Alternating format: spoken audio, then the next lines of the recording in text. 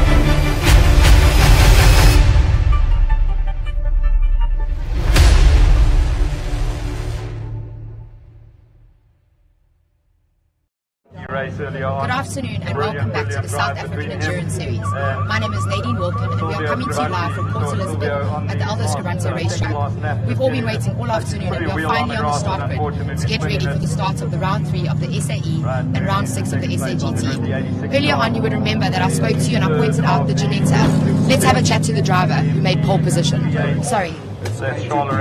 Sorry Andrew, can we have a quick word with you? So yesterday Stuart White was dominating lap times. Were you surprised to gain podium today? I don't think surprised. I think we know we have uh, one lap pace, uh, but I think the difference is going to be strategy and making the tyres last. It's such an abrasive track. It's awesome to be in PE and obviously to be back at the SAES. Um, but yeah, I think we're just going to look, see what happens within the first hour and then take it from there. Well, I'm wishing you all the best. Good luck. Right, let's move up track and let's have a chat to Kolile.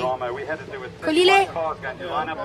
Wow, a man that is in many places. Kolile, you guys have had a new car. Tell us about the upgrades. You know, um, we had a bad start. Uh, our, one of the Lamborghinis uh, crashed early in the year, and we put in this new baby. It's been in the country now for almost two months, and this is our first race with it. We're quite excited. Uh, it's been doing very well. Um, we've achieved good times here.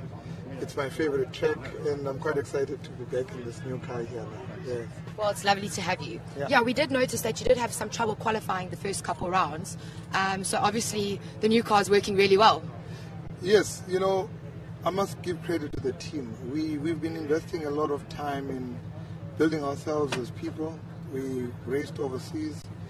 Uh, we took the team with. We learned new things. We we're a new team. We're a year and a half. We started collection from of cars. no team and a couple of year and a half ago to where we are motor vehicles out today. there on the We are second on the grid. We we, we must round give of the ourselves a little bit of Endurance credit. Series We could- 246. Wow, that's inspiring. Uh, tell me, is Stuart around? Can I ask him one or two questions? he's already in the car. Okay. Stuart, can I ask you a couple of questions? One more input. So there are a few international drivers racing today. Racing today. Does that make for stiffer competition? We know that uh, one of our issues, but he's out there. Um, sorry, I asked with the with the whole lot of international drivers uh, racing today. Does that make for stiffer competition? Yeah, definitely makes the competition tougher, but the objective stays the, stays the same to win the race. So that's what we'll try to do. We'll push our maximum in the first hour, stay out of trouble hopefully, and then take the race from there. The first hour is just to get in a good position, and after that the race really starts. Well, I'm rooting for you guys. Wishing you guys all the best in the new car. Hope it all works out. Right, uh, let's look for Charles. Charles driving this beautiful Merc. Charles, you also already in your car? Um, Charles, I saw yesterday that you were dealing, having some troubles uh, dealing with understeering. Have you guys managed to solve the problem? Yeah, look, um, I'm it's quite constant uh, learning for us coming from. Right, um, Ashley, give me a thumbs up. Is it so, okay? Yeah, Sorted? uh, the Oh, team did half a thumb up, fantastic two. work yesterday afternoon, and Right, looks like well, this morning we myself and we we had a new car. are So possibly good to yeah, go with the looks timing like we've uh, sorted out what we had, need uh, to sort out, knocked and over. hopefully we can have a good race. So the rest won't. Wow, that's amazing. I'm so happy for you and all the best. All right, let's move on. Now we're going to be speaking to Nick Adcock. Sorry, guys. Can I just get in here? How's it, Nick? Good afternoon. Um, so you've got little experience in this new car. How are you approaching this race? Well, I drive one of these in Europe, so I know it quite well, but uh, finding a brand new in this circuit has been quite a challenge. So we're not the ultimate it yet, but we're not in a bad position. Um, so let's see how the race unfolds. I think we'll have to wait for the race to come to us. Um, want a race, reliable, hopefully, and uh, be there, there at the end, probably on the podium, maybe a win, we'll see. Well, we will be looking out for you guys. Good luck with the race. All right. Let's have a look for James. James is here all the way from the UK. Um, he's on number. Francois. Ah, Francis, how are you? So this is the 2015 winner of SAE. Um, pretty good. I, I'm just a bit excited about racing against all these top drivers. You know, when you get to my age, you don't get many chances to, to shine, if you like it. So I'm really looking forward to it. Well, you're definitely shining with this cute umbrella. Um, you mentioned to me yesterday that you only need one pit stop. Uh, sorry, not that you only need one pit stop, but that you only need to stop every one hour and 40 minutes. Could that be your key to victory? Yeah, so it, it could be. Obviously, the time you spend in the pits, the better. And it's such a quick lap. You know, it uh, means that if you can save a few seconds on the pit, and if you only have to stop twice, which we're going to do, um, the others are going to have to stop every hour. It gives us a gives us a small a chance to. We'll see what happens. It's going to be quite exciting. Well, well done for those setting up those advantages. Um, let me have a chat to Mikaeel. Mikaeel has been brought in as the A driver to drive alongside Sandro and Francis. Mikaeel, you're back from Europe um, and racing on SA soil and the SAE. Tell me, how does it feel coming from Europe, driving a, a GT3 Mercedes Benz um, back to SA in a Pilbeam? Uh, it's always nice to be back home. It's lovely racing back at home. So again, it's been exactly one year. We checked the other day that I've raced here in PE, and obviously it's a completely different car that I'm racing this weekend. But experiences is worth everything. So we take whatever we can get. Well, it's lovely to have you back in SA. Thank Good you. luck. Thank you. All right, now we've got quite a walk up the grid, but let's go. Let's have a look at some of these cars. You guys will remember Aldo. He got podium number three. Um, well done, Aldo. Good luck there, Aldo. And we've got Andrew Covered, also from the SAGT. Um, we are looking for Sun Mudley. Where's Sun Mudley? Here's the Marius Jackson team. Wishing you all the best, Marius. Make it happen. All right, I spot Sun. San Mudley, congratulations on making podium for the AM class earlier today. You gave me some luck, huh? I'm telling you, definitely gave you some luck. Can you do it again for me? You got that beautiful smile. you said something. Are you gonna win again for me? Are you gonna make podium? We'll try, we'll try. P is a friendly city. Anything is possible. Well, I'm rooting for you. You know that. I'll see you on the podium. Okay. Now we've got quite a track. This is the Nathan and Rowe team. Good luck, guys. Rooting for you. Um, Cara. Cara Hill. She's our only female driver. Wishing her all the best. Well, go girls. Girl power.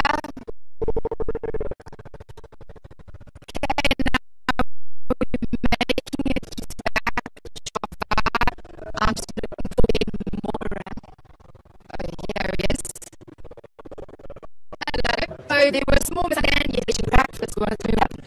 Uh, I looked around the corner, the car behind me seemed further away than it was, uh, so I exited the basically, so I ended up smacking off the road, and he, um, he wasn't able to stop before he hit the wall, so he did get quite a lot of damage. The wheel was detached from the car, and there's a lot of fender damage that occurred. So yeah, it was not the best, but I guess that's racing.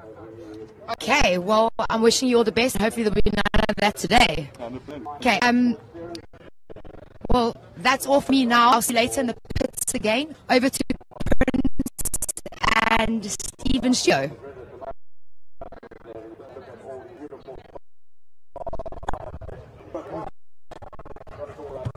All right. Well, a grid stacked for the SAE and SAGT, and also our uh, one-hour sprint dash that's happening as well. We got three races happening at once, and I gotta say I'm really excited for this. Prince, couple of new cars out on the grid.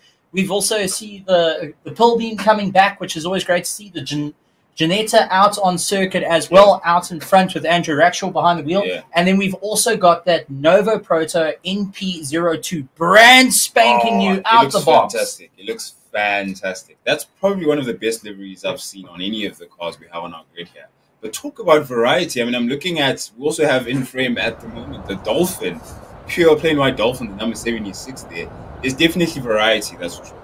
Yeah, uh, Ol- Oliver in the back going to be having a bit of fun with BMW. Yeah. It's always good to see things like that. But it's going to be a quite a sack field. A couple of the guys, South African guys, jumping back from overseas to come and have a bit of fun with us in the Yeah. SAE SAGT, which is going to be um, a, a, a fantastic, fantastic run, I think. And I can't actually wait to see how it's going to work out. Very, very interested to see that uh, the Ginetta in practice was getting outpaced by Stuart White in the Lamborghini.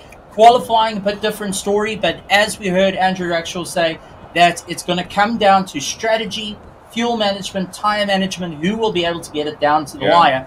And Stuart White, with huge confidence that they, they'll be able to pilot that Lambo right up to the front. And considering the championship is currently in the hands of Charles Ranges, who is Yeah. back in the Mercedes AMG GT3. So he's currently leading the championship, but And- starting a little bit further down the order. Did you say Charlotte Ranges was racing overseas recently? Yes, he was actually racing in the Porsche Cup. So we have got Mikaeel Pitamber, who was racing overseas, Yeah. Stuart White, racing overseas. Uh, I mean, the list goes on and on, and we have got guys that have represented the flag Yeah. overseas going, hold the phone, I'm coming back because I want to be part of the amazing series that we're going to see. We've got essentially three races in a four hour time period. We've got the SAGT, which are out there. We saw Silvio Scribante. He's out uh, trying to chase down the lights of uh, Michael Stephen, who will be also racing in the SAGT and the, the one hour dash. So they're going to be having a bit of a of race. So you'll see the cars go out after an hour. We'll see some of the GT3 cars parking it in the pits. Yeah. They will be done with the SAGT one hour sprint race. Then also the one hour dash will be done and dusted. Yeah. While our four hour will be continuing. I also want to point out that our Class E at the moment is very, very stacked. That's something we need to keep an eye out on as well. And it's going to be interesting to see some people jumping out from one class to the other, or at least from one uh, duration of racing to the other. Michael Stephen jumping out from the uh, one hour uh, segment of the race, going into the Calix uh, Super Cup car. Yeah, so going out from the lovely, the beautiful, and as you can see in shot slightly to the right hand Yeah. side, the inter African colours of the Audi R8 in something, and then you jump into the Super And That's going to be basically, well, you're going to Yeah. you downgrading. You started the fuel bills a little bit high for the Audi R8, so you're going to drive it into the Super Cup. As you see, it's been very, very competitive. Yeah. And we've got three Super Cups out there. VW Super Cups, is great. We have two VW Motors and the Calyx car. Now, third one, but brand spanking new out the box because it's still in no livery, just got a number on the side of it and it's going to have a bit of fun. So keep an eye out for that. So as they make their way through, Prince, this is going to be a challenging one for the drivers. Uh, Our SAGT are going to have to try and carve through the field. And we did talk about it of how they're going to work this out because now you're not dealing with just a couple of GT3s on. You've got varying power. You've got the backdraft roadsters. You've got the mm-hmm. Nash. You've got the mm-hmm. Ginettas. You've got the Junos. You've got so much going on that you're going to have to battle through. And you're doing sub one minute on the track, much like our prototype right at Ginetta. But Stuart White, saw, was pushing extremely hard and Cape Town and at Red Star. I hope get a little bit more around. Charles Ranji jumping back into the mighty in a car in a red start, so he's going to have. Also looking to go and back I can't wait for this, but at the same time, I'm extremely nervous because this is going to be real, real action for until the hour is done. So, you know, this is the thing. You've got a varying set of drivers. You've got two to three drivers per car that are in in the SAE, but then you've got a single driver for the SAGT and the one hour dash. So that's something to be aware of. Yeah, it's going to be interesting how Michael Stephen navigates. He does have a weight. Can you call it a penalty? The the punishment that comes with success. is car's slightly heavier, is it not? He's got 30 kgs of Yeah. ballast. Silvio Scribante sitting with 20 kgs. Yeah. Aldo sitting with 10 kgs loaded into their car for their SAGT as a success ballast. So that's going to also add into it. And Silvio has got a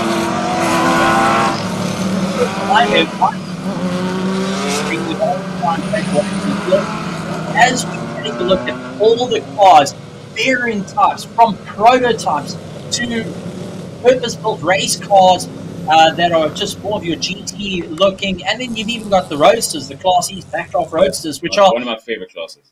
oh, it's incredibly competitive, Yeah. and it's more affordable. Exactly. That's the beauty of it. Uh, motorsport at, at almost close to at cost. Close to at cost, I would say. Yeah, that's it. It's going to be really, really great. So, build, build of heat into the tires, the brakes. You've got some heat into the carcasses of the tires. Getting ready to go. We will be going in a little bit into the dark. So, that's going to also throw a spanner in the works for our SA GT and our SAE, along with our one hour dash. We have got roughly 28 vehicles on the circuit at the moment to go and battle it out. Car peeling away, and all eyes are on Andrew Rackstraw and Stuart White beating out the field. Charles Rengies in third, and then you got Michael Stephen leading the SAGT and the, the Dash lying in fourth place, looking to try break away as early as possible. One corner to go, though. Ladies and gentlemen, boys and girls, welcome to round six of the SAGT and round three of the SAE here at Aldo Scribante at Gqeberha as they line up, waiting for lights on. As soon as those lights go off, then we are racing. Hold, hold, hold. Wait, and away we go, putting the power down. Stuart White's going to be aggressive, going to try to go around the outside, but it does look like Andrew Rackstraw utilizing the power. He's trying to pull away, but Ginetta leads to the middle of the circuit. Stuart White backing down. Michael Stephen door to door with shoulder run, shoulder run, backing down. And here comes that Nova going and having a great run, trying to go and close down the distance. So this is going to be interesting as we've seen the guys really battle it out. But Nick Adcock's not going to hang around too long. He's going to try and get past. He wants to get a little bit closer Yeah. to the likes of Jeanette and Stuart White up ahead. Yeah, it's quite a bit of negotiation. Since you're racing some people, you're not racing others, and if stand between the two Fulvius you're gonna have to try and navigate smartly around the Nova like ahead of him. I just think like he's already in a really good spot. They seem to, to have dealt very well and negotiated a decent 50-50 between himself and Tolerante. Really exposed skills, very good to as seems like it came out. Uh, there was definitely no room for error, and there goes the Pilbeam out wide as it looks like our McLaren's making their way through. That's Ethan Rolf. Rolf trying to move his way up. Matthew Nash making his way around, trying to get a little bit more power. So Nash also having a great point. But as they run, notice the tail and take a look. If you can't think of a better looking sight, then I don't know. Because honestly, seeing the variety that's in this and the battles that are going on, Silvio Scribante trying to make up a bit of time. He is caught up behind Nick Adcock, and you can see how he's battling with the turbulent air coming off that Nova. And we'll have to try and figure out how can he get past, or if he's going to just utilize the toe to get a little bit closer. Remember, the SAGT have a mandatory pit stop. They have to stop, get the wheel off, the wheel back on, and they have to do that within the hour. Where the SAE they can keep going out of that mark. So there's a definite thing to go on. for. The SA, uh, the dash that we've also got the hour dash that's going to have to deal with is also going to come into place. There's so much to race for at the moment. The lap times starting to fall, and it does look like Wolf see he's trying to make his way up. And there is F6. He's put behind Bilby. As we see the VW Motorsport car, there's Calix being chased down, and that's uh, Scholfisser in the number 50 car. He is trying to make up a bit of ground as well in the Super Cup, right behind the Calix machine. It's going to be an absolute monster of a battle. And uh, there we go, no replacement for displacement. His son will be making quick work Yeah. of the VW Motorsport. One, thing I want to give it up for the Super Cup cars, even it doesn't matter if Cup, uh, less hard cars, they're able to corner very, very well as the guys battle their way through. Our Class E currently on, our PDL team going and having a bit of fun with Roadster. There we go. Here's our Juno onto the back of Aldo's Granty at the moment. Eldo trying to get a little bit away for the SAGT. And uh, see how that Juno is tucked up right behind the rear wing, trying to utilize the slipstream. And at the same time, that's going to help them out in the race. You want to utilize everything you can to get a little bit more of a run. Yep, including your opponent's racing can literally copy homework. At the moment, I think both to see is that Isak Spies. Yeah, I think Isak Spies is probably going to make uh, a bit of use of the MJR in front of him, at least for the time being. It's interesting to see how everyone is going to be responding to temperatures changing. It is close to sunset, quite close to sunset over at the moment, and temperatures will be dropping. At the moment, you're trying to go the opposite direction. Trying to get your tires and your brakes as quickly as possible. Um, with the knowledge of the track, do you think that's going to affect him this early on in the race? not this early on. Oh, as we see that looked to be the Pilbeam going and touching a, a little bit on the dirt, trying to get himself back going once again. Uh, I don't think at the moment they're going to feel it, but a little bit later, as we get it past that hour mark, everything's going to cool down. The wind is picking up around the circuit. That's also going to come into play. If you've got a very light vehicle like the Ginettas, the Pilbeams, and uh, also like Nova, also that that way, they're very very light vehicles. So every time there's wind coming past, they can feel it. Anytime uh, one of the bigger cars come past, it creates turbulence, and that you can feel that as well. So since you're in a car that's under one ton compared to the rest of the field, you're going to get a, a big feel for it. So the guys are going to have to be well aware of that and making their pit stop strategies. As we heard, the track very very abrasive to the tires. So Yeah. over the four hour mark, Yeah. we will be seeing the guys going and swapping out the tires, trying to figure out what can work for them, and uh, you know, Will we see a tire change, or will we see guys try and get those guys in the hot four hours? I can say GT and our R Dash they're going to be battling out, but there's our VDR Racing Porsche has got uh, looks to be Mr. Hill ahead of him in the Aston Martin. This Money Penny, as it's been nicknamed, going and battling it out as reference to the 007. You've got to love an Aston Martin. And uh, there is our number 33 car of SXP's trying to close down the gap to the MJR racing machine just ahead. Charles Ranges now has caught up into the back markers, and this is what I was worried about. Yeah. Back markers coming into play. Silvio trying to make up some time, but you can see there is no room for error through the infield. You're going to have to play follow the leader, try and get a little bit more drive and slingshot your way past Eddie Adcock managing to do it, but unfortunately, Silvio Scribante has got a massive closing backdraft roads and will have to back off as much as possible to try and maneuver his way around. So this Yeah. is going to be a very, very difficult time for the guys to power their way through. There's no replacement for displacement. I mean, if you look at how short that distance Silvio Scribante made use of to actually get past the back mark was quite impressive. A lot of acceleration that's under his foot there. He'll be having, to modulate himself and control himself quite often and quite frequently, it seems, because they're already starting to lap a number of the back markers. First of which was the Dolphin. I think um, he was probably the first back marker to start from the rear uh, of the field.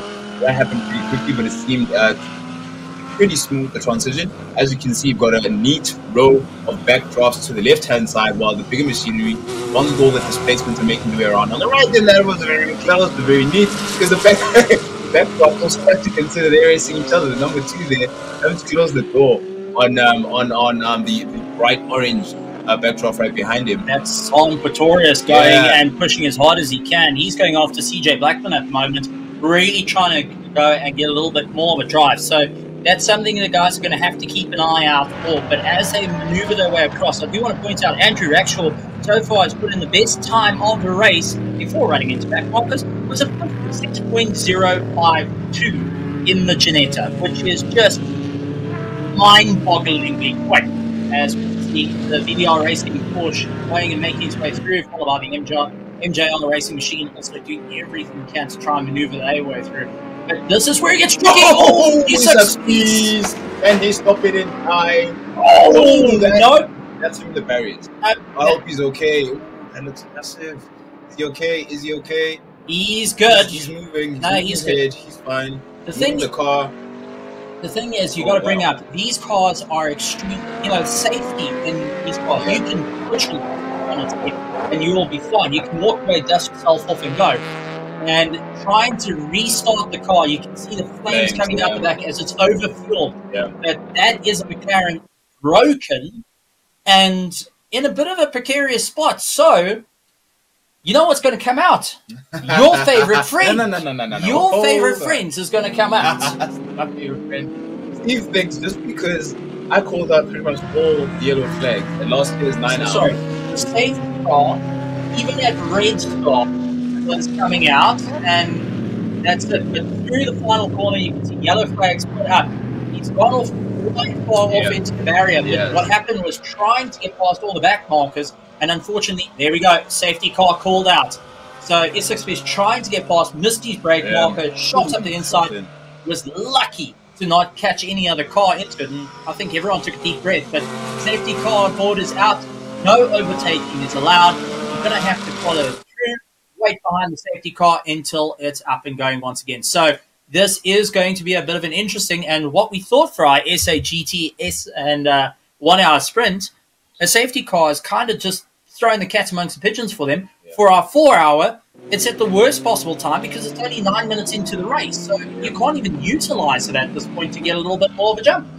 Now, unfortunately for Isak Spies, he in the uh, sprint category in one hour dash, he is on the trailing end of the championship, so he's not going to be happy at all. While Michael Steven Luke Duplessis, uh, Rian Botma, as well as Paul Hill and Miss Moneypenny over there are pretty much um, all systems as as as as expected. They're enjoying something. They Ooh, is that is that Michael Steven in the pits? Michael Steven doing his pit stop. Oh, So nice timing. Nice timing. remember, I told said with the SAGT they Yeah. have to do one mandatory, mandatory? pit Yeah, stop. the best time is now. Well, that's it. You got a Yeah. free pit stop. I wonder how many people are going to follow suit. It looks like. I wonder how long this is going to take to clear as well. Yeah, and uh, for Essex Beast climbing out the car, the door unfortunately jammed on the driver's side. So uh, you know, he's going and taking a look, but that is a oh, that's just a heartache of a sight. And Yeah, oh, you could see putting his hand on his head. I don't blame him. I mean, it's something you really don't want to see such a magnificent car, but you know, it's a mistake that can happen to even the best in the world. We've seen it happen, uh, but Beast climbing out, and you can be sure that car is going to get worked on, put back together, and we'll see it out for the next race. That is for certain. Uh, but at the moment, there's one McLaren that's uh, parked off to the side, unfortunately, and Essex Beast is all over. So. Now, yeah, there's going to be time to fix the car. There's also time needed to fix the tire barrier as well. Now, however long that takes is going to make a difference as to, I suppose, the thinking of especially the guys competing the one hour dash. And They- also the SAGT. and also the SAGT um, to see whether or not they should take advantage of the of time, which I think that's a no-brainer at this point. Michael Steven has already set the precedent in that regard, just early and get over and done with. I think it's going to be a lot of the teams putting their SA dash and uh, the one-hour dash the SAGT um, category to come in during this period where they're repairing the tire. Well, we saw Sun Mudley and we saw the likes of Silvio Scribante pulling into the our safety car, allowing the, the back cars to go by, picking up the leader, which is Andrew Rackstraw in the Ginetta. He's getting chased down by Stuart White as they maneuver their way through. So they're going to be sitting behind. And at this point, you've just started the race, you just got excited, you got going, and everything slows down. As we see Andrew Colpert and the likes of Aldo Scribante getting up behind, they also have an opportunity to go in the pits. does look like Aldo is lining himself up to get into the pits. Andrew, on the other hand, is on the far left hand side, so he's not going to duck into the pits. Will we see the Lambo going in to utilize the cheap pit stop? Uh, Doesn't look like it. doesn't look like it, but I'm just double checking. Is that the whole field? No, there he is. He's not there. He's not there. So he's dived into the pits and left Yeah. Andrew. So he's Yeah. baited that into it. But the free pit stop has played into the favour of Michael Steven and Silvio Scribante because they've done it now. They also out the SAGT to go for a bit of a run. So let's see how this is all going to turn out. The repairs being done to the barrier. There's Aldo coming into the pits, up, down, and away we go. Uh, and the guy's looking a bit confused of why he hasn't dropped clutch and go yet. But it's just it's difficult to get those cars going. It's I, I've got told how to start that car Yeah. and all the different things you have to do to release the brake, to get it in gear, to get it going. It's not just put your clutch in, put it in gear, and go. There's actually, I think there's like you have to push, you have to pull a button up, you have to hold hold the uh, clutch in, you have to hold the gear to go engage out of neutral into first. Then once it's engaged into first, you then release. You've got to make sure that it doesn't fall on the way out. It, it's quite a procedure to get those going from a standing Yeah. start Yeah. and especially they shut the car down. So it's not just turn the key and go or push a button and it Yeah. all fires up. You Yeah. have a system that you have to follow through. So shutting down a car of that caliber is not really ideal compared to normal road cars because it's a bit of a mission to get up and going. So it's not just a simple, easy thing. Once you get it up and going, get it going and try to join up to the field as quick as possible. But a couple of cars doing their pit stops early on. Rolf Duplessis, though, is going to be taking a look and see if this is unfortunately. landed in the wall, has got a problem. Aaron Pretorius out for the, the backdrop roadsters. He's been on a great run. Uh, there's a beautiful shot of our tire wall that's unfortunately broken. The guy's taking a look. E6B's taking an onlook to the rest of the field, and I'm sure this is not quite the grandstand seat he wanted to have. He wanted to be Not in the pits, going and taking a look. But it's been a it's been a rough day for this side because you think of it, round five, he had to retire before the checkered flag. Yeah. For And whatever. We, and we didn't quite find out what the issue was there. Yeah. And now, unfortunately, that McLaren retired the in the hour. early hour for the for the SAGT Yeah. and the dash. And so, dash, yeah. so that's unfortunately going to happen. But now the drivers are starting to wonder what do they need to do. You got yourself hyped up. You got the green flag. You got racing. You really drove your way through. And now it's all slowing right down. Those tires are cooling down. The brakes are cooling down. The drivers are starting to calm down. And we're still waiting for a repaired tire wall. So this period could last quite some time. Um, and eating away at the SAGT and one hour dash phase of this race. The two are dovetailing, of course. It's one hour out of the entire four hours. So after the hour mark, a number of these races are going to peel off and have the four hour continue with a good 90% of the field. So it's going to be interesting to see how long this eats into the one hour segment of this race. I do want to point out it took three laps for our first two cars to catch up to the back of the field. Yeah. Three laps.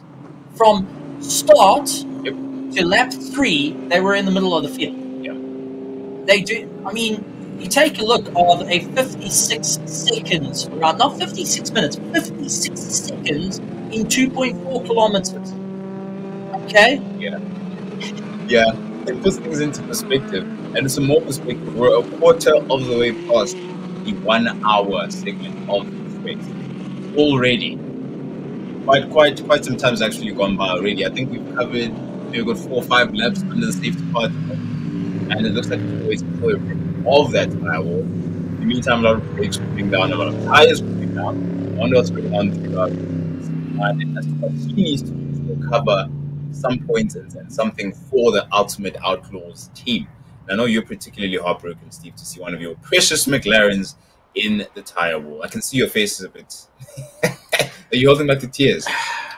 I'm going to shed a tear or two, that's for certain. Um, unfortunately, the it's never nice to see a car busted up to that extent. So, you know, that, that's unfortunately when something goes wrong, Yeah. it goes wrong. It goes wrong extremely quickly. So, it's something. It's unfortunate. Yeah, yeah. It's a high stakes game, and it's exactly what you can expect. A, a good chunk of the time when it comes to this level of racing, it's the risk that comes. And it looks like uh, Isak Spies just ran out of space, ran out of tar for him to utilize his brakes. Simply trying to get past the uh, back markers there. Uh, Rolf Duplessis pulls in for his pit stop. He decided to take advantage of this period, as and uh, Steve and I had anticipated. It's quite a long uh, safety car period, so we might as well take advantage of what's going on. That was a clean one. Nothing too, nothing too shaky for the team to handle. Very well uh, executed there. You got one of the Mercedes AMG AMG uh, GT cars. They're pulling up the rear. He's got a lot of back markers to get past. Five backdrops in front of that AMG GT car.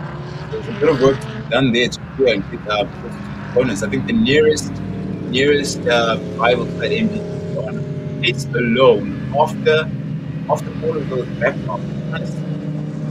How long this is? Drivers have to take about four five years, five backdrops in the uh, country shots there. And so the kids this finds quite a bit of work. Yeah, no, it's going to be a, a difficult one. It's going to be a long safety car period at this point, ladies and gentlemen. Their recovery truck is getting it sorted. Looks like they have repaired the tire wall a little bit, get it going. But uh, the recovery truck trying to get the car back on, you know, get it back to the pits. And uh, well, there's a couple of mechanics that are going to require a bit of work. But it also shows you the how what the angle of that truck is, considering they're having to take logs underneath the front wheels just so it doesn't go and you know bottom out completely uh, to try and put it onto that truck. But that's how low these cars naturally are. It's fantastic, amazing. Uh, I just, it's honestly a, a stunning sight to see. And considering the field that's out there. We've got prototypes, we've got GTs, we've got we've got purpose-built race cars, uh, purpose-built GT cars, and then we've got like your backdraft roadsters and your super cars, which are more of the like you can they they not really as purpose-built. They race cars, Yeah. uh, but they they definitely not you know all go go through a wind tunnel and everything. But Yeah. then you got the likes of our BMW at the back, which is uh, got Oliver in it at the moment, who's having a great run. That's Oliver Hinetis, who's actually the the slowest car in the field, and it's actually a road going BMW that was stripped out, put a roll cage in, go and put a, a racing seat, racing harness, and a and your just it's it's a road Yeah. car that's been stripped out compared to what we've seen currently on uh, on the back of the truck. Oh man, it's oh, that's just heartbreaking. You, you know how you felt when Silvio lost it? That's how I'm feeling. Yeah, yeah. I, I, I, I think Oliver over there last we've been doing school at BMW, now he's racing. But uh, as we, as it stands so far, we've got Andrew Rackstraw leading the pack, Stuart White in second place, Charlotte Ranges in that MGGT in third, Paul Hill in Miss Moneypenny, that Aston Martin in fourth place, Byron Mitchell in fifth, and Morris Jackson in sixth place, Michael Stephen in seventh, Silvio Scribante um, in eighth place. He was one of the first, one of the first cars to actually um, cover the field and, and catch up with the back markers and start overtaking. Um, he's in, in, in eighth place there, and then Aldo Scribante in ninth place. The Scribante family staying close together there, and then bringing up the top ten, we've got Rolf Duplessis, uh, the sole McLaren from the Ultimate Outlaw, um, remaining on the there. No, it's absolutely amazing. And uh, Graham Nathan in the number 11 car, that's uh, the VW Motorsport Super Cup. And it's got Cara Hill also in a Super Cup chasing it down. Nick Adcock in 13th place is going to also be trying to close down the gap. He is in that Nova, which uh, needs to try and make up a few positions. It's a Class A car. It's meant to be right up towards the top. But remember, it's still very, very new and they're still trying to just fine tune that car to get it going. Nick Adcock participating in the Asian Le Mans and the, the Asian Le Mans series and the European Le Mans series in an LMP3, uh, now going and bringing in the Nova NP02. Now, that NP02, uh, to put it in perspective, is a it's pretty much like an LMP3 car, uh, a low, lower homologated car, uh, which is usually uh, racing out with the uh, Pilot Challenge, which you'll see the LMP3s and the, the GT3 all racing over. It's just one step under the under the LMP3s out there. So it is a proper proper racing machine that will do battle. But I do see the safety car is off, which means we're going back in racing. Well, fantastic. It felt like forever, but it's a good thing that the car was recovered safely and quickly as well as efficiently. A lot of these races are probably itching to get back underway and get back onto their normal programs. And yeah, it's pace as we make their way, as they make their way rather down the home straight, and the gaps immediately open up. Difference in pace immediately observable. Well, slow cars immediately left of the, place just there on the right hand side of the car. Fully on over to the cars. We're across Silvio Scribante, the last place of that little gaggle of cars. And Aldo has got two two cars in front of him there. I think it's a Juno and a. That's uh, that's uh, the Nash that's ahead of him. That he has to get past, Yep. and then he has to go after the lights. Yep. Got to got to get the hammer down a little bit more, but out in front is this little battle between Spectre in the Sparko livery with Andrew Rackstraw behind the wheel of the RDSA driver going in and getting a little bit of an invite to have some fun in the Ginetta. He's got Stuart White, the GT driver that really won overseas and name for himself. Oh no, that's the pull. That's the pull and uh, that's on the infield. That is a problem of note because now to try and get that back, to either go forward and risk bottoming it out, and uh, he's going to try. He's going to be careful not to bottom the car out because they are extremely low on the curb. They have to be so so careful to get themselves going once again. Corey Hill, though, having a difficult time. There we go. The ball being back up and going. How he's going to try and close down the distance as he falls down through the field. I remember seeing, I think it was the Juno Beast at Zwartkops on one of the curbs. It's actually quite a task to get it off, and you have to be. There's a certain degree of luck for you to be able to reverse it and get back to racing again. Otherwise, safety car. Actually, I uh, was able to be cleared there with relative ease and got racing underway. I think we had a shot of that dolphin peeling back into the field. Probably going to have a bit of a lonely race for a bit until the rest of the grid catches up um, to him again. That is Oliver behind the wheel there. Oh, Michael, Michael Stephen around the outside of Andrew Colthurst, and there is the MJR Audi R8 trying to get past as well. Silvio Scribante getting trapped as the BBR Racing Porsche tries to also make it crap. Silvio sends it up on the inside, and he wants to just not hang around at this point. He wants to get going as quick as possible. Please note that I did see the brake pedal slightly flash up. The lights for the brakes slightly flash up on the MJR Audi R8 that's a little bit behind, just to try and allow the guys to get past as quick as possible, not to impact too much of his time. So Marius Jackson also trying to just let the guys go as quick as possible and not get caught up. But They right up against the back of the VW Motorsport Super Cup and Silvio getting pushed to the outside line. That's not going to help him. He's got to try go for it. He's got to go down the inside to the seam. Didn't have enough legs to do it. Unfortunately, he's got the lights of uh, Marius Jackson just ahead of him. He's getting the run around the outside of the Silver Cup through the infield. Very difficult. And Silvio will be very aware of that corner because that's where he made a mistake in round five hard onto the brakes, and now he has got lots of uh, the PPR racing right on the back of it. Big but not hanging around. He's trying to close down the distance as well as trying to make his way up. But 12th place, which is the VW Super Cup, that blue VW Super Cup that's just one hour shot now, that has got Graham Nathan behind the wheel. It is having trying to keep football throwing Quarry Hill having to try and run away from Charles Fisser and Andrew Horn, who's a little bit further back. Andrew Horn has actually got one of the back Backdraft Roadsters right up against his tail. Unfortunately, he's only winning just on outright being a lighter car. But uh, there's quite a bit of displacement behind him with a V8 Roadster catching up. Son Mudley, he's having a great time out there, just pedaling it around. And as you heard, just enjoying himself in the car and doing some refinement work to it. But uh, there is the Nash machine going and working its way around, getting chased down by the number 42 it's Trevor Graham. It's Trevor Graham right up against the back of him. So Trevor Graham trying to close down the distance. You can see the difference between the backdraft roadster utilizing all the power to close up to the Nash. But unfortunately, when it comes to cornering, that backdraft roadster is about a ton compared to what's ahead of him, the Nash of 700 kilograms. And uh, stop talking about weight coming into play. That's it. Our leaders carving their way through as we saw Charl Arangies going up on the inside. He's taking big risks goes around the outside of Bapu, gets back on the racing line just on the apex, luckily enough, as they make their way around the circuit. So just keep an eye out on it. It's going to be one heck of a race as they make their way around the circuit. Yeah, and uh, a very emphatic but unfortunate example. So I think a lot of them are going to be a lot more careful about navigate the field. Around the back, um, I'm looking at one of the fantastic looking at the Novas liveries. You cannot miss it. Also, the glare of those lights is getting brighter and brighter. You were talking about the fear of brakes.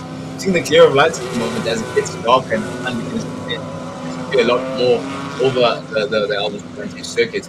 And temperatures are, going to be cooling a lot quicker. And at the moment, we're approaching the halfway mark. Remember, there are, in essence, three races happening at the very same time during this four hour period.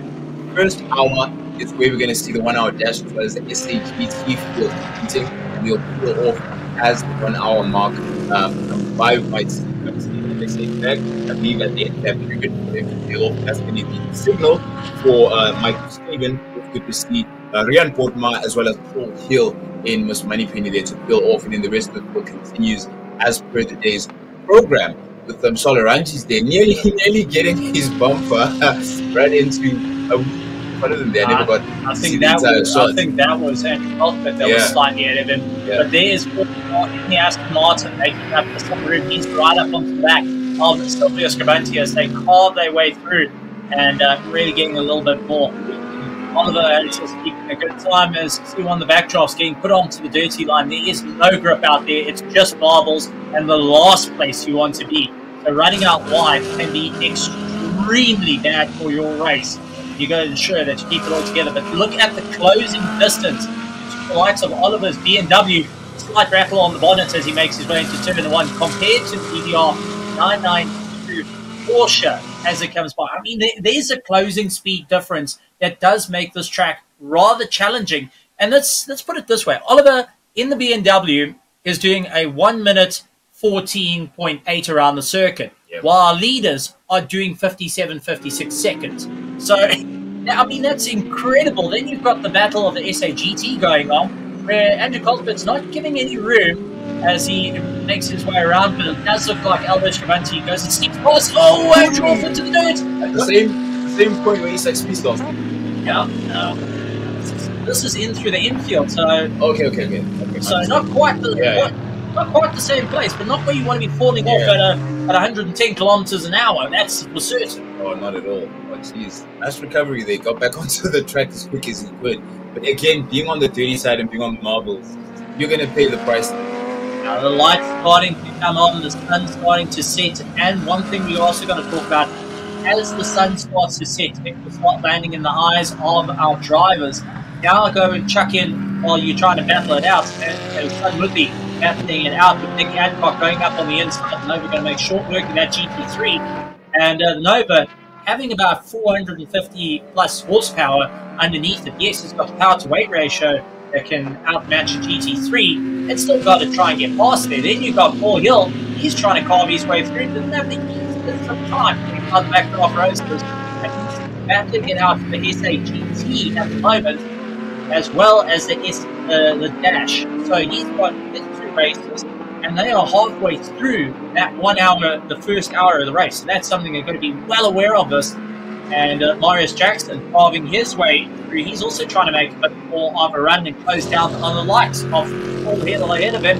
There goes Andrew Rackstraw up on the inside. He's completely gone from uh, from the life of uh, Oliver Hiatus, who's uh, really just driving his way around. And it's just a no contest at that point. Then Stuart White under braking, trying to keep it all together.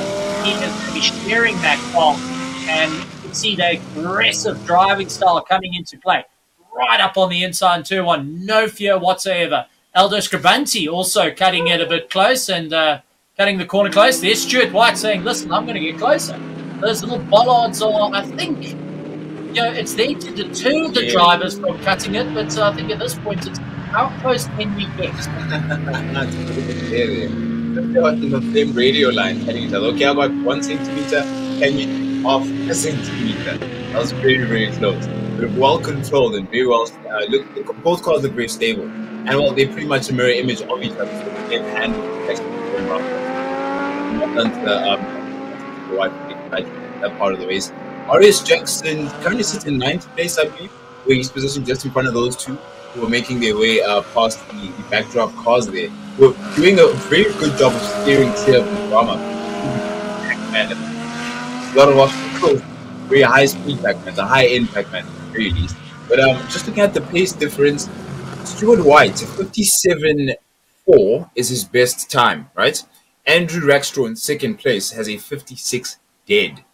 And that is at different times. So Stuart White is later on into the race at around 15 laps, but Andrew Rackstraw was lap two. Okay, I do want to point out Yeah. then Andrew Rackstraw has lost a position to Stuart White. Yeah. So did Andrew Rackstraw get caught behind back markers to a point that he couldn't get past, Yeah. and that allowed Stuart White to just dive up on the inside and get going. Charl Arangies in third place though, is so close to Andrew Rackstraw, who's just dashed right at the moment, going, please guys, just find out the way, Yeah. pulling the pit, something. I've got to get away from Charl Arangies in that Mercedes GT3 chasing me down. At some point, it looks like they're going through your breast. These sections are so tight. But um, it looks like uh, is Oh, Andrew no. Garber- Oh, where do you go? Where do you go? Charl Arangies threading the needle eventually and trying to figure out where to go, getting caught up behind. There's Andrew Cuthbert though, getting it sent up on his inside as uh, he tries to battle it out. He has got the Juno up on the inside of him, that number six Juno of Byron Mitchell, putting the power down. Tried getting around Andrew Cuthbert, but Andrew putting his foot down and breaking away. He's able to utilize the power to get away. And uh, oh my heavens, it's uh, Ooh, it's, it's definitely you know, getting. Oh no, there's contact. Woo! That's Aldo, and that is Maurice Maurice Jackson. Jackson. But there is damage. Yeah. There's bits on the track that's left over of Mario Jackson's car. Check, there's bodywork that is blue. From that, rear. Yeah, I think it is. I know. Does that mean going to have a safety car again? Because there is essentially bits on the track. But Marius Jackson took some severe damage this. I wonder what happened between him and Aldo Scribante, but that also affects Aldo Scribante's car of what damage is onto it. So Marius Jackson trying to get himself going, and let's see when the camera comes into shot, if we can see anything on that right hand side. He doesn't is- have a wobble or anything. Fine. uh, well, there's bits on the circuit there that can tell me. Don't, oh, Rear wing. Look at his rear wing. A puncture. very unstable. There's a puncture Yeah, that's there go, and go, ow, that Audi's missing a little bit, and that's that's going to damage the rear axle as well. Rear suspension. No man. Jeez. Sure, heartache. If you if you don't have heartaches of seeing two GT3 cars getting hurt like that, ah man, it's uh, it's painful to see. But it's it's motorsport. This is what mixed uh, mixed class racing can end up. Yep. You may push it a bit too hard and get caught up. And considering we've got essentially three championships in one race at the moment, uh, and that's to exclude, uh, you know, excluding class championships because we've got Class A, Class B, Class C, Class D, Class E. All racing has even Michael Stephen caught up behind. He is right behind the likes of Graham Nathan. These two know each other all too well, and Graham Nathan. Well, he's just going to say, look, you got the power to get past me. Try and figure your way around. There comes Silvio. He's to close down the distance. There is Morgan car uh, on the back backdraft roadsters that uh, triple two battling it out. That's got Ben Morgan Root behind the wheel. He's like in 22nd place. And uh, by the looks of it, is trying to make up some time. Goes up to Dean Wilson, who is out of who's in third of our class. Then it's Gavin Rook and Andrew Horn leading out our E. So something to be aware of. No safety car, so it looks That's like they I'm are. waiting. I'm waiting in response that, that, has hit. Uh, what happened there? So possibly a message coming. But it looks like so far the bits and pieces of that MGR Audi not too um, um, destructive of the current flow of the race. It's nothing getting in the way of them. It's on the outside, it's on the gritty side, and some of it is on the grass. It's not directly affecting the racing at the moment, and it doesn't seem like even at that part of the circuit, it looks like the third from last corner, if I'm not mistaken, uh, before the home stretch. Fourth from last corner, if I'm not mistaken, if I'm not mistaken. Um, doesn't look like it's affecting any overtaking happening there. So relatively safe until further notice. I do want to point out, I've just got a message from Tristan de Norbrigger, who's in the pits. He's helping out to the guys, but he's also going and uh, keeping an eye on the racing happening. He's also keeping an eye on Andrew Rackstraw, who's his teammate with the RDSA. So uh, not only going and enjoying it, but in the back of the pits, the guys are watching the live stream to get an understanding of what's happening. So watching their mates out there, and at the same time, keeping an eye on the events going on. So uh, Tristan de Norbrigger, how's it, buddy? It sounds like Tristan will take you through a trip if you just loves him some racing. That's fantastic. Great to see you. and a lot of people joining us on the live stream as well. Very excited about what's going on out on YouTube. And let's see one of the. Do you know it was quite interesting how they, you were talking about the lightness helping them to the corners. Now it, it sort of give does give a battle to those GT3 cars when they're close to each other. It's not so easy to get past and protected around that. Right? Now that's it, and there comes the, the Juno Byron Mitchell making short work of it. You can see Durant Motorsport, part of the Dolphin Racing team uh, that are having a bit of fun out there. Byron Mitchell been really having a lot of fun today, and part of the Cape Tonian contingent that's mo- uh, going and racing with us for the SAE round three. So that's always great to see part of the sports in GT. Uh, so they've been going out there a little bit of touch of the dirt, and that was Rolf Duplessis. Uh, I don't think uh, it's a, well, take the take the advice from this. A McLaren in the dirt is never a good idea. Please careful Leslie. You want to do a, a double. You want a double whammy of those for McLaren. My, my heart's on tape. Oh, please, not again. Uh, it looks like okay. uh, It looks like we're just going on with normal racing. I guess, uh, as we said, those bits and bobs of the MG are an under race as it is. I wouldn't like to go wide and catch it.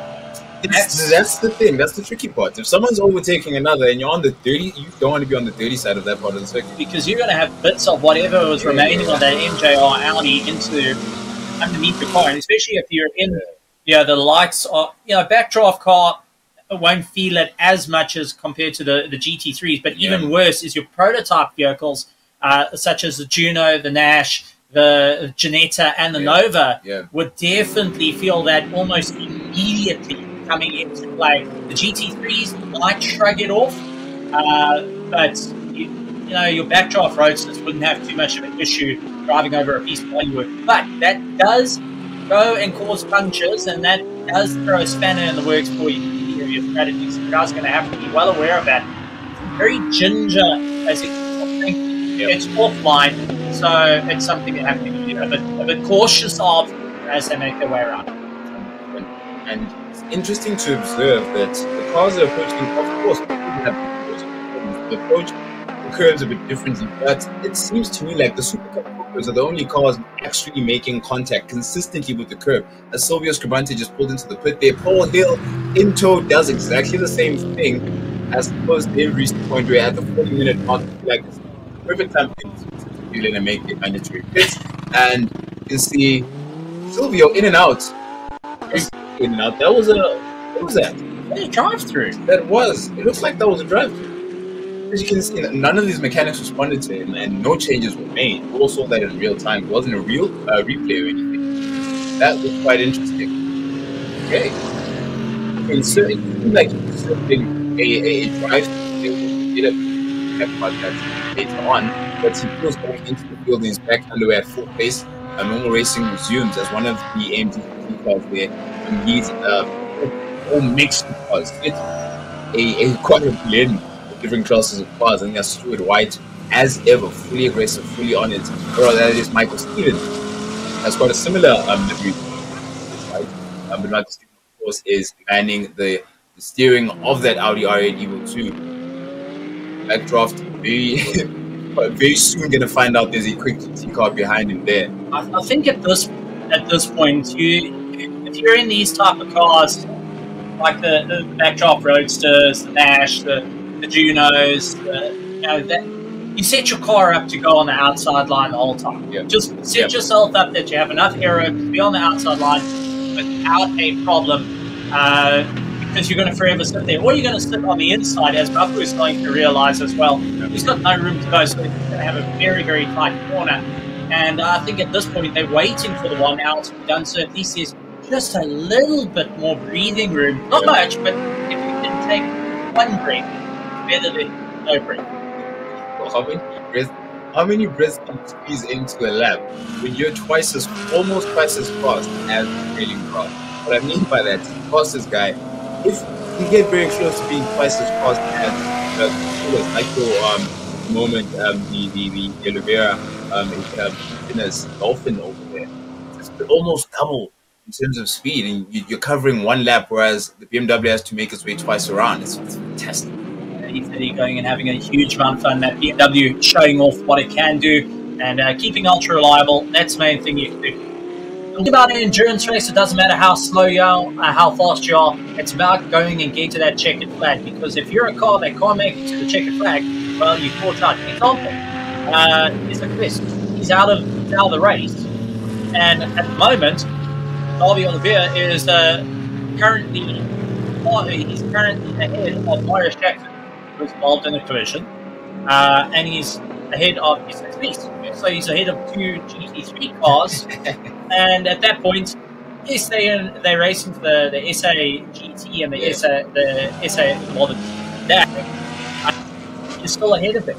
You're still going to finish in the results ahead of them because you've been kept out of trouble. And that's the main thing to do in a race like this is just keep it out the pits. And that's that's a road going, like you're saying, it's a road going E30. And if he's fitted a radio and a live stream in there, he'd be glad to hear what you're saying. I, Being I ahead of a think, I think it's GT3 a bit stripped out. So A- it, a bit it- tad. It's it's life was a road going car, uh, but it's it's definitely been stripped out to Yeah, an extent. Not company that goes far as being the live stream. Oh, Maybe sure, Charles Fisser Fisser. went off and he has to work his way back on. Maybe he made a bit of contact.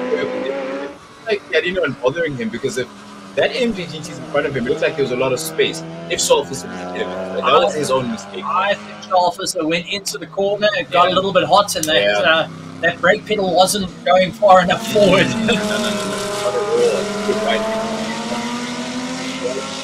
Oh, aggressive. There's something you know when Stuart White is in a car. There's no no mistake about it. Well, we've seen him have a rough time. Let's take a look. Let's go jump back a little bit to Red Star, where he took the Aston Martin, and unfortunately, due to a computer failure picking up that the clutch uh, has got a clutch clip, it actually turned itself off on circuit. Yes. And he was battling to get the had to restart the suspension, limping back to pits. But that was race one and dusted. Go back to Zwartkops, where that very Lamborghini actually caught fire.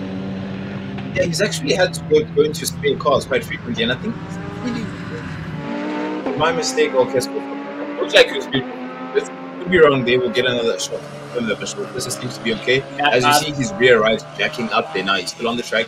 It is um, Stuart White there on the main straight, leading, uh, leading uh, cars. Um, the one rare instance we have three or four straight um, cars in the same class. That's just how challenging it is to navigate your way around the circuit. And there's that instance I was talking about, how the Super Cup polos are meeting that curb almost perfectly each and every single time. It shows the different handling characteristics you have mixed up on the circuit. Well, take a look. The, the Super Cups, uh, VW Super Cup, they are front wheel drives. You get on the power of the cars and understand that's what a front wheel drive does. Compared to the rear wheel drive of your GTPs, your backdraft roadsters, the, uh, the Juno, the Nash, they all rear wheel drives. This is the only front wheel drive vehicles currently out on circuit that are having a great time out, but it does make it more challenging around the corners. So they very well, but when you're offline and you stand on the power, you're going to understand much like Sunwinley at the moment as he tries to uh, get going. But uh, there is a beautiful shot of Gqeberha's sun, and well, it's starting to get chilly there because I see some people putting on jackets, which tells me quite a bit. And uh, wind has died down. Looking at the flags, it has died down. That's at least positive. As far as I've been told, winter down there is no joke. Uh, thankfully, I was there when it was a little bit warmer, but the cold air will always work well for cars, but for your pit crew, for your drivers, uh, a cup of coffee down there. Yeah, I don't know how much you can put, but there's something you up, like run and yeah, someone is building up some like Mike then because he is all the way across this particular segment of the race. He's gonna hop into another Excelsior it at some point later on during the four hour, but um, things look pretty good right now at the moment. Um, as it will drawing closer to the end of that one hour uh, dash um, for that segment, as well as car that is, of course, five cars in total out of that class, and one of them has retired a lot earlier on in the race. Um, it's like is coming to what was it seemed like outbreaking himself on the part That, of the that circuit. was that was Yeah. definitely outbreaking yourself on the inside, trying to get past a train. And unfortunately, at that speed, it doesn't matter how much or how big your brakes are. There's only so much tarmac to go for. As we see the likes of Nick Adcock, he has got Stuart White right behind him. Stuart White really putting the power down on that Lamborghini and chasing down that Nova just ahead of it. Will be able to get past, but Nick Adcock's not going to make it the easier to go and do it. There's the BBR race with Nick Larson behind the car. He's been doing a tremendous job in the SAGT. Was right onto the back of the GT3 cars, but the BBR racing team are actually second in the championship. So they want to maximize all the points. There is Aldo Scribante going around, but you can see how that Lamborghini was limping its way around. Iron Pretorius 262 going and battling it out with the Racing Machine. They are duking out, trying to go a little bit quicker, lying in 20th place. They're looking to maximize the points for Class E to become the Class E champions for the for the year of 2023 for the SAE. But check how busy it's going. Stuart White having to thread the needle. Nick Adcock having a little bit of an easier time as the cars move over to the right hand side. Has to put the wheel onto the bed though as he was making his way through because it didn't look like Trevor Graham was going to give him too much room there.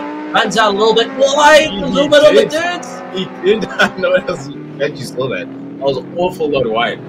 Bit of concentration lapse they had to recover it, maybe. Uh, I think going into the corner a, a little bit. Yeah. Um, yeah, just losing out a bit of Yeah, time. So that that's a problem. Or maybe he was I can't keep. I, I promise you, at least one of these cars has a radio fitting. There's so much technology happening in these cars, but I doubt I doubt it would be worth taking up that much space for Steve and I. I think their primary focus is to make it uh, to the other side of this exciting four-hour race, and at the moment, the sun looks like it's done its beautiful day. It's, a lot of the light we're seeing on screen for the moment is the glare coming from a lot of the cars as it's backdrafts. They painted its way around up to one, and wow, okay, we've got three, four backdrafts right now in a bit of a race there. See, Babu Khubuluza, okay, it's two backdrafts.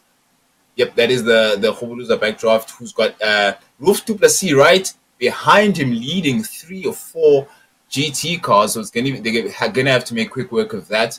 But it's probably gonna.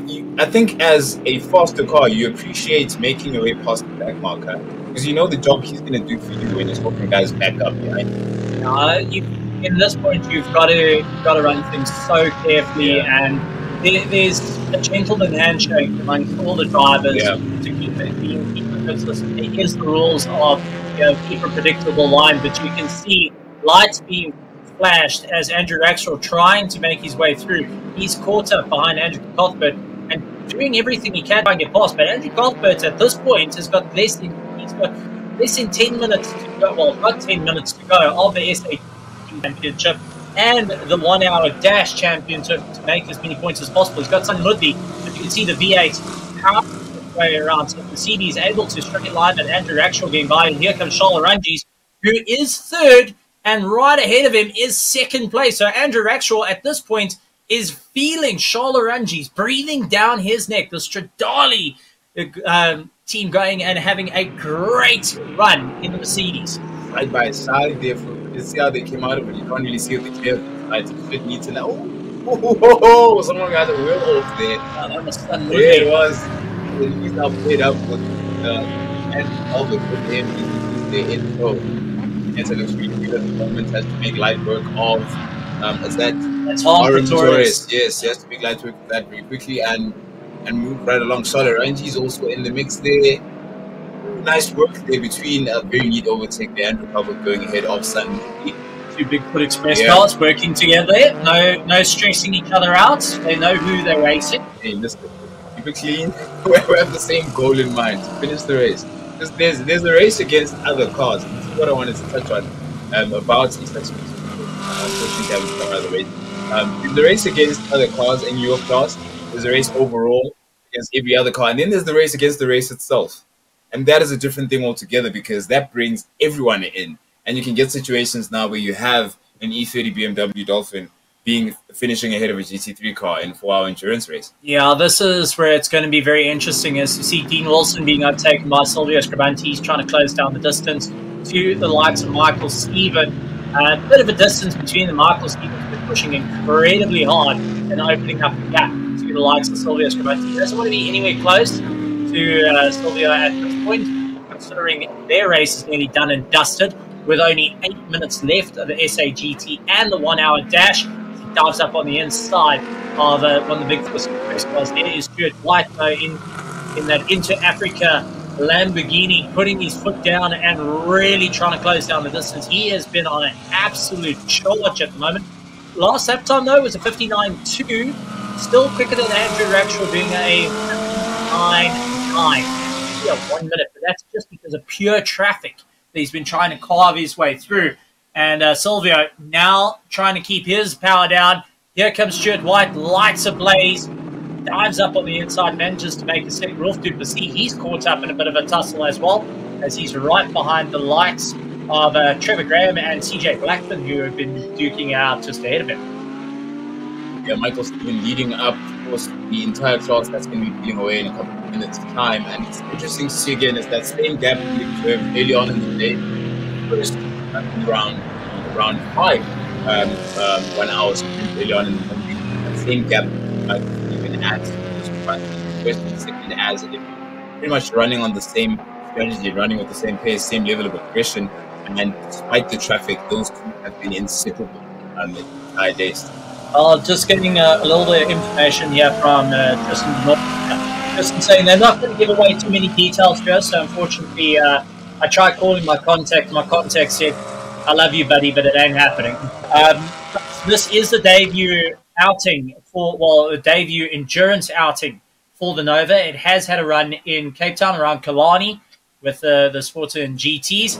And at the moment, they're keeping it all together, looking at taking all the data learned at the moment to improve the car. But at the moment, they're happy with the position and happy with the pace. See what the outcome comes from. So who knows what the strategy is, but uh, as they say, loose, loose lips in ships. And uh, the worst idea is to be friends with a commentator who's got the loosest of lips. oh man, the commentators, the commentators feed, feed off of word count. So the best thing you can do around the commentators is keep quiet, because that is going straight to the conveyor belt and onto the giveaway. um, I think smartly done there, very smartly done. Silvio Scribante makes it around the circuit. Of course, he's in second place for uh, one hour sprint segment of this race, and you have a spot of uh, 4 and 4 um, out there. One of the spectators probably have abandoned and got into their cars because it's so chilly. I think it is so cold. I see the flags, Michelin flags there in the center of the track still um, fluttering there. So I think it's a lot chillier than before, of course, sunlight at the moment. But uh, plenty, plenty action there, brightening up our screens. BMW gets to get us light uh, I suppose not as dark as Messi down uh, against Mr. Bante, um, um, getting very close to securing and bagging that second place. Yeah, it's just something to think about. The guys really uh, trying to push a little bit harder, but we are going to be finishing up in less than five minutes for our SAGT and our one-hour dash championship for their round six, and it's been an absolute it's been a fantastic run. The one hour dash, this is their third outing, and then the SAGT, this is round six for them. Yes. So they're trying to battle it out, and our SAE is for their third outing this year, so they also having a bit of a run. Unfortunately, we had to miss a race due to uh, missing out on Pakisa, but I've got to say, all the drivers got their elbows out and had a little bit more time to get the cars ready to head out to Eldos County, which is a fan favorite. Uh, the majority of the drivers saying that it is a difficult circuit, but at the same time, so much fun. A lot of drivers saying it feels much like having a, just a, a little bit of a bigger version of a go kart track. Shelfers are all over the back of Graham Nathan in that shot as they're battling out. Some Super Cup cars really on string their way around the circuit. And uh, keep an eye on that battle because Graham Nathan and Shelfus are both in Class D are running in 13th and 14th position respectively to try and carve their way through. But Michael Stephen there, out on circuit the SAGT at the one hour dash in that Audi R8 LMS Evo 2. Sure, they just had all the all the letters they can for it, but it's uh, absolutely a great run. Olivier going out wide, he's trying to keep it all together, and I wouldn't, I don't envy any of these cars. When you get put offline, there's just no room for error at this point. Son Woodley, he's making his way through and actually getting a little bit of time to just take a breath. There's not many cars behind him or in front of him, so he has a short straight to get back on the power. Yeah. What did you say about I think the same applies to racing lines. You're not going to do that, get onto the race side. I think it's to very quickly and early on into the one hour race. And guess what? Close. And I think if think for the one hour sprint, having a bigger field actually helps because you're, you've got a shorter time to achieve your result and objective. And the very early yellow flag, I think, also a good thing, for particularly the one hour guys, as they had a free opportunity to make their stop without hitting too much.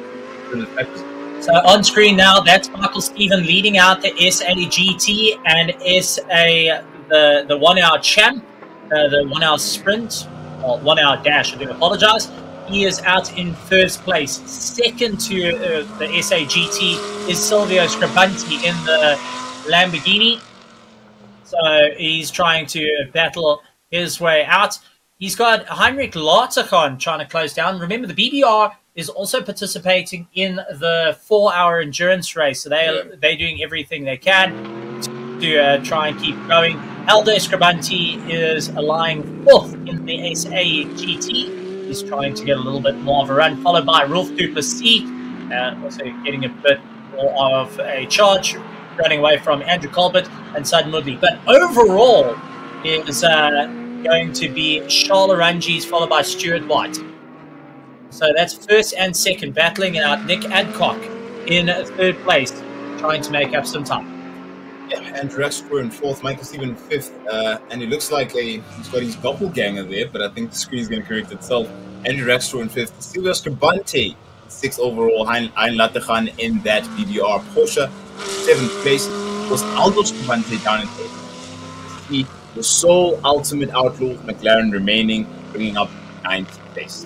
Now it's going to be an absolute charge all the way through, but with one minute left, the the guys have everything on the cards for the SAGT and the one-hour dash at this point to try and power their way around.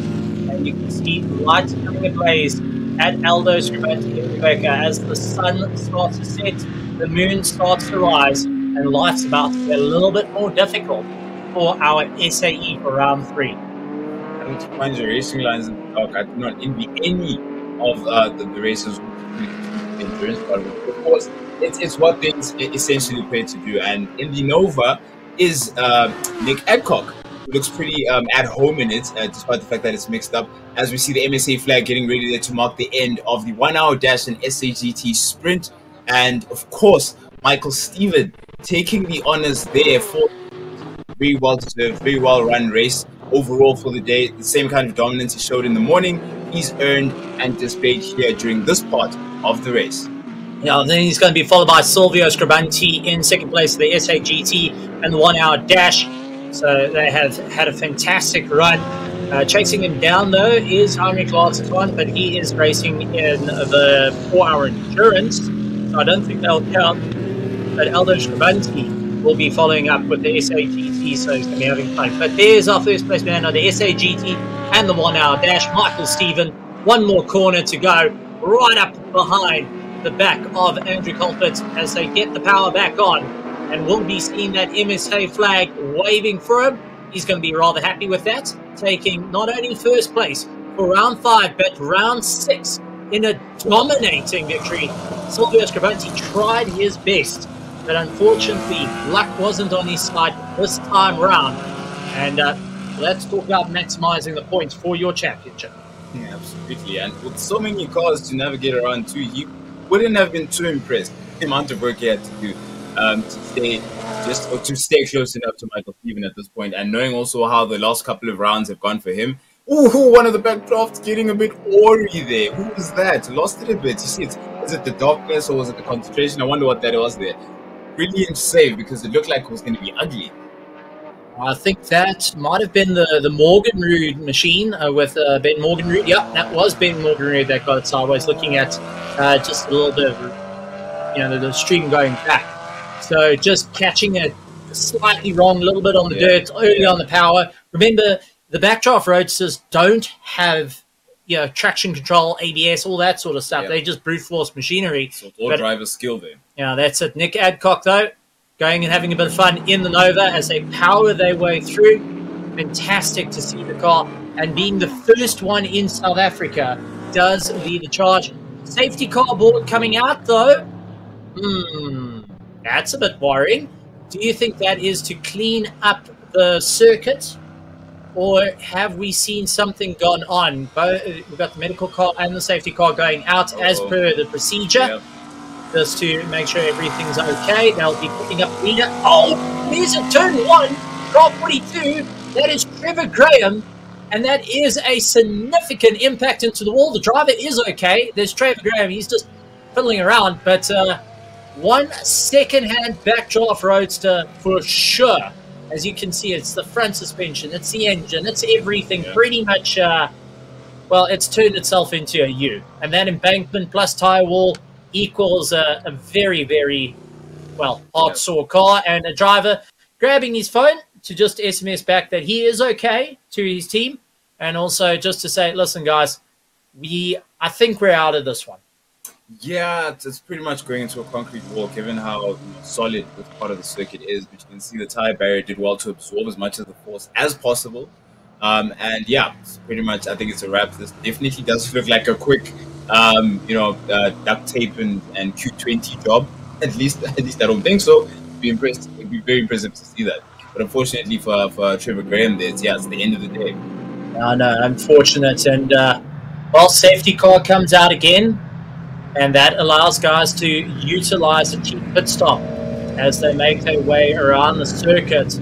But as it stands, our SAGT and our one hour dash done and dusted. So a couple of cars now clearing the circuit to go and do finish up with their outing, which uh, we will get our reporter on the ground to go and have a chat to a couple of the drivers, which I'm really looking forward to while our four hour still commences. But a bit of work to be done to go and push get that car sorted out. But that's that's a heck of a speed to come off and to cause that much damage to the car.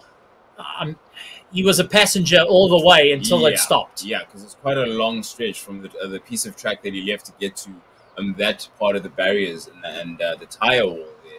But yeah, plenty has happened for the hour. It's strange coincidence that this incident would come at the hour mark, literally as the flag was going down for the one hour dash and SNPC uh, sprint races. But uh, of course, nothing could be planned. You never know what's going to come at you, especially at such a long um, event. An endurance race. And like I was saying, it's either you're racing other cars or you're racing the race itself. And this time, Trevor Graham seems to be a casualty of the race um, of it, uh, itself and, and lost control of his car there. And he's not going to be pleased with that. But uh, safety car, of course, doing its best to keep the cars warm enough tire temperatures as well as their brakes um, in a relative relatively good position for them to continue. Once their car has been recovered and, and as normal can resume.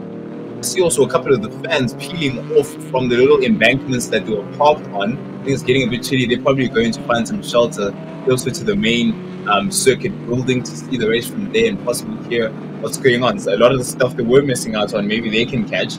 But I know Nadine's out um, looking for some interesting race for us to follow up on.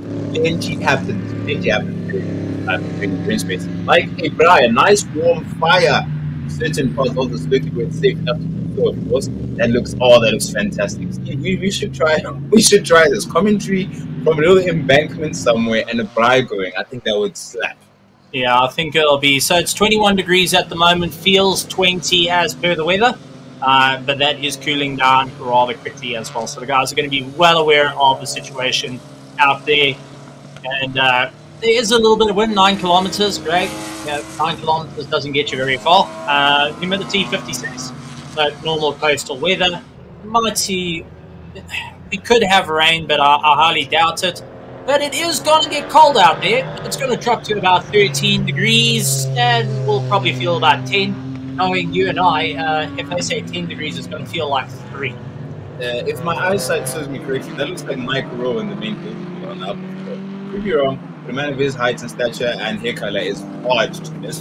because he, he heads up the VW Motorsport team and one of his own proteges um, out on the field.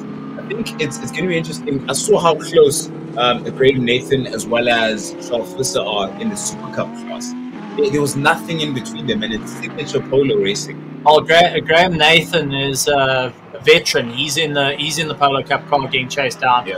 Uh, veteran in motorsport and heads up working a lot on the VW challenge cars, the and everything. So he, he's having a bunch of fun out there, but he's also going to be teaming up with Daniel Rowe, the son of, of Mike Rowe. So uh, he's going to be having a lot of fun out there. So keep an eye on it. We're looking forward to seeing how they do, but waiting for the towing vehicle to come by to uh, help drag this 42 backdraft roadster Trevor Graham standing next to the car. And you can see all the marshals just trying to keep themselves warm as well. So it is going to be a challenge out there for everyone to keep themselves all sorted. But a big thank you to you guys joining out in YouTube, out on the grandstands. Glad to have you guys here being a part of the SAE, the SAGT, and also the one hour dash. It has been having a huge amount of fun. Thank you to you guys. And uh, we keep an eye on all the comments out there.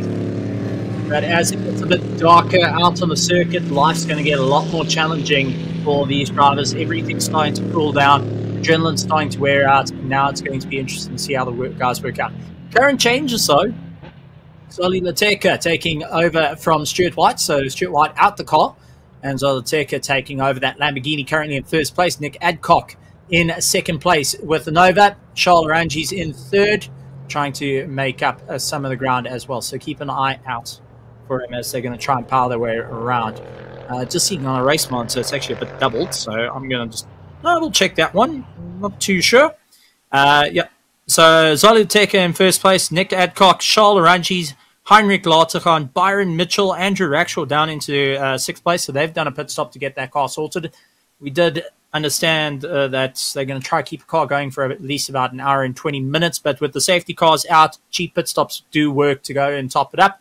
And when you work out the fuel usage per car, sometimes you run into those. Uh, you got to do 4.5 pit stops because you need to chuck in a little bit more fuel. So the guys are just getting it over and done with while the safety car is out here at Aldo Scribante for the SAS four hour endurance race as they are looking to have a bit of fun. There's the towing vehicle going to be picking up Trevor Graham in the background, and that car is going to be recovered as everything has slowed down. Prince, while we've uh, hit this point of stuff has slowed down for the grid, it's been an interesting day so far for both our SAGT, our SAES, uh, our, our one hour dash here at Aldo Scribante. Lots of heartache for some and also some positivity going on for other teams. But as we head into the night, the challenges get compounded. Short circuit, dark, you're going to miss apexes.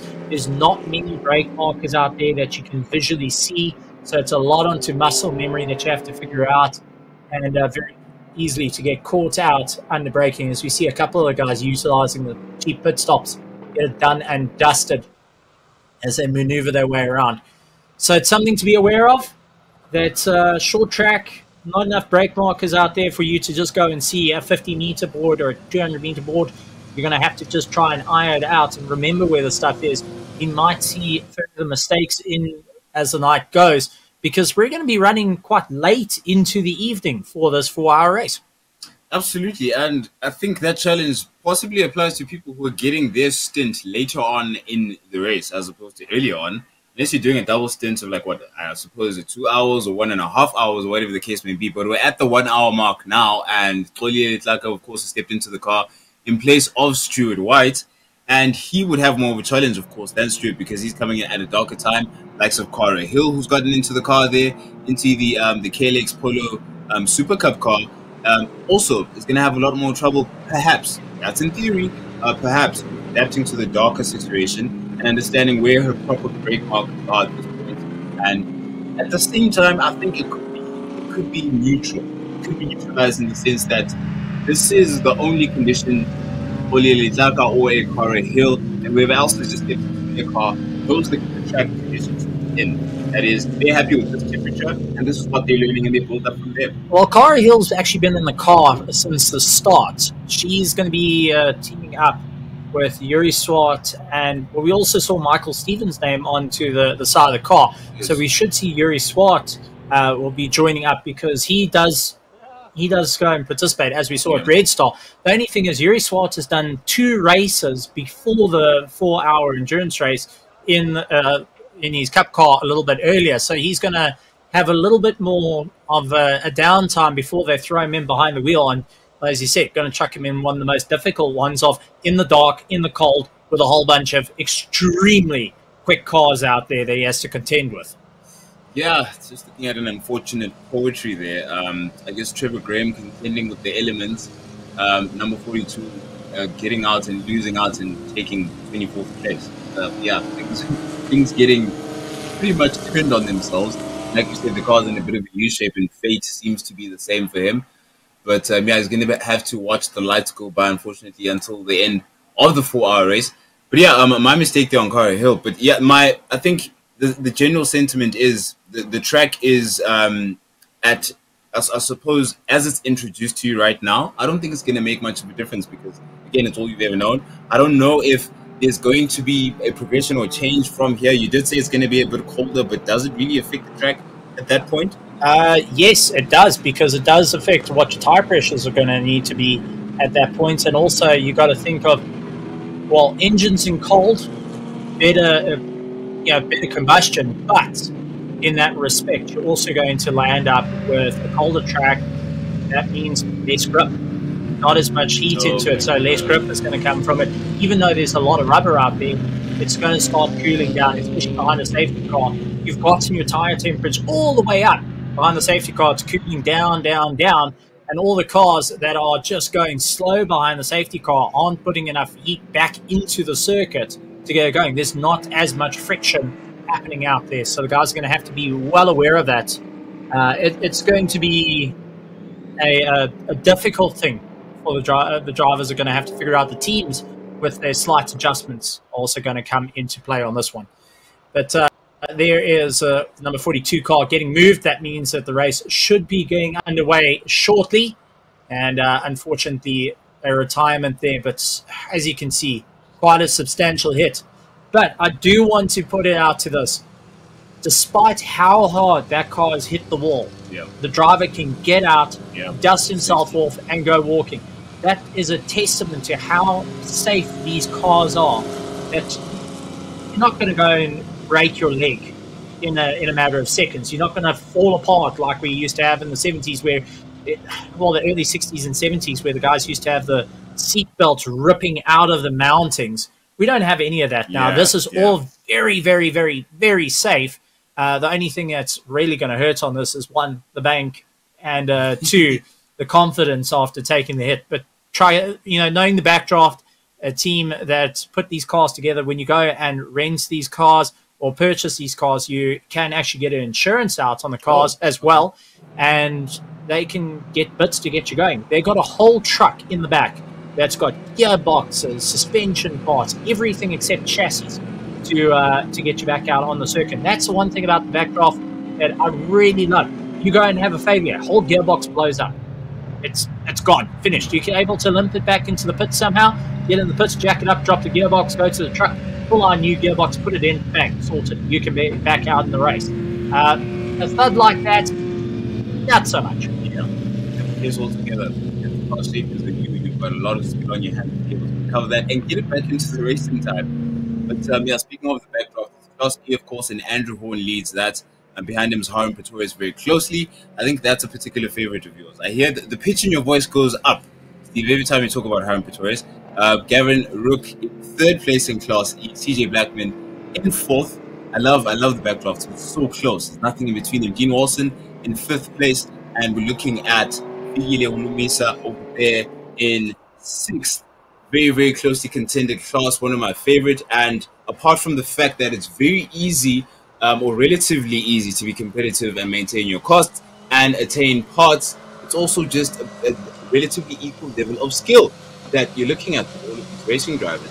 But um, we're looking, we're getting closer and closer to getting our racing back underway. I think a lot of the, the majority of the clearing up work has been done to actually neaten things up and and make sure it's safe for racing to continue. I'd imagine also some of the debris that we saw from that MJR Audi has been cleared. I think that it was a perfect opportunity for that to happen in uh, conjunction to clearing up the number 42 car of Trevor Graham, who is in good condition. He was standing up, doing things, functioning as normally, didn't look to have any ANAs or pains and aches and sores. He looked perfectly fine thanks to the safety level that we have with a lot of these cars. And yeah, a lot of exciting things I think to see towards the latter part of the race. It's a learning experience for some of these teams. I think Nick Adcock would be would have the most interesting learning experience. He leads Class A um, with that um, Nova, which has out out more data studying and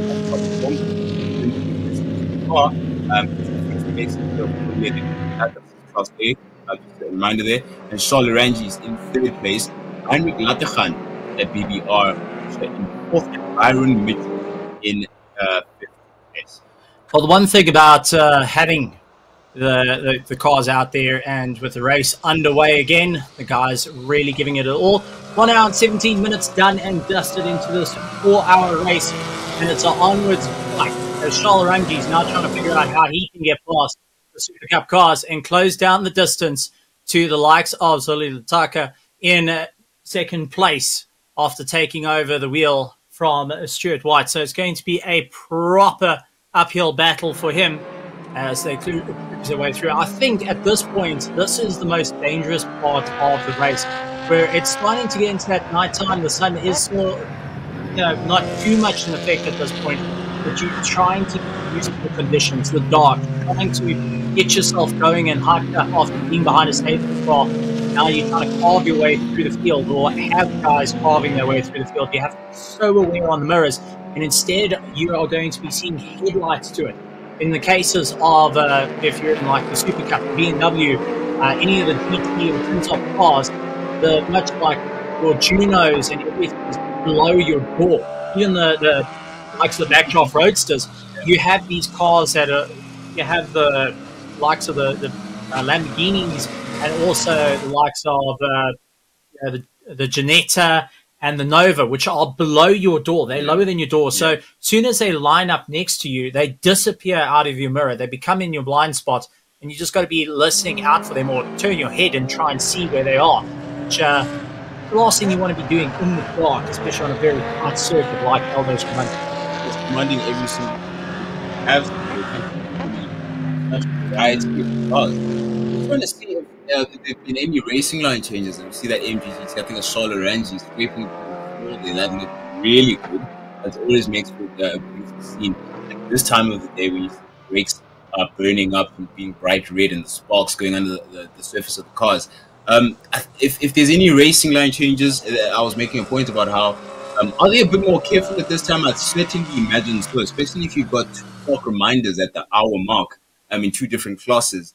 Um, that is with uh, uh, Isak Spies as well as Trevor Graham. It looks like so far safety first, and I don't think the the tires and brakes, for example, may be at the temperature where you can get a bit too aggressive at this point. And we're entering maintenance stride, I would say. This part of the race onto midway, maybe two thirds of the way into the race, a lot more careful than they may have been at the beginning. Yeah, and taking a look at our classes, Nick Adcock leading third, uh, first of the Class A's, Phil Decker second of Class A's, third is Charl Arangies. Uh, he's been chased down has Henrik Latahan of the BBR racing team trying to close him down. Aaron Mitchell of the Dolphin team going and having a bit of fun out there as well. They're lying in fifth. Mikaeel Pitamber in sixth. Seventh is Andrew Rackstraw. Marius Jackson in eighth for our Class A's.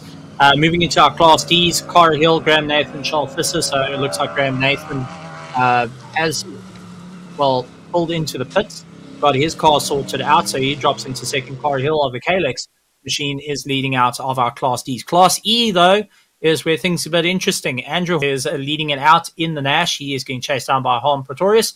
Now, some might be wondering why there is a Nash in a Class E and you've got a whole bunch of backdraft roadsters. Well, it's because the Nash and the backdraft roadsters are on the same sort of platform one another. They, they counteract one, one another. So Andrew Horn leading out to the pass. He's got Harm Pretorius on the race in second place, then Gavin Rook uh, try and chase him down. Uh, ben Morganrud Sr., who is in fourth place. Then you've got CJ Blackman, Mark Harvey, Akila Humnissa, and uh, Trevor Graham, unfortunately retiring his car. Uh, they are in the, the Class E battling it. So that's all the cars battling out. And then one right at the back is Oliveira Netis in the BMW. He is still going and his way around. So good to see the guys having a bit of fun out there. But so far, 69 laps done and dusted around Aldo Scribante. One hour and 22 minutes in the bag, and it's all, as you said, maintenance mode the whole way through. Now it's time to think about what your tires are going to look like, what your fuel's going to look, look, look like. You're going to have guys going and calculating down to the wire of what's your average speed, what's your average usage, uh, what's your average lap time, and how much time to go, and try and see maybe, just maybe, you can save that extra two liters so it saves you that extra pit stop towards the end of the race. The last thing you want to be doing at this point is a splash and dash. Because, like what Andrew Horn's got, where we just saw on screen, have got a much smaller motor, which means it drinks a lot less fuel compared to the likes of the backdraft racing, uh, the backdraft roadsters are, are very, very thirsty V8s. So the guys are have to be keeping that in mind if they're going for class wins. What's the cars you fight up ahead? A lot of a lot of uh, managing the racing style. Having a lead foot isn't the only for me. That's cool. You're racing. in this corridor. Women there. Looking pretty low at the moment, but it's like Charles, if I'm not mistaken, hot on heels. Also, Graham Nathan. Graham Nathan did pull into pits, um, like we like you observed earlier on. Yeah, he was. Um, he is hot on her heels. I wonder how long it's going to take him to actually close that gap. I think she has a bit of breathing room at the moment. Shalfus, Shalfus a bit further adrift, making up the third car of Class D over there. Um, I think that is the uh, yeah, is that the Pilbeam? Yeah, That's the Pilbeam, yeah. and there is lights in the distance. Yeah, that too. Looks like it's going down.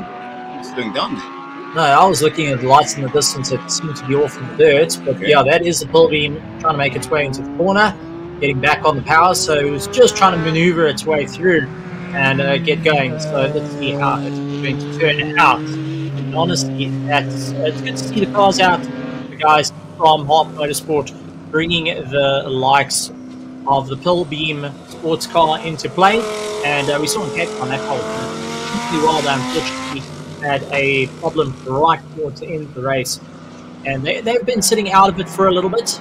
Of uh, Ferris, who is piloting the machine, he's trying to make a little bit of room before Sandra Bari, or uh, that's actually Mikaeel Pitamber that uh, will be jumping into the car and get going. Uh, looking at live timing, he actually is in the car, so Ferris getting it over to the youngster and battling it out. So let's see what the what Timber will be able to do to try and straight over the gap. They'll be also handing over to Sandra Bari, I would assume, um, as the race continues. Or maybe uh, Francis will jump back into the car and his legs. Why not? You came all the way out to South Africa. The last thing you want to be doing is sitting in the pit lane. You want to get behind the wheel and go and have a bit of fun. Exactly, and it's interesting to see the dynamic between, to understand the dynamic between the younger drivers and the older drivers. Quite a disparity and quite a difference in age between the teammates, Perez and Bakari.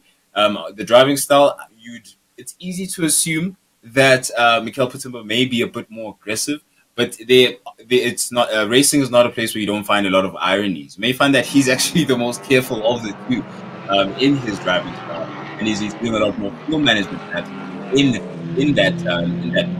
Uh, I'd, love, I'd love to get his feedback. Maybe Nadine is going to get a bit a few chats in there get us a bit more of a info. Forget it. Just else going on um, down in the gate. Lot of these racing drivers. I do want to point out, though, it's good to see both in the SAGT and in the SAE. It's giving an opportunity to the youngsters Yeah. to to have a go. And you see a lot of the older drivers going and inviting the younger drivers to have a bit of fun, join in with all the action. Safety car back out once again. I think it may have been the car that was slowing down just in front of the Pilbeam as as it was putting up to this very section of the circuit. I think.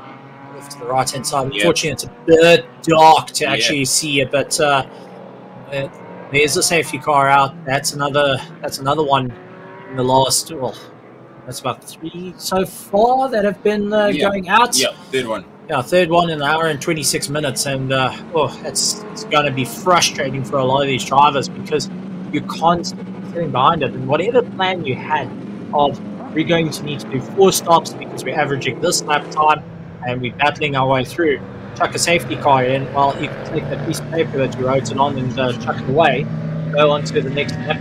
I you ran out of page in your your book. So something for the drivers to keep in mind. It's slowing the race down once again. And this is where we're going to see patience of drivers coming into play. I feel that a lot of guys are going to have to try and refocus on the race at hand. They're going to have to look at each other and go, right, what is our plan? What is our, our goal to moving forward? And how are we going to better this? Yeah, absolutely. Patience.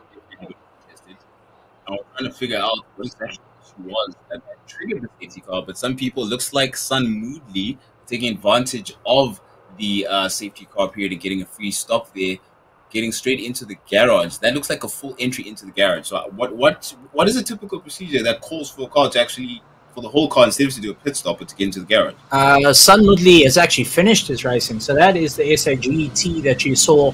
Uh, they've come off the weighbridge Oh, and they've they're just getting themselves all parked up. So the SAGT car is actually just filing their way into the garage. But any other car that's currently out on the circuit that pulls in the garage, well, a severe problem that you need the mechanics to work on it quite urgently. Uh, thankfully, no one else to have that, but as we can see the safety car out, that's going to affect all the strategies coming into play. It is starting to cool down, and that's going to be affecting a lot of the drivers as they try and work it out. Now, we've got to talk about this not only, there we go, we can just see slightly in the distance. What car is that? It is reversed up the hill. Is it? It looks like a backdraft. Is that the backdraft? Yeah. Uh, that's- hard, hard to tell at the moment. Looks like one of the backdrafts. It's definitely a white car. And I remember having that type of livery or something close to that livery. That would be the Morgan Morganroot car, but the Morganroot car I think is still circulating. So, uh, we can get some clarity from our, our directors as well. Give off a message. Yeah, it looks like more running like um, updates that possible. So we'll find out in a bit who, who that is. But yeah, another safety car, third safety car in an hour and a half of the race. We're creeping in at the at to, the halfway mark, and he's can't, can't really. You're right. You can't really pin a certain strategy and predict what's going to happen during the course of the race if things are going at this pace. Um, that's for sure. So you're gonna have to keep keep on your toes and try and anticipate what's coming at you. And again, it's the race against the race, and it's gonna have a lot of casualties. It really does not have any favorites, or nor does it have the least favorite. It's just an even even um, um, score, sort of meted out to everyone. You have to battle against the four hours in in the same in the same manner. And now it's, it's, it's so dark and it's even hard to tell what the classes are Actually, Can I can I just point out something? Yeah. Looking at uh, the race monitor, and I just want to check that uh, Andrew Rackstraw in uh, seventh of A class, but also way down the order in 16th position.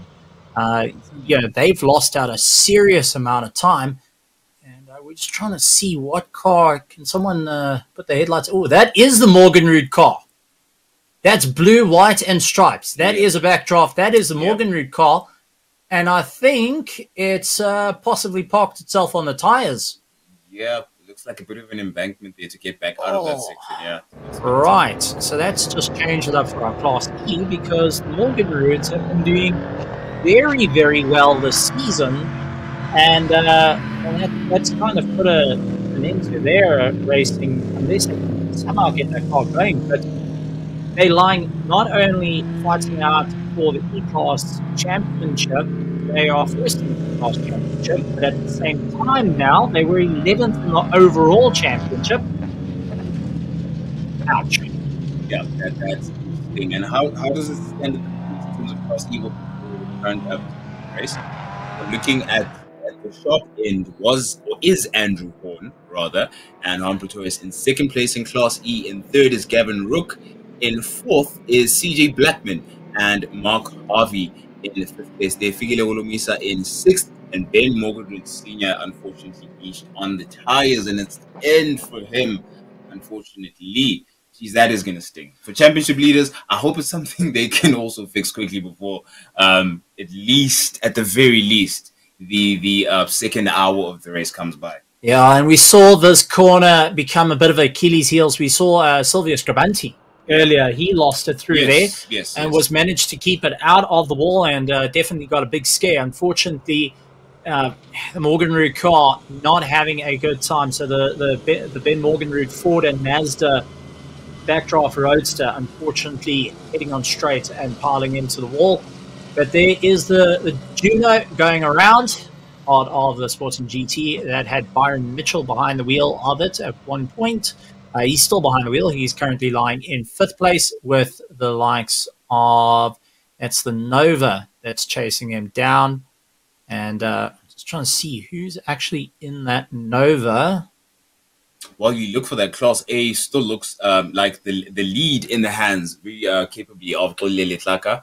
Joubert is in second place and Charl Arangies is in third. Henk Lattergan in that BBR 911 is in fourth and Byron Mitchell over there in fifth place still on at, at the wheel. Cara Hill at the head of Class D in sixth place overall and in uh, Graham Nathan is eighth in second place then for Charles Charles Fisher I guess not finding where he is at the moment. There's been a driver change, in that first car? Uh, so Davi Jube is actually in the Nova, from what I can see. So, The- oh, that was Davi. yeah, that's Davi in the car. So that's something to uh, be aware of as they fight their way through. So let's take a look. Uh, past D though, uh, it's still Charles Fisser, but he is right down the order. And Right down the order. Do you wrong? I yeah, Yeah. I, I'm not sure what's going on. He might actually be out of it. Yeah, it looks like because he's now way down where a lot of the racers who's come out. Like for example, He's on right lap 48. He's on lap 48. Yeah, he's So out. yeah, He's out. definitely He's on lap 48. Uh, Graham Nathan in uh, the VW Motorsport Super Cup car in Class D has done 68 laps. Uh, they are in the pits as well. Cara Hill, who's still out on circuit for the Calyx machine, has done 70 laps. Race underway once again. One hour and 34 minutes completed. Oh, no, it isn't. Safety car still there. I just can't see it through the bright lights. um, but uh, yeah, uh, I was hoping that the race was underway. You see, I'm getting excited. I want to. I want to see the guys go racing again. This sitting behind the, the safety car is not only frustrating for the, the spectators and the drivers and the teams and everyone that wants to go racing, but at the same time, it's a necessary evil just for the, the safety of all the drivers, the teams, the, the marshals out there, just going and doing all the work as well. So while this is happening, ladies and gentlemen, thank you very much for joining us for the SAES round number three here at Aldo Scribante at Gqeberha. And uh, I say it's been a very interesting day of racing with our SAGT and our one hour dash, and now also with our SAE. Definitely putting in the effort as well. So a big thank you to you guys for joining. Also to the guys in the pits, busy watching us. I know I know there's a couple of guys watching us in the pits. Yeah. I'd like to say how's it, and uh, hopefully it's not too cold out there. Don't worry, I'll warm up a cup of coffee for you guys. Uh, Certainly, a couple of fans keep me warm in the YouTube comments. There, CJ Blackman has a plan. Back on 13th. I, okay, so we're just getting report that uh, was only entered for the one hour dash. So he was by himself in the car, which was that pure white Super Cup car, and uh, that's why he retired after 48 laps. So he was only for the one hour dash, which hopefully they can get it going for the next round of uh, racing with all the Class E's because it would be nice to see more of the Super Cup cars going out and having a run, considering they are quite amazing machinery for endurance racing. You wouldn't think that because originally they weren't built for endurance racing. They were built as a a uh, more advanced cup for the, the VW Challenge uh, that was put there. So they have more modern machinery, closer to the, the GTCs that that race as a kind of a stepping stone. But yet they work so well for endurance, and that has been seen time and time again with both the Calyx machine and the VW Motorsport. Maybe guys are starting to look at these cars and go, well, they do have a home to go and race in longer races and can prove in their consistency that they're able to go for it. I do want to point out we're talking about overall championships a lot. We're talking about the guys going and fighting out to come first, second, or third. We are missing out the simple fact of there is a index of performance. Now, people at home might be going, "What on earth is an index of performance?" Well, index of performance works as such: the more consistent you are, the more points you'll get. So, if you are the most consistent driver or team out on the circuit, you score full points. Second, you know, closest times to it. So you want to be within 0.1, 0.2 of a second. If you're 0.3 and someone's beating you out, you come in second place, so on and so on. You go down the order. At the moment, though, it's led out by a Class E of Right Motorsport, going and leading out our index of performance.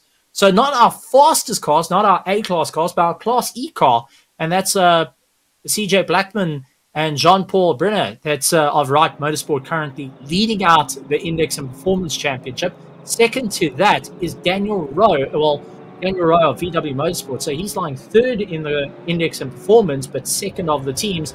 Then we have got Charl Arangies. So the Stradale Mercedes customer racing team is lying third in the Index of Performance, but is lying fourth in the Driver Index and Performance Championship at current. So it's something to be aware of. While our BDR racing machine, this does uh, prove a testament to the drivers because we've got three different drivers that are all within each other's average lap time.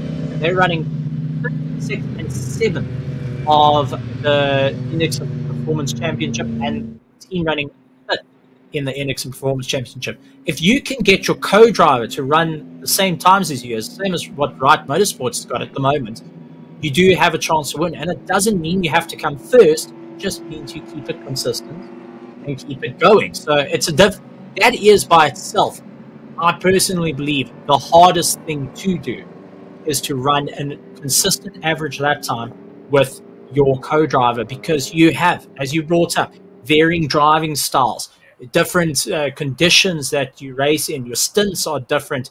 Like some guys have raced in the in the daylight and they've jumped, they've taken their teammate, jumped them into the nighttime, and now the teammate's got to try and figure out how to drive at night and still run the lap times you were running in broad daylight.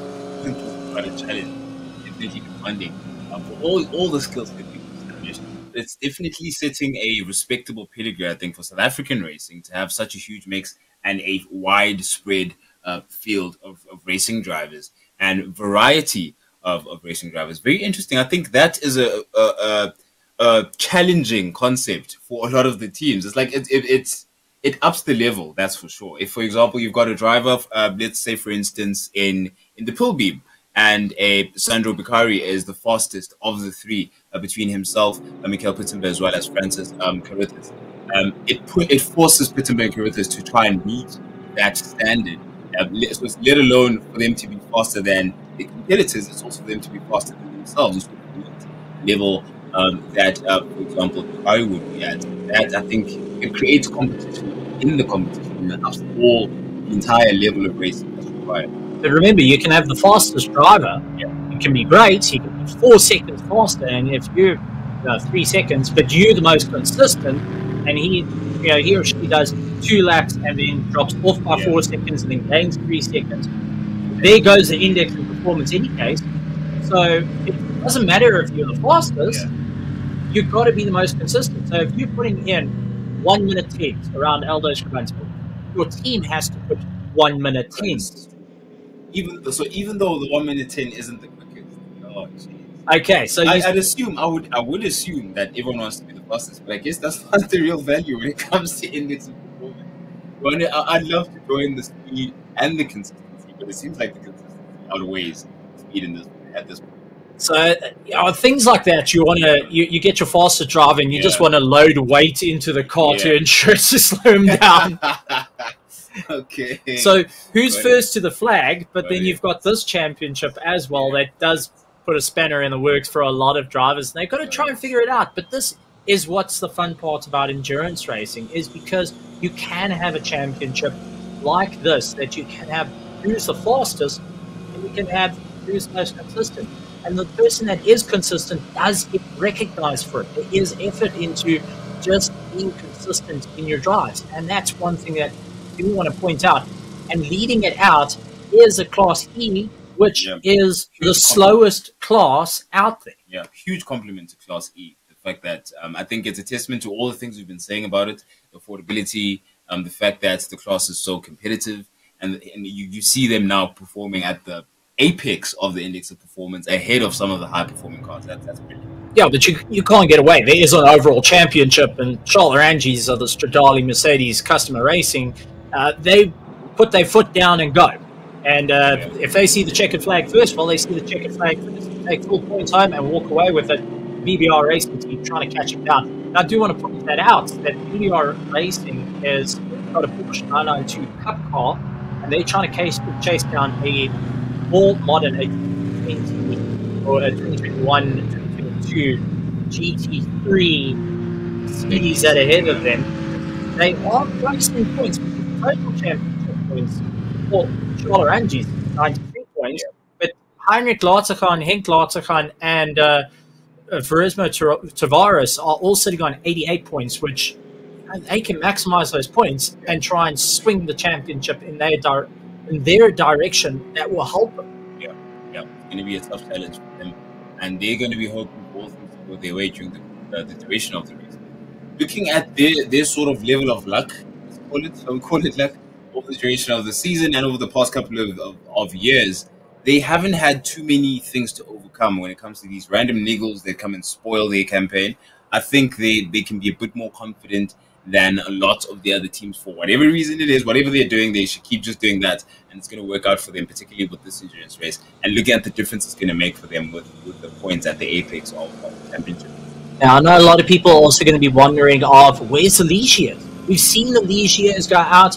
Unfortunately, they are not in this race. Nick Adcock, though, and uh, the Admiral team have actually gone and replaced their Ligier with the Nova Yeah. coming out, which uh, we saw out on circuit. Beautiful colours, Myers. It's very striking. Yeah. Uh, but replacing the Ligier with something else and running this is its first major endurance race. So it's raw data coming through, but at the same time, you want to ensure that it's up there. Darby currently in the car, lying in second place. He's going to chase down Zola Taka, who is in the GT3. And at the moment, it's getting really cold out there. They've been behind the safety car for quite a substantial amount of time.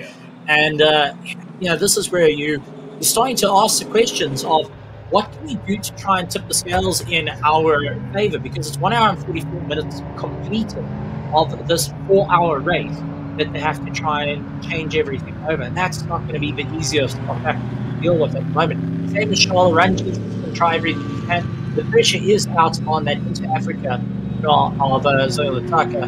He's been given the keys from Stuart White and saying, look, there we go. You're tuned to go and have a bit of fun out there. He's going to have a very difficult time trying to build up heat into the car, into the tires, into the brakes to make sure he can get away from Darby in that Nova, that prototype that is a little bit lighter than the likes of the GT3, so it can close down the distance. Um, it's gonna. It's, this is all difficult. I I have a bit of a worry for the drivers because at this point the adrenaline has started wearing off to a level that Yeah. it's it's it's pretty much non-existent. Starting again, it's a, new, it's a new race, pretty much. Yeah, it's a new race. You're in the dark. You've gotten into this drive around at a, at a, a slow pace. Everything's slowing down, and also the frustration starting to build up. Let's go, let's go, let's go, let's go. I want to race, but now the difficulty comes in of the more time the safety car is out, the more your strategy is, is changing in a dramatic fashion. And we will start seeing guys going for those splash and dashes that last 10 minutes, shove it in the pits, put fuel in, and then go sort of situations instead of pitting on the hour, which most people would like. Yeah, and it's not. Uh, oh, jeez, you're gonna you're gonna hate me for this, but it might not be the last safety car we see. Judging by how things have gone, um, yeah, I, I don't think it's it's the end of it. There's plenty challenges and curveballs coming the way of, of a lot of these racing drivers, but they seem to have succumbed or rather overcome um, the challenges so far. It looks like that. Uh, that he, that Morganwood car still being cleared because I can see the lights of the. Looks like the tow truck.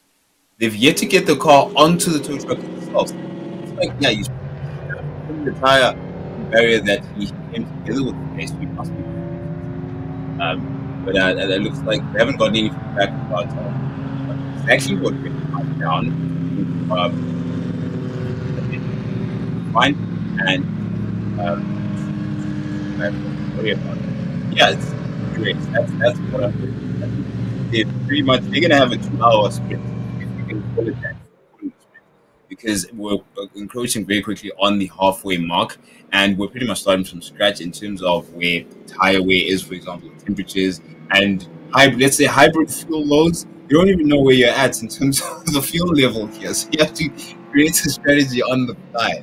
I love, I love the challenge. Some of these cars uh, have got digital fuel gauges so they can see just by how far they can go. Others are running a more analog system, so it's basically Like look where the needle. Yeah, Yeah, so look where the needle is going. Some of the backdrafts actually, I think most of the drag backdrafts actually have a digital display that they can see where they're going. Do they Uh, use similar displays to the ones we see in go karting, like uh, Yes. your MyChrons? I Yes. think I've seen. Yeah, they, they do run them. But, you know, more like the Nash doesn't really have anything to check the fuel. Whoa. So you're going on what your lap times are going to be, and if it goes splutter, splutter, splutter, well, then you know you're running out of juice. Uh, in other cases, in other cases, the guys are waiting for the, the fuel light to come on, glow as red as can be, and then turn off. Then they go, okay, maybe I need pits. Uh, you know, at that point, uh, you know, I know when in these type of situations, if you if you're looking at your fuel gauge, much like the older cars, you could you you could convince yourself you got more fuel than you've than you've got because you can just turn a corner and hope the needle sways in the wrong direction. Yeah. Uh, with yeah. a with a digital gauge, it doesn't quite work that way. wow, it's, it's, it's interesting to see. As as professional and cutting edge as this level of racing is, there still is a bit of layman, um, I don't know, principles when it comes to I know my car. Okay, you know how far you can push your car after getting the red light. That Even if you have a digital gauge that says, listen, it's about 10 liters left in the car, there's always going to be the mentality of, of oh, that will get me a lap or two more. Don't stress me out. on an Apex, something even feel. Um, uh, I think something similar happened on the Mokina. Um, now with the SWAT, but it wasn't. It was I think the reserve. He didn't have any fuel left, and the fuel he had to run on the car was probably what was left over in the pipe because nothing had he had nothing left in the tank. If I'm not mistaken, That was it was the, the fuel pump failure. The first fuel pump failed, Yeah. which stopped him out, and then he had to the he had to go onto the, the secondary fuel pump to try and get him going and get him back. But at That's that it, point, it was also not much left in the tank that they were playing with. So yeah, a little bit of try get the car back, but also you've only got 1.2 liters left in the tank, and you're on your second fuel, you're on your reserve fuel pump. Yeah, it's a little bit of a difficult one. But then you've got, you know, that's what the GT3s have got. They have got these systems in place, like the Ginettas. They got the the Ginetta that we saw earlier. That's got systems in place like that. But cars that don't have systems like that in place is your backdraft roadsters, your Nash, your Juno. They don't have reserves in it. The Pilbeam doesn't have these reserve pumps because it's keeping the cost down. Because remember, that's all it is, is you're trying to keep the cost down in your racing. The, the the faster you go, the bigger stuff you climb into, well, the price tends to add a few more zeros at the end. And you can only go as far as your budget will take you. Yeah, absolutely. And right now we need to go as far as four hours, and a decent budget can take us. And so far, if you're just joining us, we're 10 minutes from the halfway mark. We've had three safety cars, and this has been the longest stretch we've had under a safety car. Only the uh, more backdraft cars uh, beached somewhere in the middle of the circuit. Um, driver is fine, like quite an incident because we've had so far, and the recovery vehicles, as you see, um, the lines, uh, the cars um, filed behind the safety car that is one of Steve's personal That favorites. yeah, that's the Pesty Racing team uh, going and uh, bringing the car in, and you can see the Torres family just moving the car, getting a little bit of assistance as well from all the other teams. Nice to see the guys all working together just to get the car in and going to do a little bit of work on it while they've got the long safety car. Uh, it does look like that might be a Bob Torres that's uh, and just directing traffic as they pull their car in. It, it's, I mean, this is always a, a difficult case of slow going in the dark, and you're just trying to keep yourself going. You're trying to motivate yourself. The team's trying to motivate itself. Uh, it's getting colder and colder out there, and when you get going, it's a brand brand spanking new race. So they're doing a bit of work, trying to get the car in to go do a bit of work, bit of directing of traffic. You know, hopefully, we can find out what's going on with the car that they they're causing it to go back into the pit. I'm sure this is not going to be the pit stop they that they wanted Yeah. at that point. Certainly not a planned one. But you speak about motivating yourself. I think racing drivers are still the most competitive planet. And that doubt that All right, so we are getting reports that Nadine is actually going to find out. Nadine, down to you, our reporter on the ground. I'm here with Petty Racing team manager. Um, they've just come out into the pits. What happened? Uh, we have a drive shaft failure, drive shaft in the car broke. We don't understand why. They were both brand new drive shafts. We put new drive shafts in the car, and it just failed uh, when he changed gear when he was driving around behind the safe car. So we'll try and see if we can get it out and get it back in the field. Okay. Well, we're hoping for the best for you. Say again. We're hoping for the best for you. Thank you very much, Nadine. Much appreciated. Thanks, guys. Pleasure. Good luck. Thanks.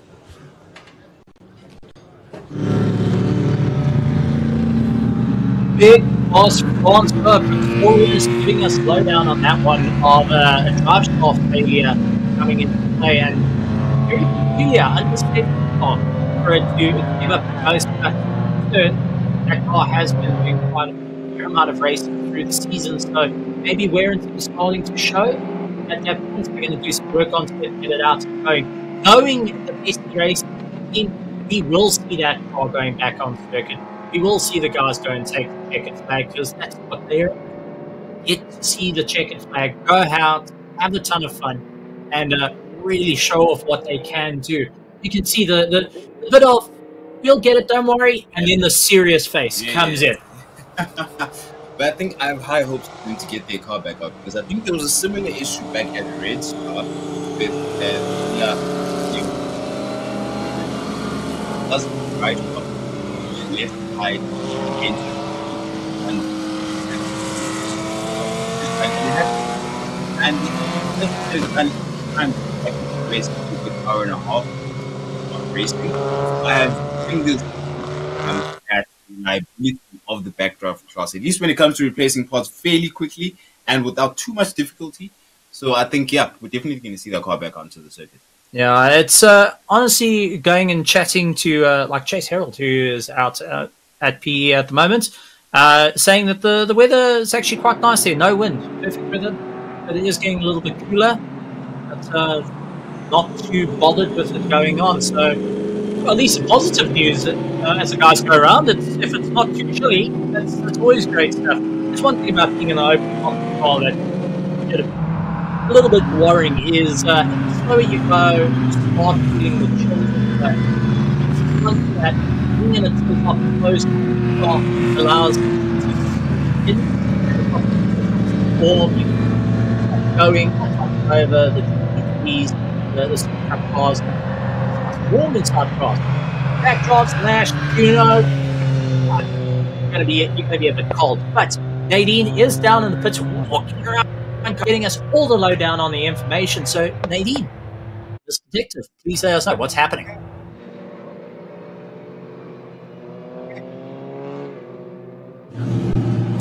I'm standing in the pits with Andrew Rackstraw. You guys started on pole. Encountering a couple problems. What's happening? Yeah, I mean, it's sort of, well. The first lap, we got quite a good uh, distance between myself and Stewie, which was the whole plan. And then ever since lap two, we started losing more and more and more power. Um, and the engine just ran, kept getting leaner and leaner and leaner uh, until the point we had to come and pit. But the team is doing an amazing job to try and fix it. Uh, I mean, that's a spirit of endurance racing. It's just unfortunate because it puts, it puts us out for the race win.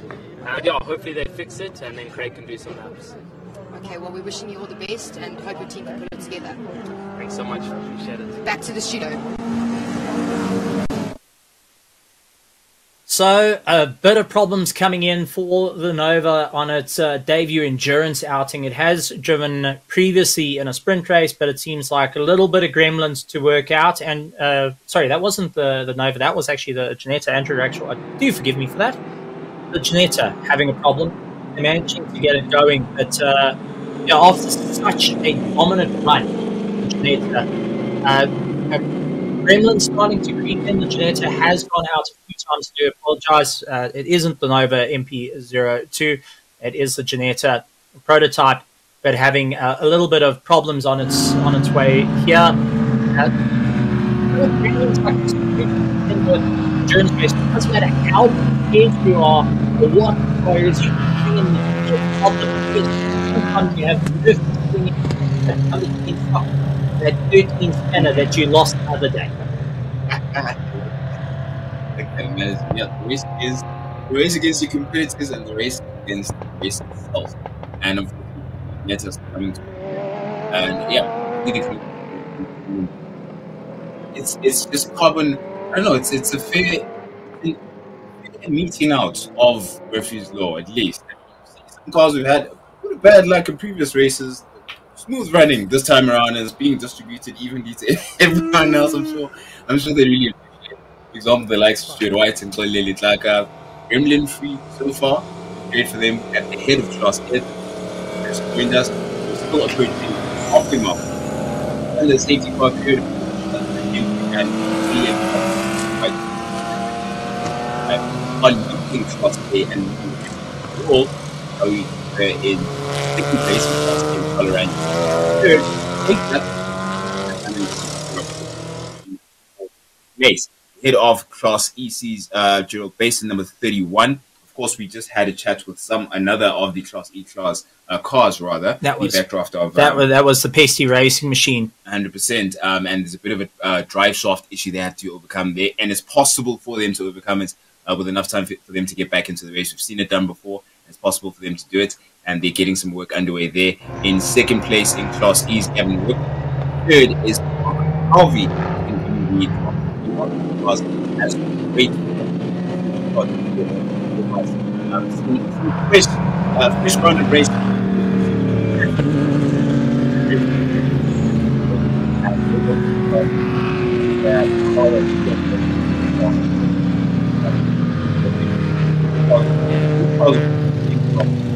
first round of race. Oracle and Nathan um, doing one to each in there. Oh, uh, just to have a little bit of fun. I wanna I wanna ask. Do you know what the safety car's lap time is? What a, what a random. Okay, I didn't expect that. What what what what is this? At the moment, our leader do- doing 158.6 behind safety car. Safety car is roughly about 0.4 of a second head, so he's also sitting over doing a 158 to 158.3. Is that what? I saw you. I saw you blankly staring at the screen. So that was what you were. Qual- that's what you were calculating. You were curling, right? Wow, I completely. Crazy. Random bits of knowledge Yeah. you can have around basketball. Yeah, yeah, have a unique. So, talking about getting information, Nadine's going to give us some more more important information down in the pits. Nadine, over to you. I'm here with Stuart White in the pits. Um, you guys are currently in the lead. Uh, your partner's in the car, and what does this do for your strategy? Um, be currently dealing with the safety car issue because there was a bit of a bump. Um, yeah, so what's your strategy now? Obviously, your fuel consumption, the tires, everything's going to take effect. It definitely plays a big role. I mean, firstly, I'm just happy that the driver that was in the accident is alright. It took a while to, to repair the, the tyre barrier. It does change the strategy a little bit. It maybe also helps us a bit because we know that we'll be able to run with, um, without it, with only one more stop towards the end. So we're happy with that. Um, I think currently we're looking really strong. The tyre wear and stuff seems to be good on the car where some of our competitors are maybe struggling a little bit more. So now we're very happy so far. Kalili has improved uh, a lot over the last few weeks. So excited to see what he does now in the race. And I think um, if we just keep our noses clean, we should be there in the end. It's obviously going to be very tight. Um, still only 10 seconds in front of the Mercedes. They gained a, a lap back with the safety car. So, um, but it goes that way. Sometimes you gain, sometimes you lose. So we just need to keep working on our own strategy and see how it goes when the checkered flag drops. Okay, well, there you hear it from Stuart White. We wish you guys all the best. Um, back to Stephen Prince in the studio. And we'll be good to go racing. All right. Well, thank you for a bit of information from Stuart White giving us a bit of insight. And uh, just to catch you up after the last uh, two, well, we hit the halfway mark, two hours and one minute completed. The first hour was a battle for the SAGT and SA uh, dash, one hour dash. The guys duked it out. Marcus Stephen getting the overall win on that one, and also the overall win for the SAGT. Silvio Scribante finishing up in second place. We did see within the first one hour, we actually saw within the, the first eight minutes, unfortunately, Isak Spies uh, going and, and going and crashing into the wall in through the final corner. He landed up with a fair amount of damage to his car, which brought out the first of our safety cars that uh, came out. Then we've had a lot more racing going on. Unfortunately, another accident took place that has created the longest of the safety cars. And just hearing a little bit to the commentators in the background that are at the circuit, uh, the marshal posts are starting to get back in order. And that was actually the Class E car of the Morgan Rood Ford and Mazda, unfortunately losing it through the infield and having one big crash. Also, within the, the first hour and a bit, we did see, well, first hour, we did see the collision between Aldo Scribante and Marius Jackson. Uh, just on that corner, far away. Uh, At the moment, Sam's drivers are trying to get themselves back into a running order. There's three safety cars. First one was a GT3 into the wall. Second one was uh, Graham, who was racing in the class. Unfortunately, having a problem, he went into the wall and landed up with a bit of damage to Trevor Graham. Turn one, putting in the wall, turning that backdraft roads, roadster into a bit of a U, and then our third one, the Morgan Root car, and losing it in through the infield so, and landing up with some severe damage on his car, along with all three of those cars getting all three of them hit the wall hard enough that the tire barriers needed to be repaired after the collision.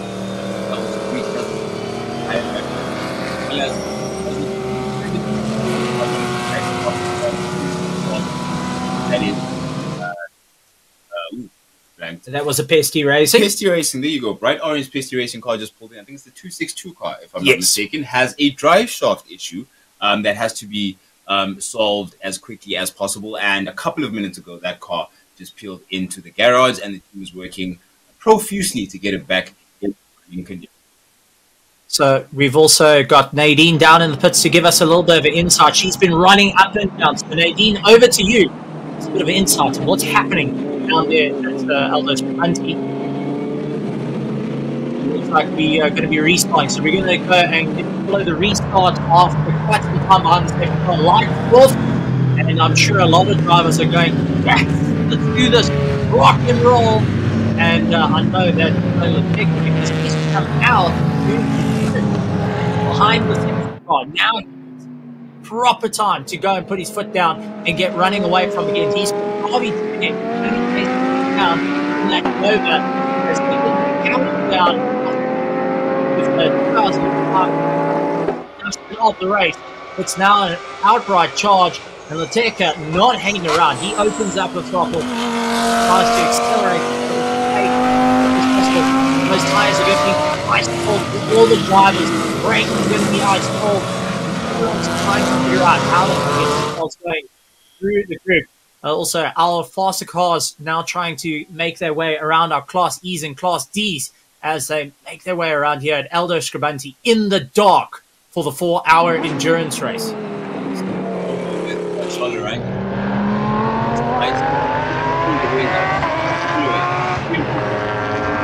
Yeah, then you.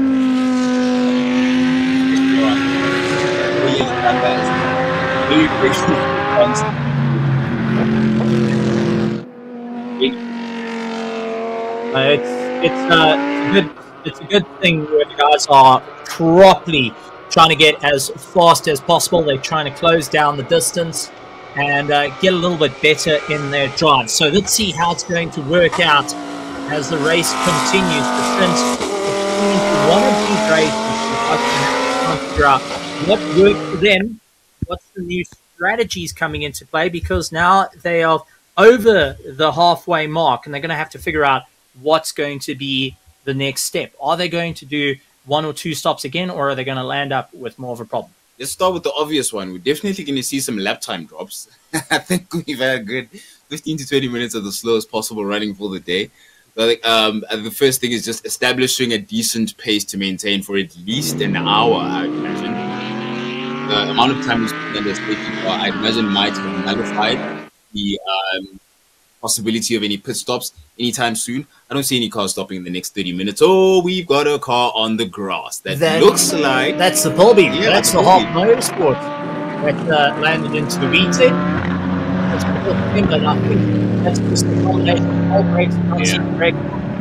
And uh, okay, we're just putting reports from our camera crew and directors that that Hawk Motorsport Bulby was slowing down significantly to the point of uh, of an issue. So Hawk Motorsports are going to be frantically getting on the radio to try and talk to one another, figure out what's going on with that car. Hopefully, they can get back into the pits. That's the point. They have to go back to the pits. And uh, we'll be frantically working to figure out what's going on, how to get it, and get back out on the circuit. But it's just one of these things. The race just restarted. For some odd reason, something argued in a situation like this where the guys are racing around, quite, a few of these cars, they don't have fans built in. So you know, in traffic, you go and stop your car, you call, you, you're waiting. the car has a fan that turns on and helps cool everything down, keeps the temperature down. Yeah. For a lot of these cars, like the Nash, like the the Pilbeam, they don't actually have cooling fans. They rely on air of the radiators to cool the cool the water down, and that's the way it works. Well, that we don't want get rid of it. The problem is they've been behind the safety car for so long, and behind another car that's it's there's no flow getting through it, and that temperature gauge will start to climb rather quickly, even on the coldest of nights. Oh, I'd imagine suppose the only fan is your ambition and how fast you go. You want to fast and open in those type of cars at the very least. But I, saw, I wonder what the issue is there with that tow beam. Uh, hopefully, we get a bit more information. It's very unfortunate see. Doesn't look like a safety car worthy thing at the moment, which is a great thing to hear. Yes. Ginetta, some work being done on the Ginetta that We saw that had to pull out. Andrew Rats, uh, Rackstraw was delivering the news to Nadine there that some issues had to be overcome. Looks like they're working on the part of engine. It looks like doesn't look like the gearbox, the top side of the engine. Now that's the head off it for some odd reason. Oh, safety car! Prince? Prince? Don't look at me. Prince? Do not look at me. Okay, for everyone out there, I'm sending Prince home. Prince, we're going home. Going home. You touched your phone, that's what happened. Go home. I'm like, I'm like, I'm like, I'm like, I'm going home. I'm going home. Yeah, rather unfortunate to have uh, another safety car out. And one would gather because uh, a car stopping uh, still at fault. While they race no, the safety car is back again for Thank goodness. Ooh, that was close. When I saw those cars, uh, just my heart sank. They like it. We managed to recover the Pilbeam relatively quickly. So, yeah, we can anticipate a bit of a scoop from Nadine for later on. But as far as we have it for the time being, it's normal racing resuming and it's into Africa at the head of the field. Uh, Graham Nathan trails. He just came in and out of the shot very quickly there in the Super Cup Polo. He trails Cara Hill in that class. It is well. Murray Hill is out the car. Yuri Swart. Okay, that was kind of safe. Oh, yeah. So, Yuri Swart now in the car. Remember, Yuri Swart has this great earlier. He has raced two sprint races and now jumped into four hour in the dark. So, um, hasn't had much time for that one. Daniel Rowe as well, jumping into the car. He's taken over Graham Nathan, and they're battling it out for sixth and seventh overall, but first and second in class as they get the power down. Charl Arangies taking first place, though. He's getting ahead of Zoloteka. So Charl Arangies didn't hang around to go and on a proper charge. But in shot now, that is Yuri Swart chasing down the likes of Daniel Rowe just ahead of him, trying to push as hard as he can. Daniel Rowe is going to try and stretch open the gap, but that Calyx machine is right on the back of the VW Motorsport Super Cup. The Class D battle's starting to heat up once again. And I've got to say, one thing about the endurance racing is I've been really, really happy. Because uh, how you forward having that, but also our class to close you, five, look, take class that time. A 101 tells me he's the dark tries to find his stride to show around one minute in the dark. muscle memory. You were talking about muscle. Stop